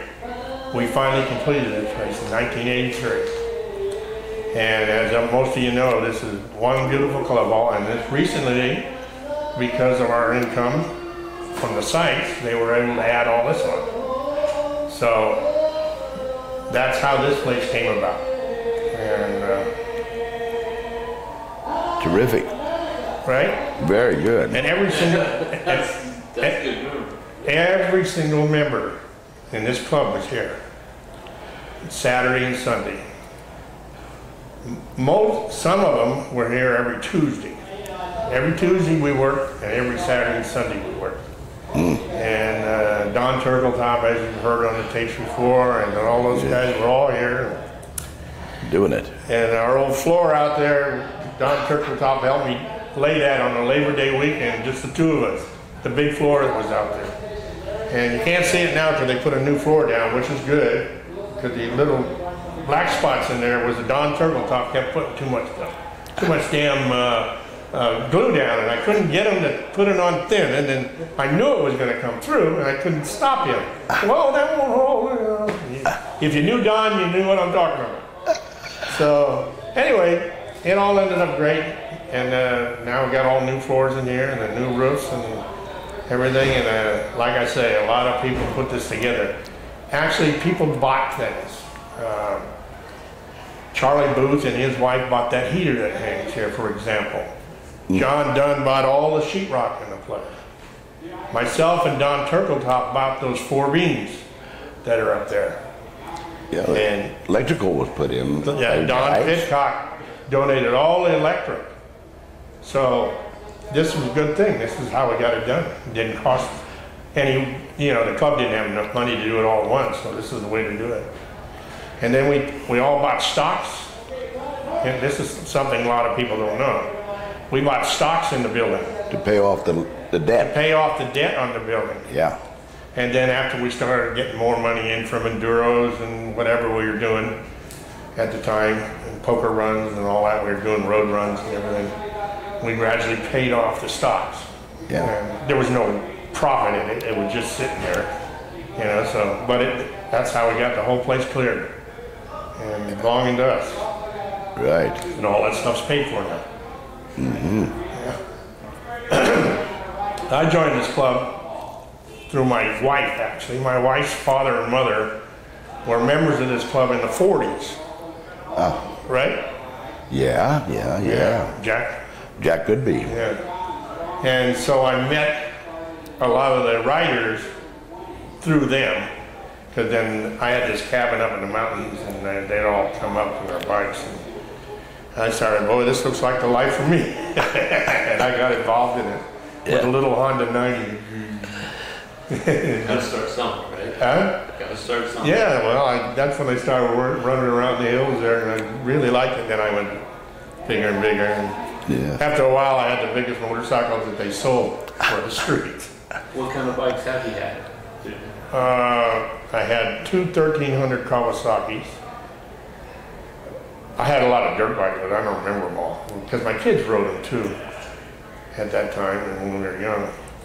And I had, uh, then I went up to the uh, Suzuki, no, this- I think I had a Suzuki, yeah, the Suzuki, what was it, a 1400, yeah. Yeah, but Or no, that, yeah, Suzuki 1400, yeah, that's what it was. Then I had, uh, then I got the Honda 1500. And now I'm 75 years old and I found it getting a little hard to hold up that thousand pound bike. I'm not, I'm, I don't got no muscle no more. So I sold it to one of the club members there. This is good. Uh, uh, James. James. I sold it to James. He came over and bought it and it was in good shape. And he took it on the opening poker run, crashed it, and totaled it. Two weeks, three, maybe, a- maybe a month after I sold it to him. but in the meantime, I wasn't going to buy another bike. And then I decided, well, kept going out in the garage and no bike there, and I've been used to it for four, almost thir- 40 years actually before I joined the club. union. So I said, well, I'm going to go find this lighter one. So I went and bought a uh, SP, what is it, uh, PC, PC, PC PC 800. 800, Pacific Coast 800. And I remember when Charlie Bellman bought one, and we were on the stag run, and we all made fun of him for having that girl's bike. but he, when he got out and started to move, and we were going 150, 15, he was going 115. So the bike had the speed, it was no problem there. Yeah. So now I own it, and it only weighs 500 pounds. And it's fun to zip around the roads. I, I take it out all, a lot of times. I run around town in it. I don't make the long rides in it anymore. That's basically what I've been doing. Right. So, what do you have to say, my friend Knobby? Well, uh, Gordon E. Robertson, they know me by Knobby. And as you say, we've uh, both been there a long time in the club. Uh, supposedly 1951, I joined the club. Before that, I was with the Acorns, which Cliff and uh, and uh, Boots Curtis and a bunch of the guys had formed eh? had formed uh, the Acorn Club.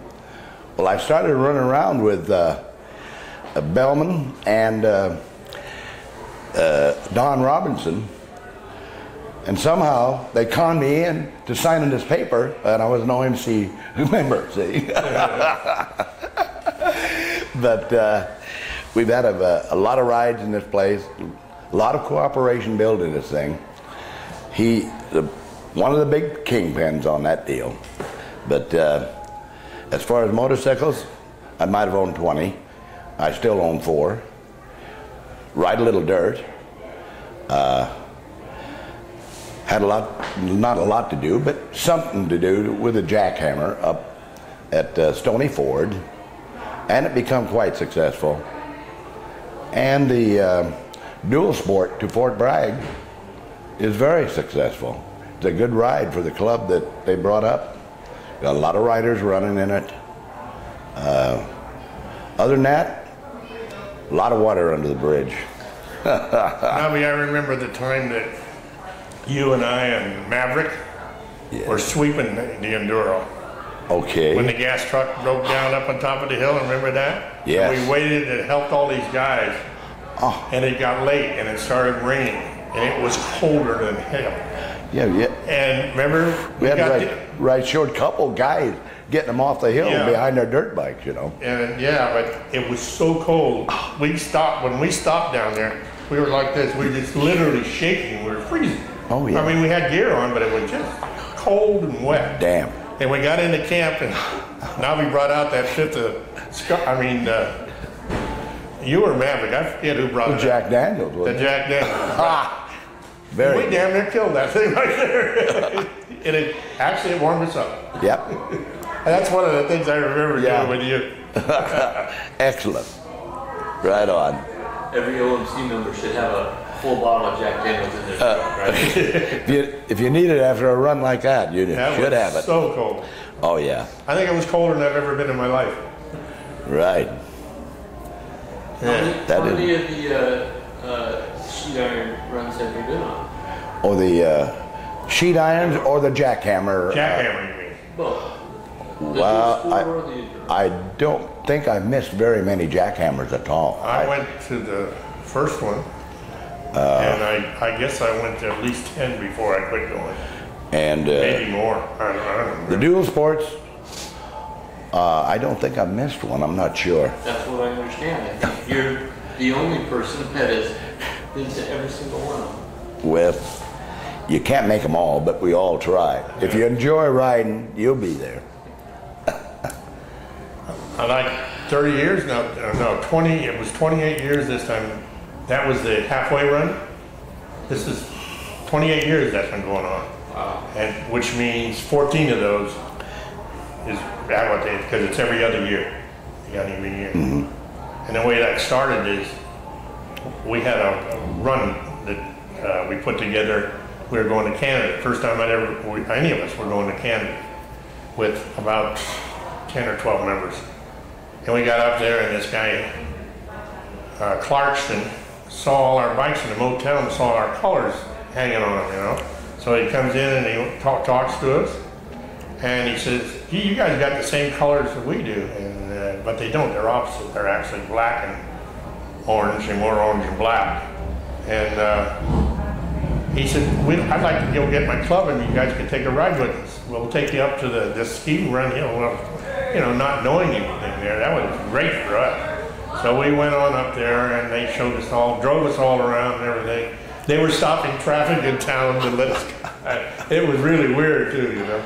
And then, and then of course they took us to a place where the girls were dancing. That's pretty popular, I guess, eh, uh, well, I know it is, in, in Canada. But then uh, they got in contact with us later, and their road captain, who later got in a wreck and died before the halfway run, but he had set it all up. And that was our first one. And after that, it grew and grew and grew. The first one had a lot of people because we invited a lot of outside clubs too. We had too many, so next time we didn't invite anybody, just the two clubs. But this has been a blessing to our club. And anybody that ever been there will knows that this is one of the greatest in the union. Bunch of good guys up there. At times, we went to Canada and they've opened their house for us. Oh, yeah, all You the know? time. Yeah, I've stayed. Oh, they, they would really be mad if one of our members came to Vancouver and did not look for a place to stay. Yeah. They, they went to a motel. I just came back up there after the halfway run. I went up and I stayed five days at one of the members' houses. But this happened when we had that. We went to the expo uh, in Canada. What was that? Ten years ago now. Yeah. Yeah, well, we had 32 people that went, something like that. And they built them out all through their homes, all over Vancouver. Yeah. And took care of everybody. And, you know, it was really a setup. We even, I had it worked out so if you, if the people smoked, only smokers went to there. And it was, it just came out so beautiful. And after that, we keep meeting them. Well, they're, they're down here all the time. Yeah. Wait, well, when my 50th anniversary was here at the club hall, there was six of them, six or eight of them that came down, flew down just for my anniversary. But we've been friends for 30 years.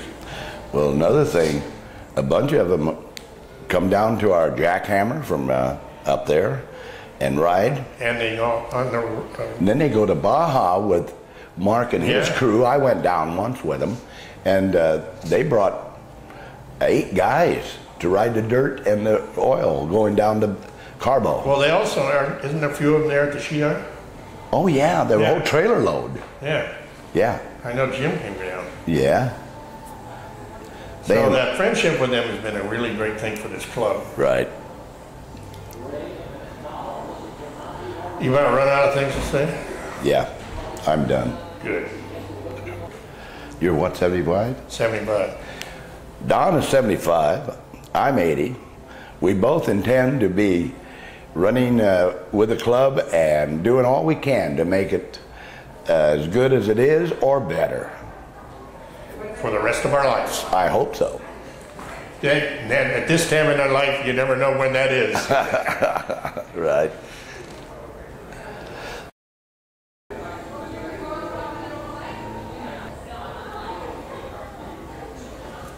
Yeah, hi. Um, Vermon Kelly, Yonkers Motorcycle Club.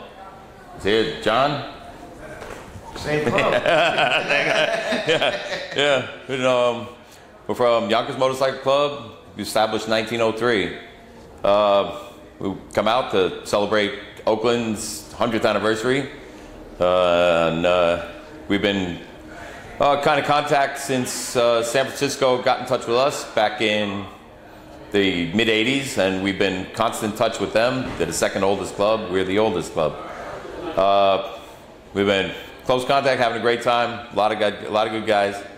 Uh, I've been in the club 23 years. A lot of changes. We're all little kids then. Now uh, in the 50s and Big yeah, kids. yeah, yeah, we're just more more big kids. But uh, yeah, we're all uh, mostly Harley Harley riders in our club. But uh, you know, we're open to just about anything. We're AMA number six. Uh, and I'm blind.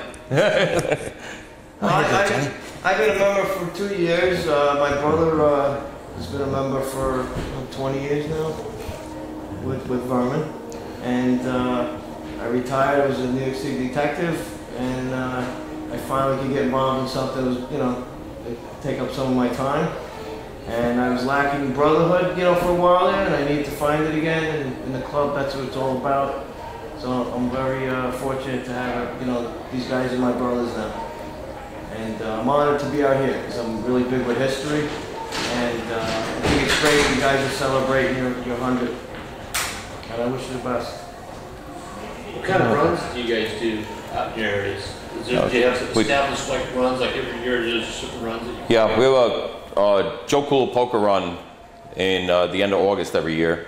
Uh, it's been going on. One of the members of our club, Joe Cool, was uh, killed in the uh, in the uh, end of the 70s.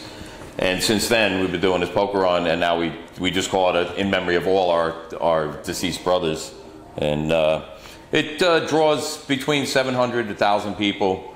It's a very big one-day event, and you know, as, as anybody who rides knows what it takes to put on a, a circus like that. But uh, being the club ring magnet that I am, uh, every time I show up, it is pouring, and you know, of course, members, the, uh, the the riders do decline, and you get down to a handful of people on a poker run, but you'll still get everybody coming to the party, and uh, it's a great, uh, great one-day event. Do a couple other poker runs during the year, just a smaller, back to the clubhouse type of thing, and uh, a lot of club parties during the year.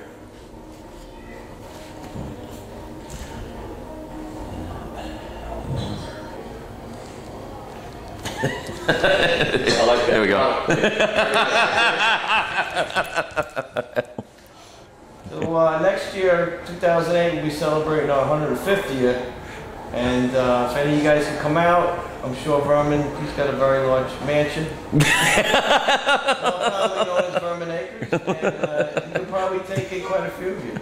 So uh, be honored if you guys came out to visit us. Oh, oh, well, we're staying at Berman's house. when we first thing, I was like, oh, everybody's going to Berman's house. It was like, uh, yeah, it was like, well, you, you by himself up there, you know, no problem. Everybody's going to Berman's house. Like, what? You know, or everybody invite people from all over the place. Or guys from the club are inviting everybody. Come on up, come on up. Oh, oh yeah, I told these guys to come up. You can stay at your house. You got a lot of cars. What? What? They What? invite them for you, right? Yeah, oh yeah. You got car number seven. It's Yeah. right down there to the Like left. a You can sit in free for all. Yep, that's it's happened many times. a lot of projects. Great, great. Oh boy.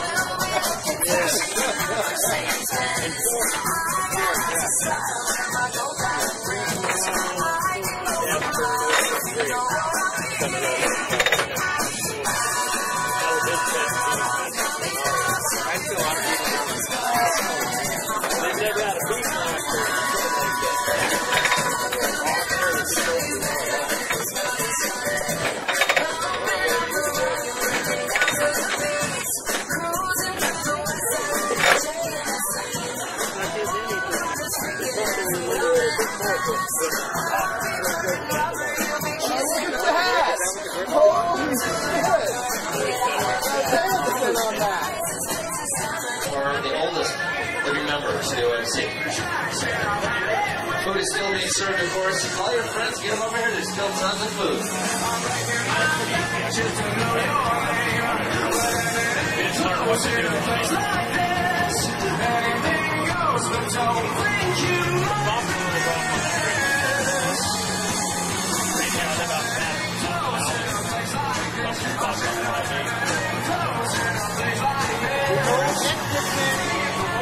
once again, we, of course, we thanked them earlier, but we can't thank them enough. The Motorcycle Club for a very beautiful plaque. This is absolutely gorgeous. It's going to sit on our walls forever. Congratulations on your 100th anniversary to the Yonkers Motorcycle Club, the oldest club in the nation. Yonkers got a few years on it. They were established in 03. And then we got a thank you and a plaque from the Diablo Hunt Club as well. Thank you, not Diablo Hunt Club, that wonderful plaque. It's a beautiful day to party with the OMC. Come on, folks, cut it loose. We're, we're going to be dancing here shortly between the, I don't know, if you want, grab one of those girls in the red, uh,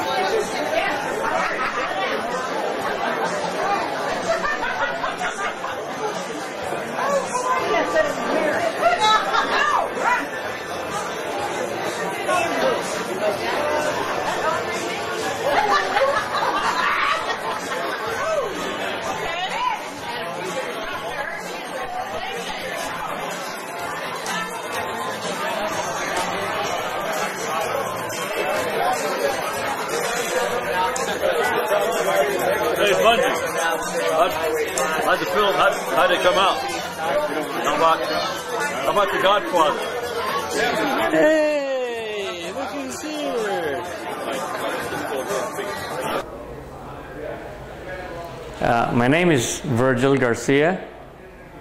Uh, I come from originally from the Philippines. I was born in Manila, and uh, I'm approaching my 70th year, uh, October 21 this year. And uh, I've been riding two wheels since I was 14, and the first two wheels I had was a Lambretta. It was a 150 LD. It was an Italian made. It was given to me by my dad, who never told my mother that she's going to give me a two-wheel motorized vehicle. So the funny thing here is when it was given to me, it was like uh, a cloak and dagger thing. They, he unloaded this uh, from a six by six army truck because my dad was with the service and he was in Clark Field. And I think he got hold of this. He knew I wanted to ride that two wheel, so he brought it down. And this was in Manila during, uh, I would say, maybe about 1953.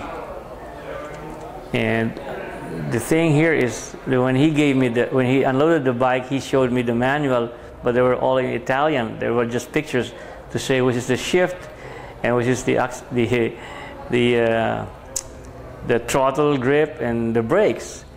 And there was no way. How could I take it home from Manila, where we used to live, and then we moved over to Quezon City, which was about 17 miles. And this was way, way out back. And at that time, it's only 17 miles from Manila to in Quezon City. But when I learned how to ride that, it took, we, I left the place where he unloaded the bike in a marketplace. It, I left about 10 o'clock in the morning. I was home by about 11 in the evening. And that's about how I learned how to ride the, the uh, two wheels from a scooter.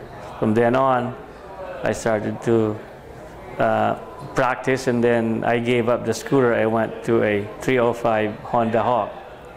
And then, six, then 1961, we came over to the United States.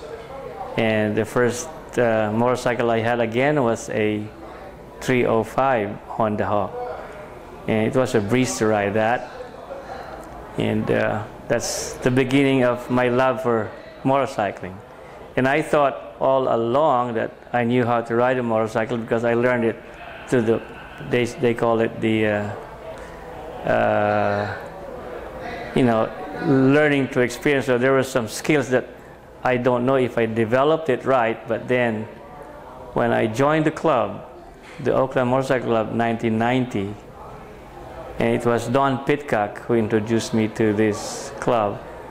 And uh, there I knew that the skills I developed were not sufficient to be able to ride with these guys here. And uh, it's, it, to me, right now, OMC is like a family to me. There are persons, individuals in this club that I believe has more or less gotten me closer to what it feels to be, uh, to use the word in close quotation, a foreigner. And they have shown uh, a sincerity in being there with you when uh, things are necessary for you to learn and to be able to give and to give back. So it's to me, uh, OMC is every time there is a meeting, I'm so excited to go to those meetings on Wednesdays.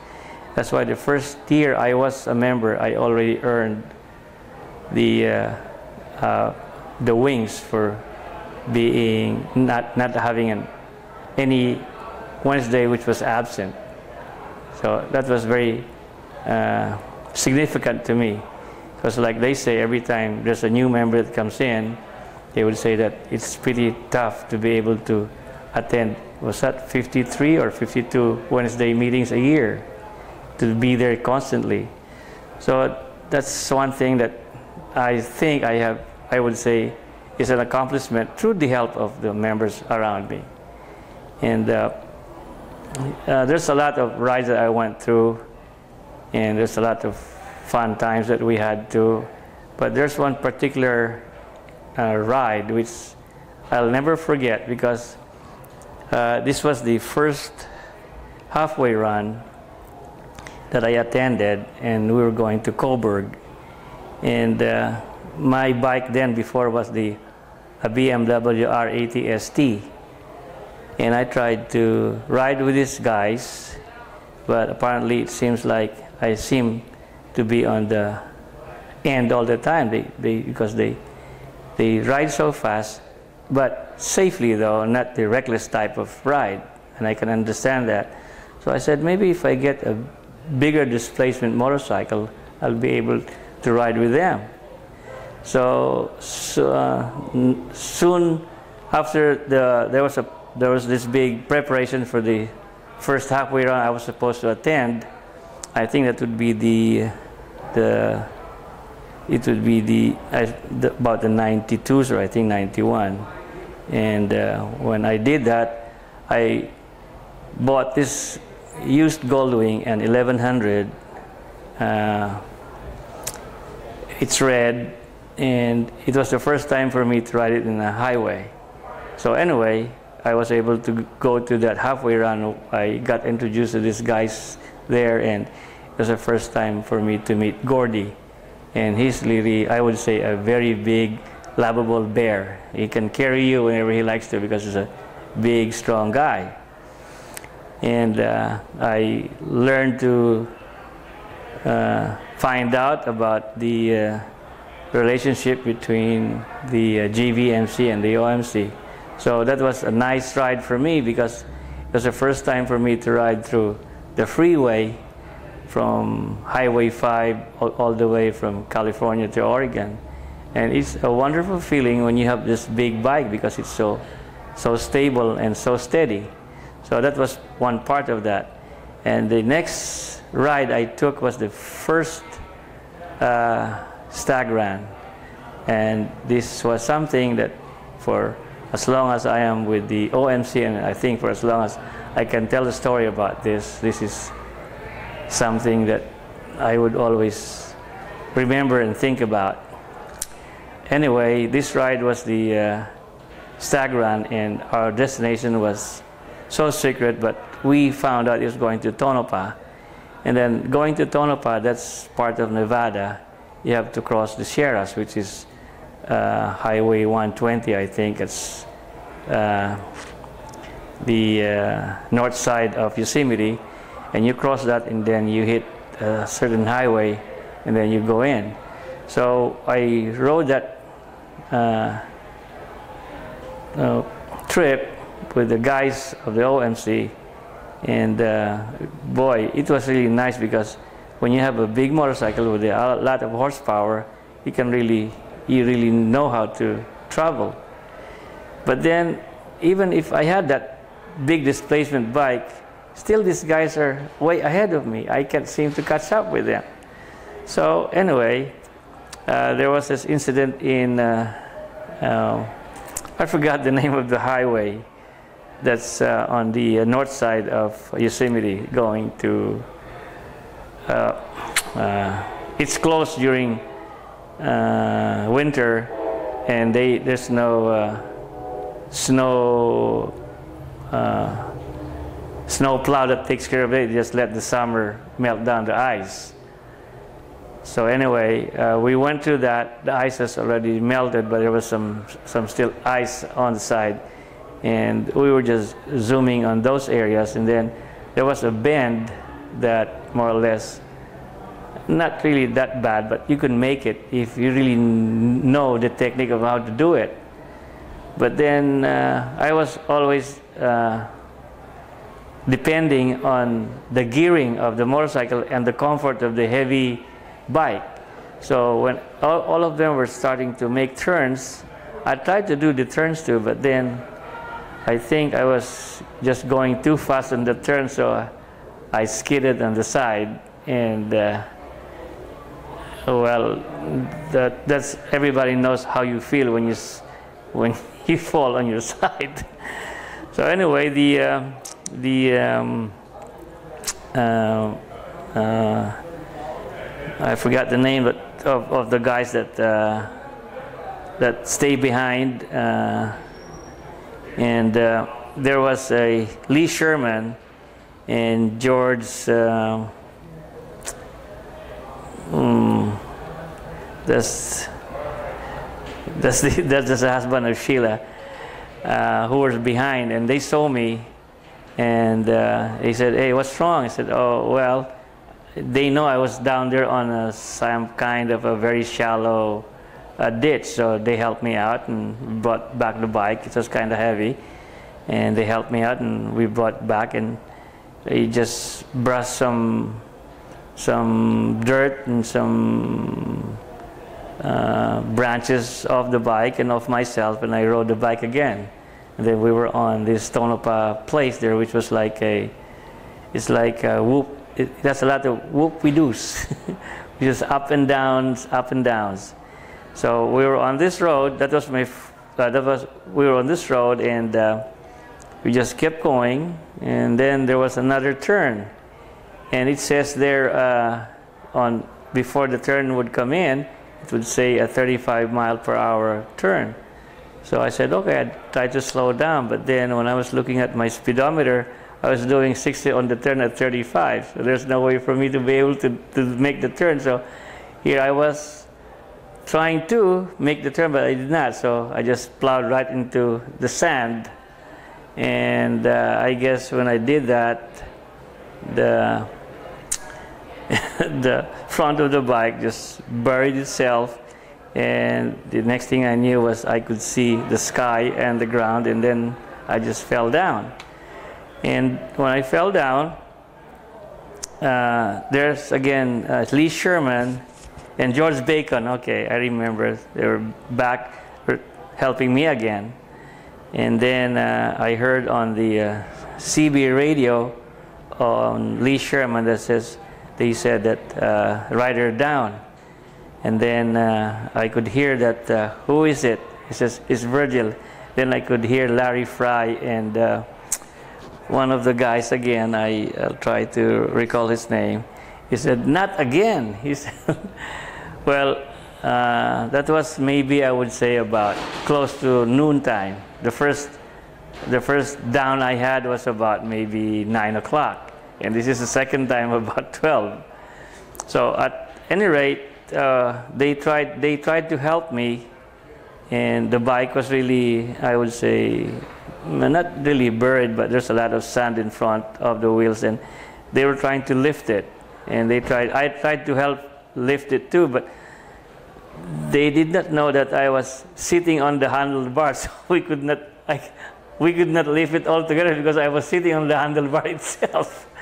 So at any rate, this is one of those things that more or less uh, uh, made me feel that oh, these guys really go out of their way to really uh, be with somebody who's really who really needs assistance. So at that time we were able to upright the bike again, but this time it had some damages. The plastic was uh, ripped, but it didn't fall apart. The uh, one of the the uh, side mirror on the right was about to fall.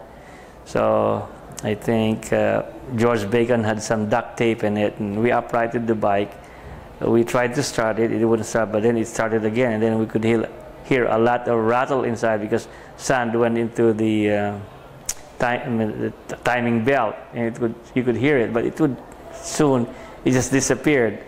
So we put the bike together, and uh, I didn't tell them that I was, my shoulder was hurting, and uh, my left arm was really, it's really uh, I could, well, I could bear the pain, but I just wanted, didn't want to tell them. You know, it's trying to be a, um, a macho guy with this macho man. so things like those. So when we were, when the bike was running and it was uh, rideable, we proceeded again. So we met all the group in uh, before the entrance to Tonopah, and there was, um, oh, Kurt Lambert was there. He was the one and uh, Larry Fry, and then so we stopped there. I stopped there, and they asked me, "How are you?" I said, "I'm okay. Yeah, I just hurt a little bit." And uh, they started to give me some tips on how what to do. So all along, all these guys, they say use the friendly gear, which is the third gear, every time you are riding on uh, on turns because it's easier for you. And when you, you do make your turns, try to press on the left handle handlebar if you're going left, and the right handlebar, and don't turn the the ha handlebars of the bike itself. Just press on it, and it would go where you like to go. So those are the things that I learned from uh, these uh, members of the OMC. And uh, when we, we arrived in Tonopah, it was uh, mm, the godfather, which is uh, um, now I seem to have senior moments coming up. Uh, like to, uh, Don Demerse was the godfather they call, and he had a room that was prepped up for to have the like, you know, when all the members come in, they they have their own drinks and bring some ice, and they ask me if uh, I can come. I said, no, I think I'll just settle for staying in my room, so more or less I could uh, recover. That's the word I used. So what I did was uh, uh I went out, bought some a box of Epsom salt, and put a uh, some warm water in the tub and poured the Epsom salt, and I soaked myself. And uh, true enough, that helped me because there was no swelling the following morning. so, and then from then on, I just uh, listened to the advice that they they told me that when you do things, you, just ride the friendly gear, which is the third gear, every time you do that. And to me, uh, it's it's so uh, um, shall I say uh, encouraging to to hear these advices and tips of learning how to ride. And I thought all the while I knew how to ride a motorcycle. So that's the most interesting and uh, the most uh, memorable ride I will never forget. And uh, I would say that OMC is my second family wherever we are and whatever we do. I'll stay with them.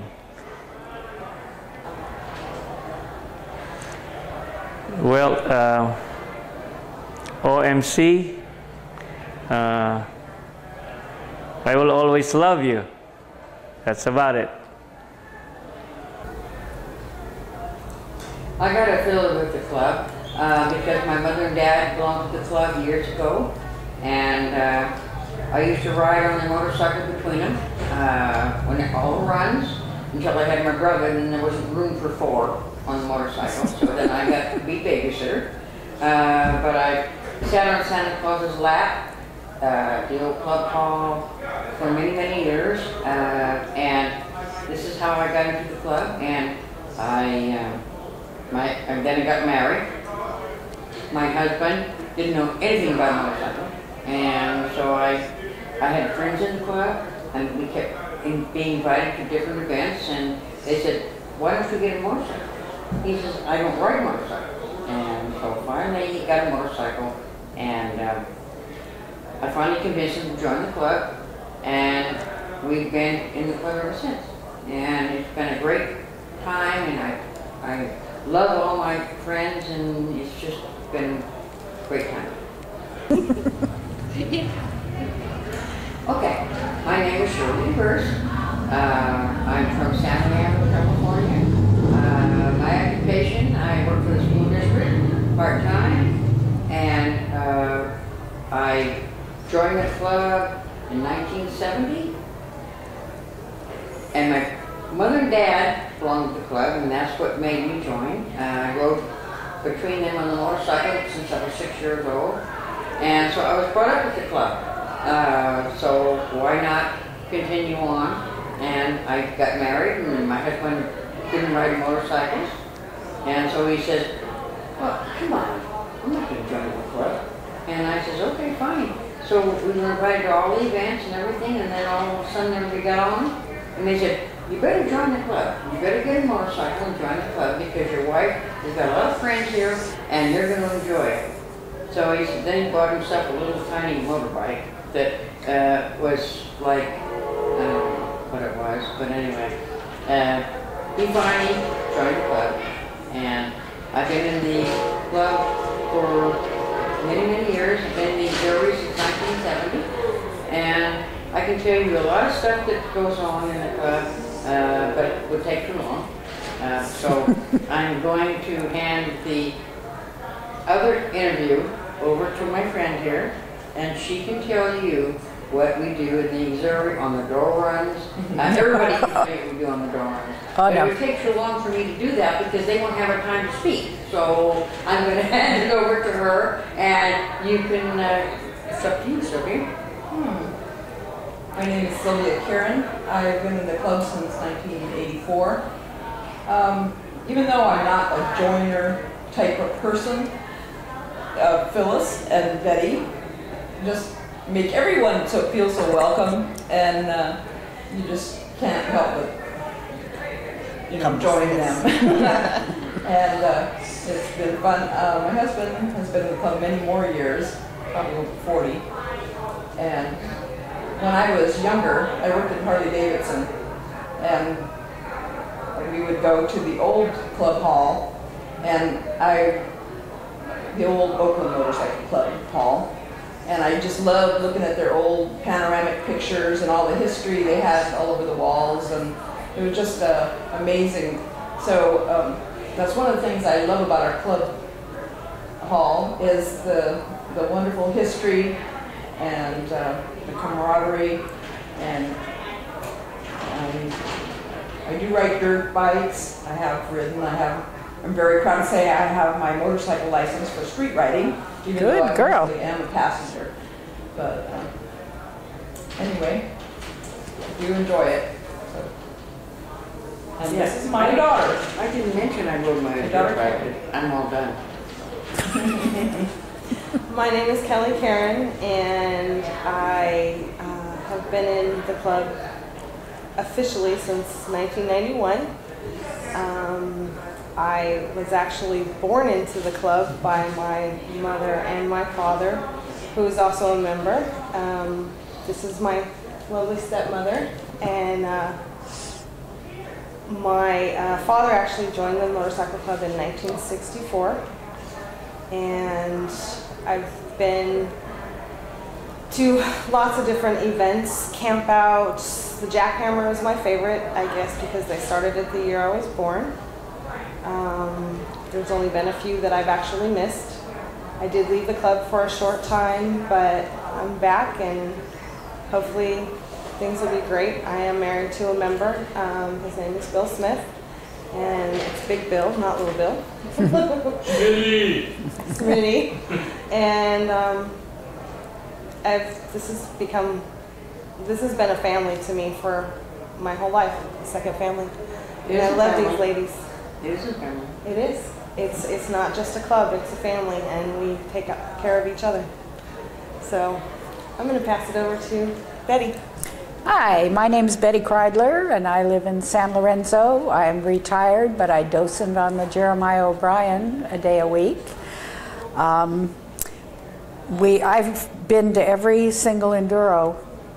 I've not missed a one. Before we ever joined the club, my husband rode. and we had good friends, the Dunns. And John said to Carl one time, Come join the club. And he said, Nah, I don't want to. I'm not a joiner. He says, When I win a trophy on your enduro, I'll join your club.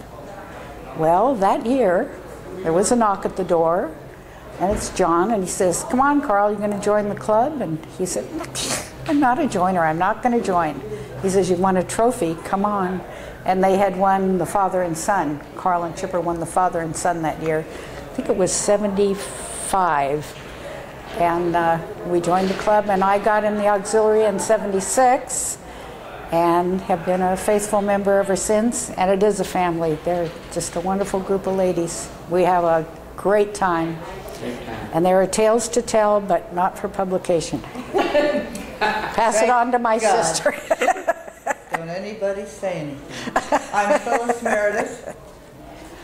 I live in San Lorenzo, four doors from my sister, whom I love dearly, so that's okay that we're so close together. Uh, I also docent on the Jeremiah O'Brien, but the motorcycle club is our first love. My son and my husband decided they needed to do something together when Brian turned 14 and was getting into all kinds of trouble. So Tom bought him a dirt bike and bought himself a dirt bike, and they started riding enduros. Their favorite one was the Jackhammer.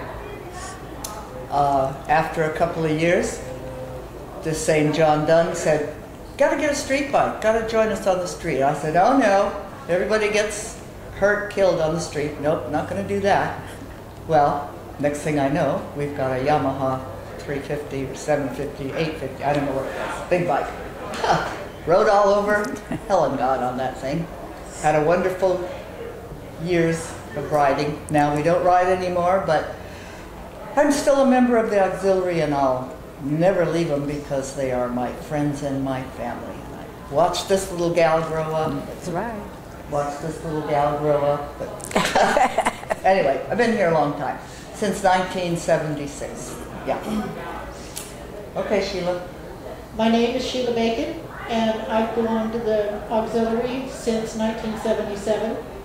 And Mark Norris um, was my neighbor, and I had attended many parties at the old club hall. And that's how I first kind of got to know club, some of the club members. In fact, I, uh, many years ago, I bowled with Doty before I ever joined the club.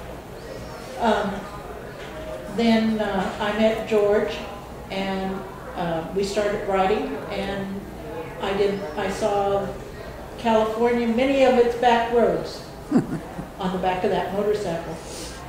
And then um, George became sick. He had uh, pancreatic cancer, and he passed away. And the auxiliary was my family. They, all through the years, have been my family. Um, I have a new husband, and he has joined the uh, joined the club, and we've been in the club. Uh, he's been in the club since uh, 2000. So, as a family, we've been together with with everybody here, um, very close. Um, I almost lost it there for a minute. Um, they back you 100%, no matter what you do. And they do, nobody said anything about the dough runs. Anyway, do you have to say something about our dough runs? We're not done. We're not done. Um, the dough runs started in um, 1989 was our first dough run, and we went to Capitola. Um, when we went to leave, my car had been TP'd, and there had been um, beds that were short sheeted, um, all kinds of things that had happened on that one. Since then, we've uh, uh, put saran wrap on toilet seats. uh, People have lost their teeth. Yeah, people have lost their teeth, and we've had to pick them up off the floor because somebody stepped on them and put them in a glass and ask them where, where they belong.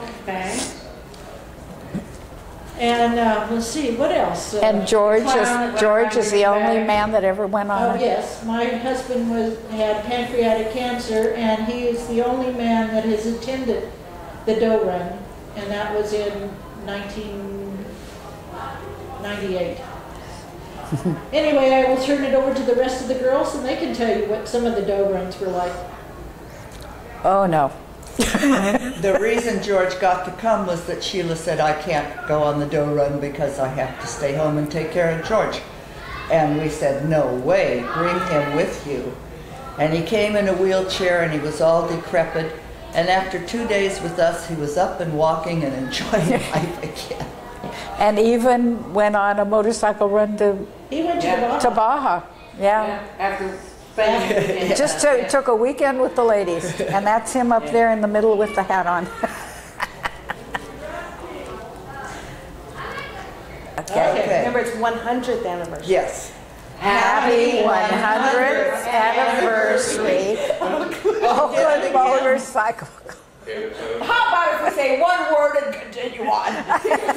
Working. Happy 100th anniversary, Oakland Motorcycle Club from the OMCA. It's Oakland Motorcycle Club, not OMC. It's OMCA, from Yes. OMCA. Now we're gonna say the words Oakland Motorcycle Club from the Oh, OMCA. We're gonna say the whole thing. Oh, are you out How much tape do you have? Tape number fifty-three. How- you say one word? Listen, here it comes. Here comes the 100th finger. Here comes the anniversary. finger. Here comes the about, finger. how about, how about we just, one person says it and then when we say from and then everybody says oh, OMCA. Okay, then Phyllis is gonna speak because she speaks clearly, and enunciates. But that's no fun because then nobody messes up. Okay, Yeah, no, I like- Yeah. You put it on there. We're all gonna say it. We're all gonna do okay. Happy 100th anniversary, Oakland Motorcycle Club from the OMCA. That's really. Yay! It's a wrap. Did you record that? Yes, he did. No, I heard it.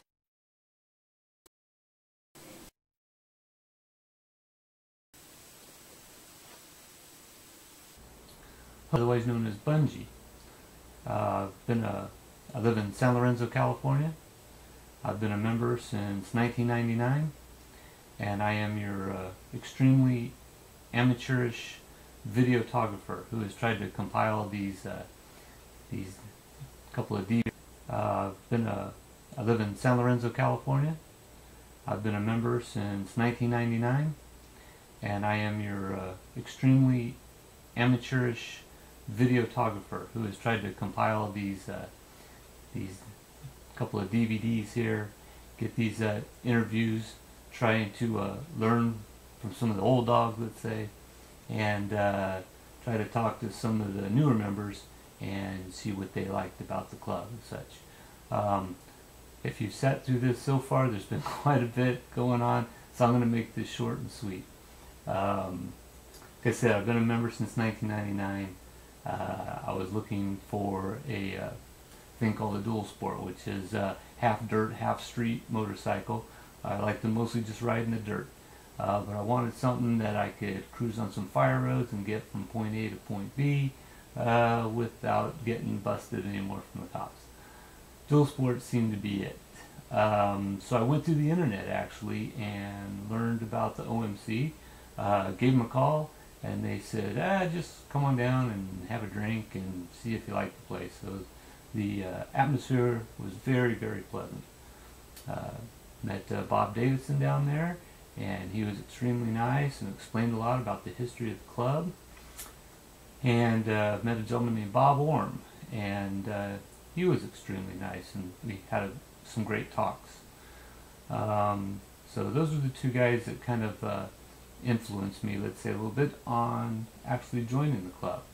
Uh, there were so many diverse people there as far as street riders and dirt riders and the dual sport riders and and that whole thing. So uh, I was extremely interested in it. Um,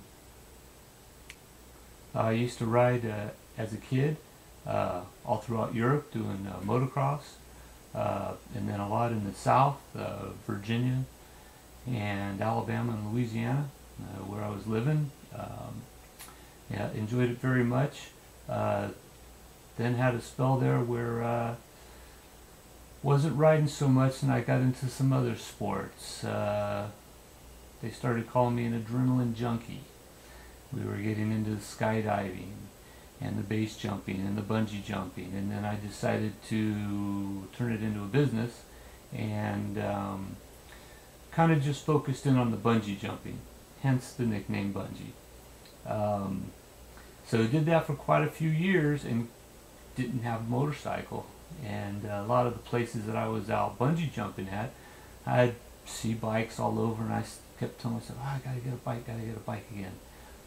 And so uh, one time I was out on this one bridge, you know, I a couple hundred feet high, throwing people off on rubber bands just for fun. Um, and a group of guys come by, and I noticed they had license plates on their dirt bikes. Talked to them for a little bit, super cool guys, and they said, "Oh yeah, it's a dual sport thing. You can ride the trails and then go off and hit the roads and cruise all over the place." Uh, so that's when I started looking into it, and uh, I got myself one of those bikes, and I've had it ever since. And I've beaten the crap out of it, and it still keeps ticking and still keeps running. The uh, the OMC uh, put on a dual sport run called the uh, Sheet Iron 300, and uh, the first time I did it, I thought it was going to kill me. It was uh, very very long. I wasn't used to it, um, but the trails were unbelievable. They were they were perfect. They were so much fun, and uh, and just super long. And um, this is up in the Stonyford area, the Mendocino Mountain Range and uh, it was just amazing. It was it was such a great time, and all the people just hanging out. Uh, you've probably heard it throughout the whole DVDs about the the family thing, and it really is. It's like one big happy family. Um, but even more so than family, you get a lot of friends, and not so much for just the big rides, but it's the little stuff that happens uh, during the week or on weekends. Uh, maybe there's a, a ball game to go to and you call a couple of guys, yeah, let's go to the ball game. Uh, it could be, uh, uh, you know, Super Bowl stuff, playoff stuff, uh, um, fights or something. And you just, you call people up, you have wives and girlfriends and kids, and everybody just comes over, and it just makes for a really, really good time. And yeah, most of the time we just sit there and talk about motorcycles, and, and the other games are kind of sideline stuff, but we, we have a blast with it all.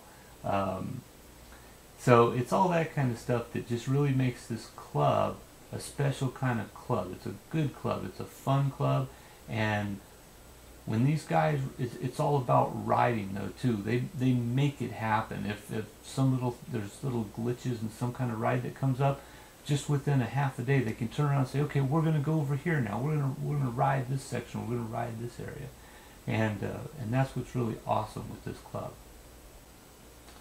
Um, I'm married to uh, Anita, and we have a little girl, Brenna, and um, she's uh, working on being uh, hopefully one day uh, one of the OMC's mascots, I guess you call it. She loves motorcycles, any kind of motorcycles. She loves the sound. It was one thing when when we had her, I was kind of worried about you know the loud noise and the whole thing, and uh, it must be in the genes because she's never once cried or anything. Uh, I give her rides on my bike, and she just says, "Go faster, go faster," which uh, you know scares mom half to death. And I'm sitting there going, "This is cool." so um, she's awesome. Um, got her little TTR 90, four years old. She's not riding it yet, but we ride it together, and it's getting her to know what what speed's feeling all about. So um, hopefully someday we'll have a uh, woman supercross champion in the makings. We'll see what happens. Uh, if uh, if I was to thank the people from the OMC, I'd basically just have to take the roster and just start at the top and thank every single person that uh, that I've been associated with with the club. Every single person is, is fantastic. Um, everybody's always been cool to me, and hopefully I've been cool to them. And uh, it's it's just been really a, a pleasure uh, hanging out, and hopefully for a long, long time from now. Uh, I absolutely want to uh, say happy anniversary, happy 100th anniversary to the Oakland Motorcycle Club, and uh, I, I hope that uh, my small part in the club will will do something. Uh, maybe we can continue some of these uh, type of uh, DVDs and uh, and uh, prolong the history of the Oakland Motorcycle Club, and maybe some of the other motorcycle club, like including the the Yonkers Motorcycle Club, which is the oldest motorcycle club in the world, um, and our sister club, the San Francisco Motorcycle Club. They're a great group of guys. All those guys are really great. Um, it's always fun to see them at the sheet iron um, and, uh, and the jackhammer and the other events that we go to. Um, but in closing, I once again, this is not the side of the camera that I'm usually on. I'm usually on the other side of the camera, and uh, go Raiders. That's right.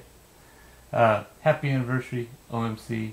Uh, I'm very, very proud to, to be a member, and um, looking forward to the next as many years as we can make it happen. Thank you.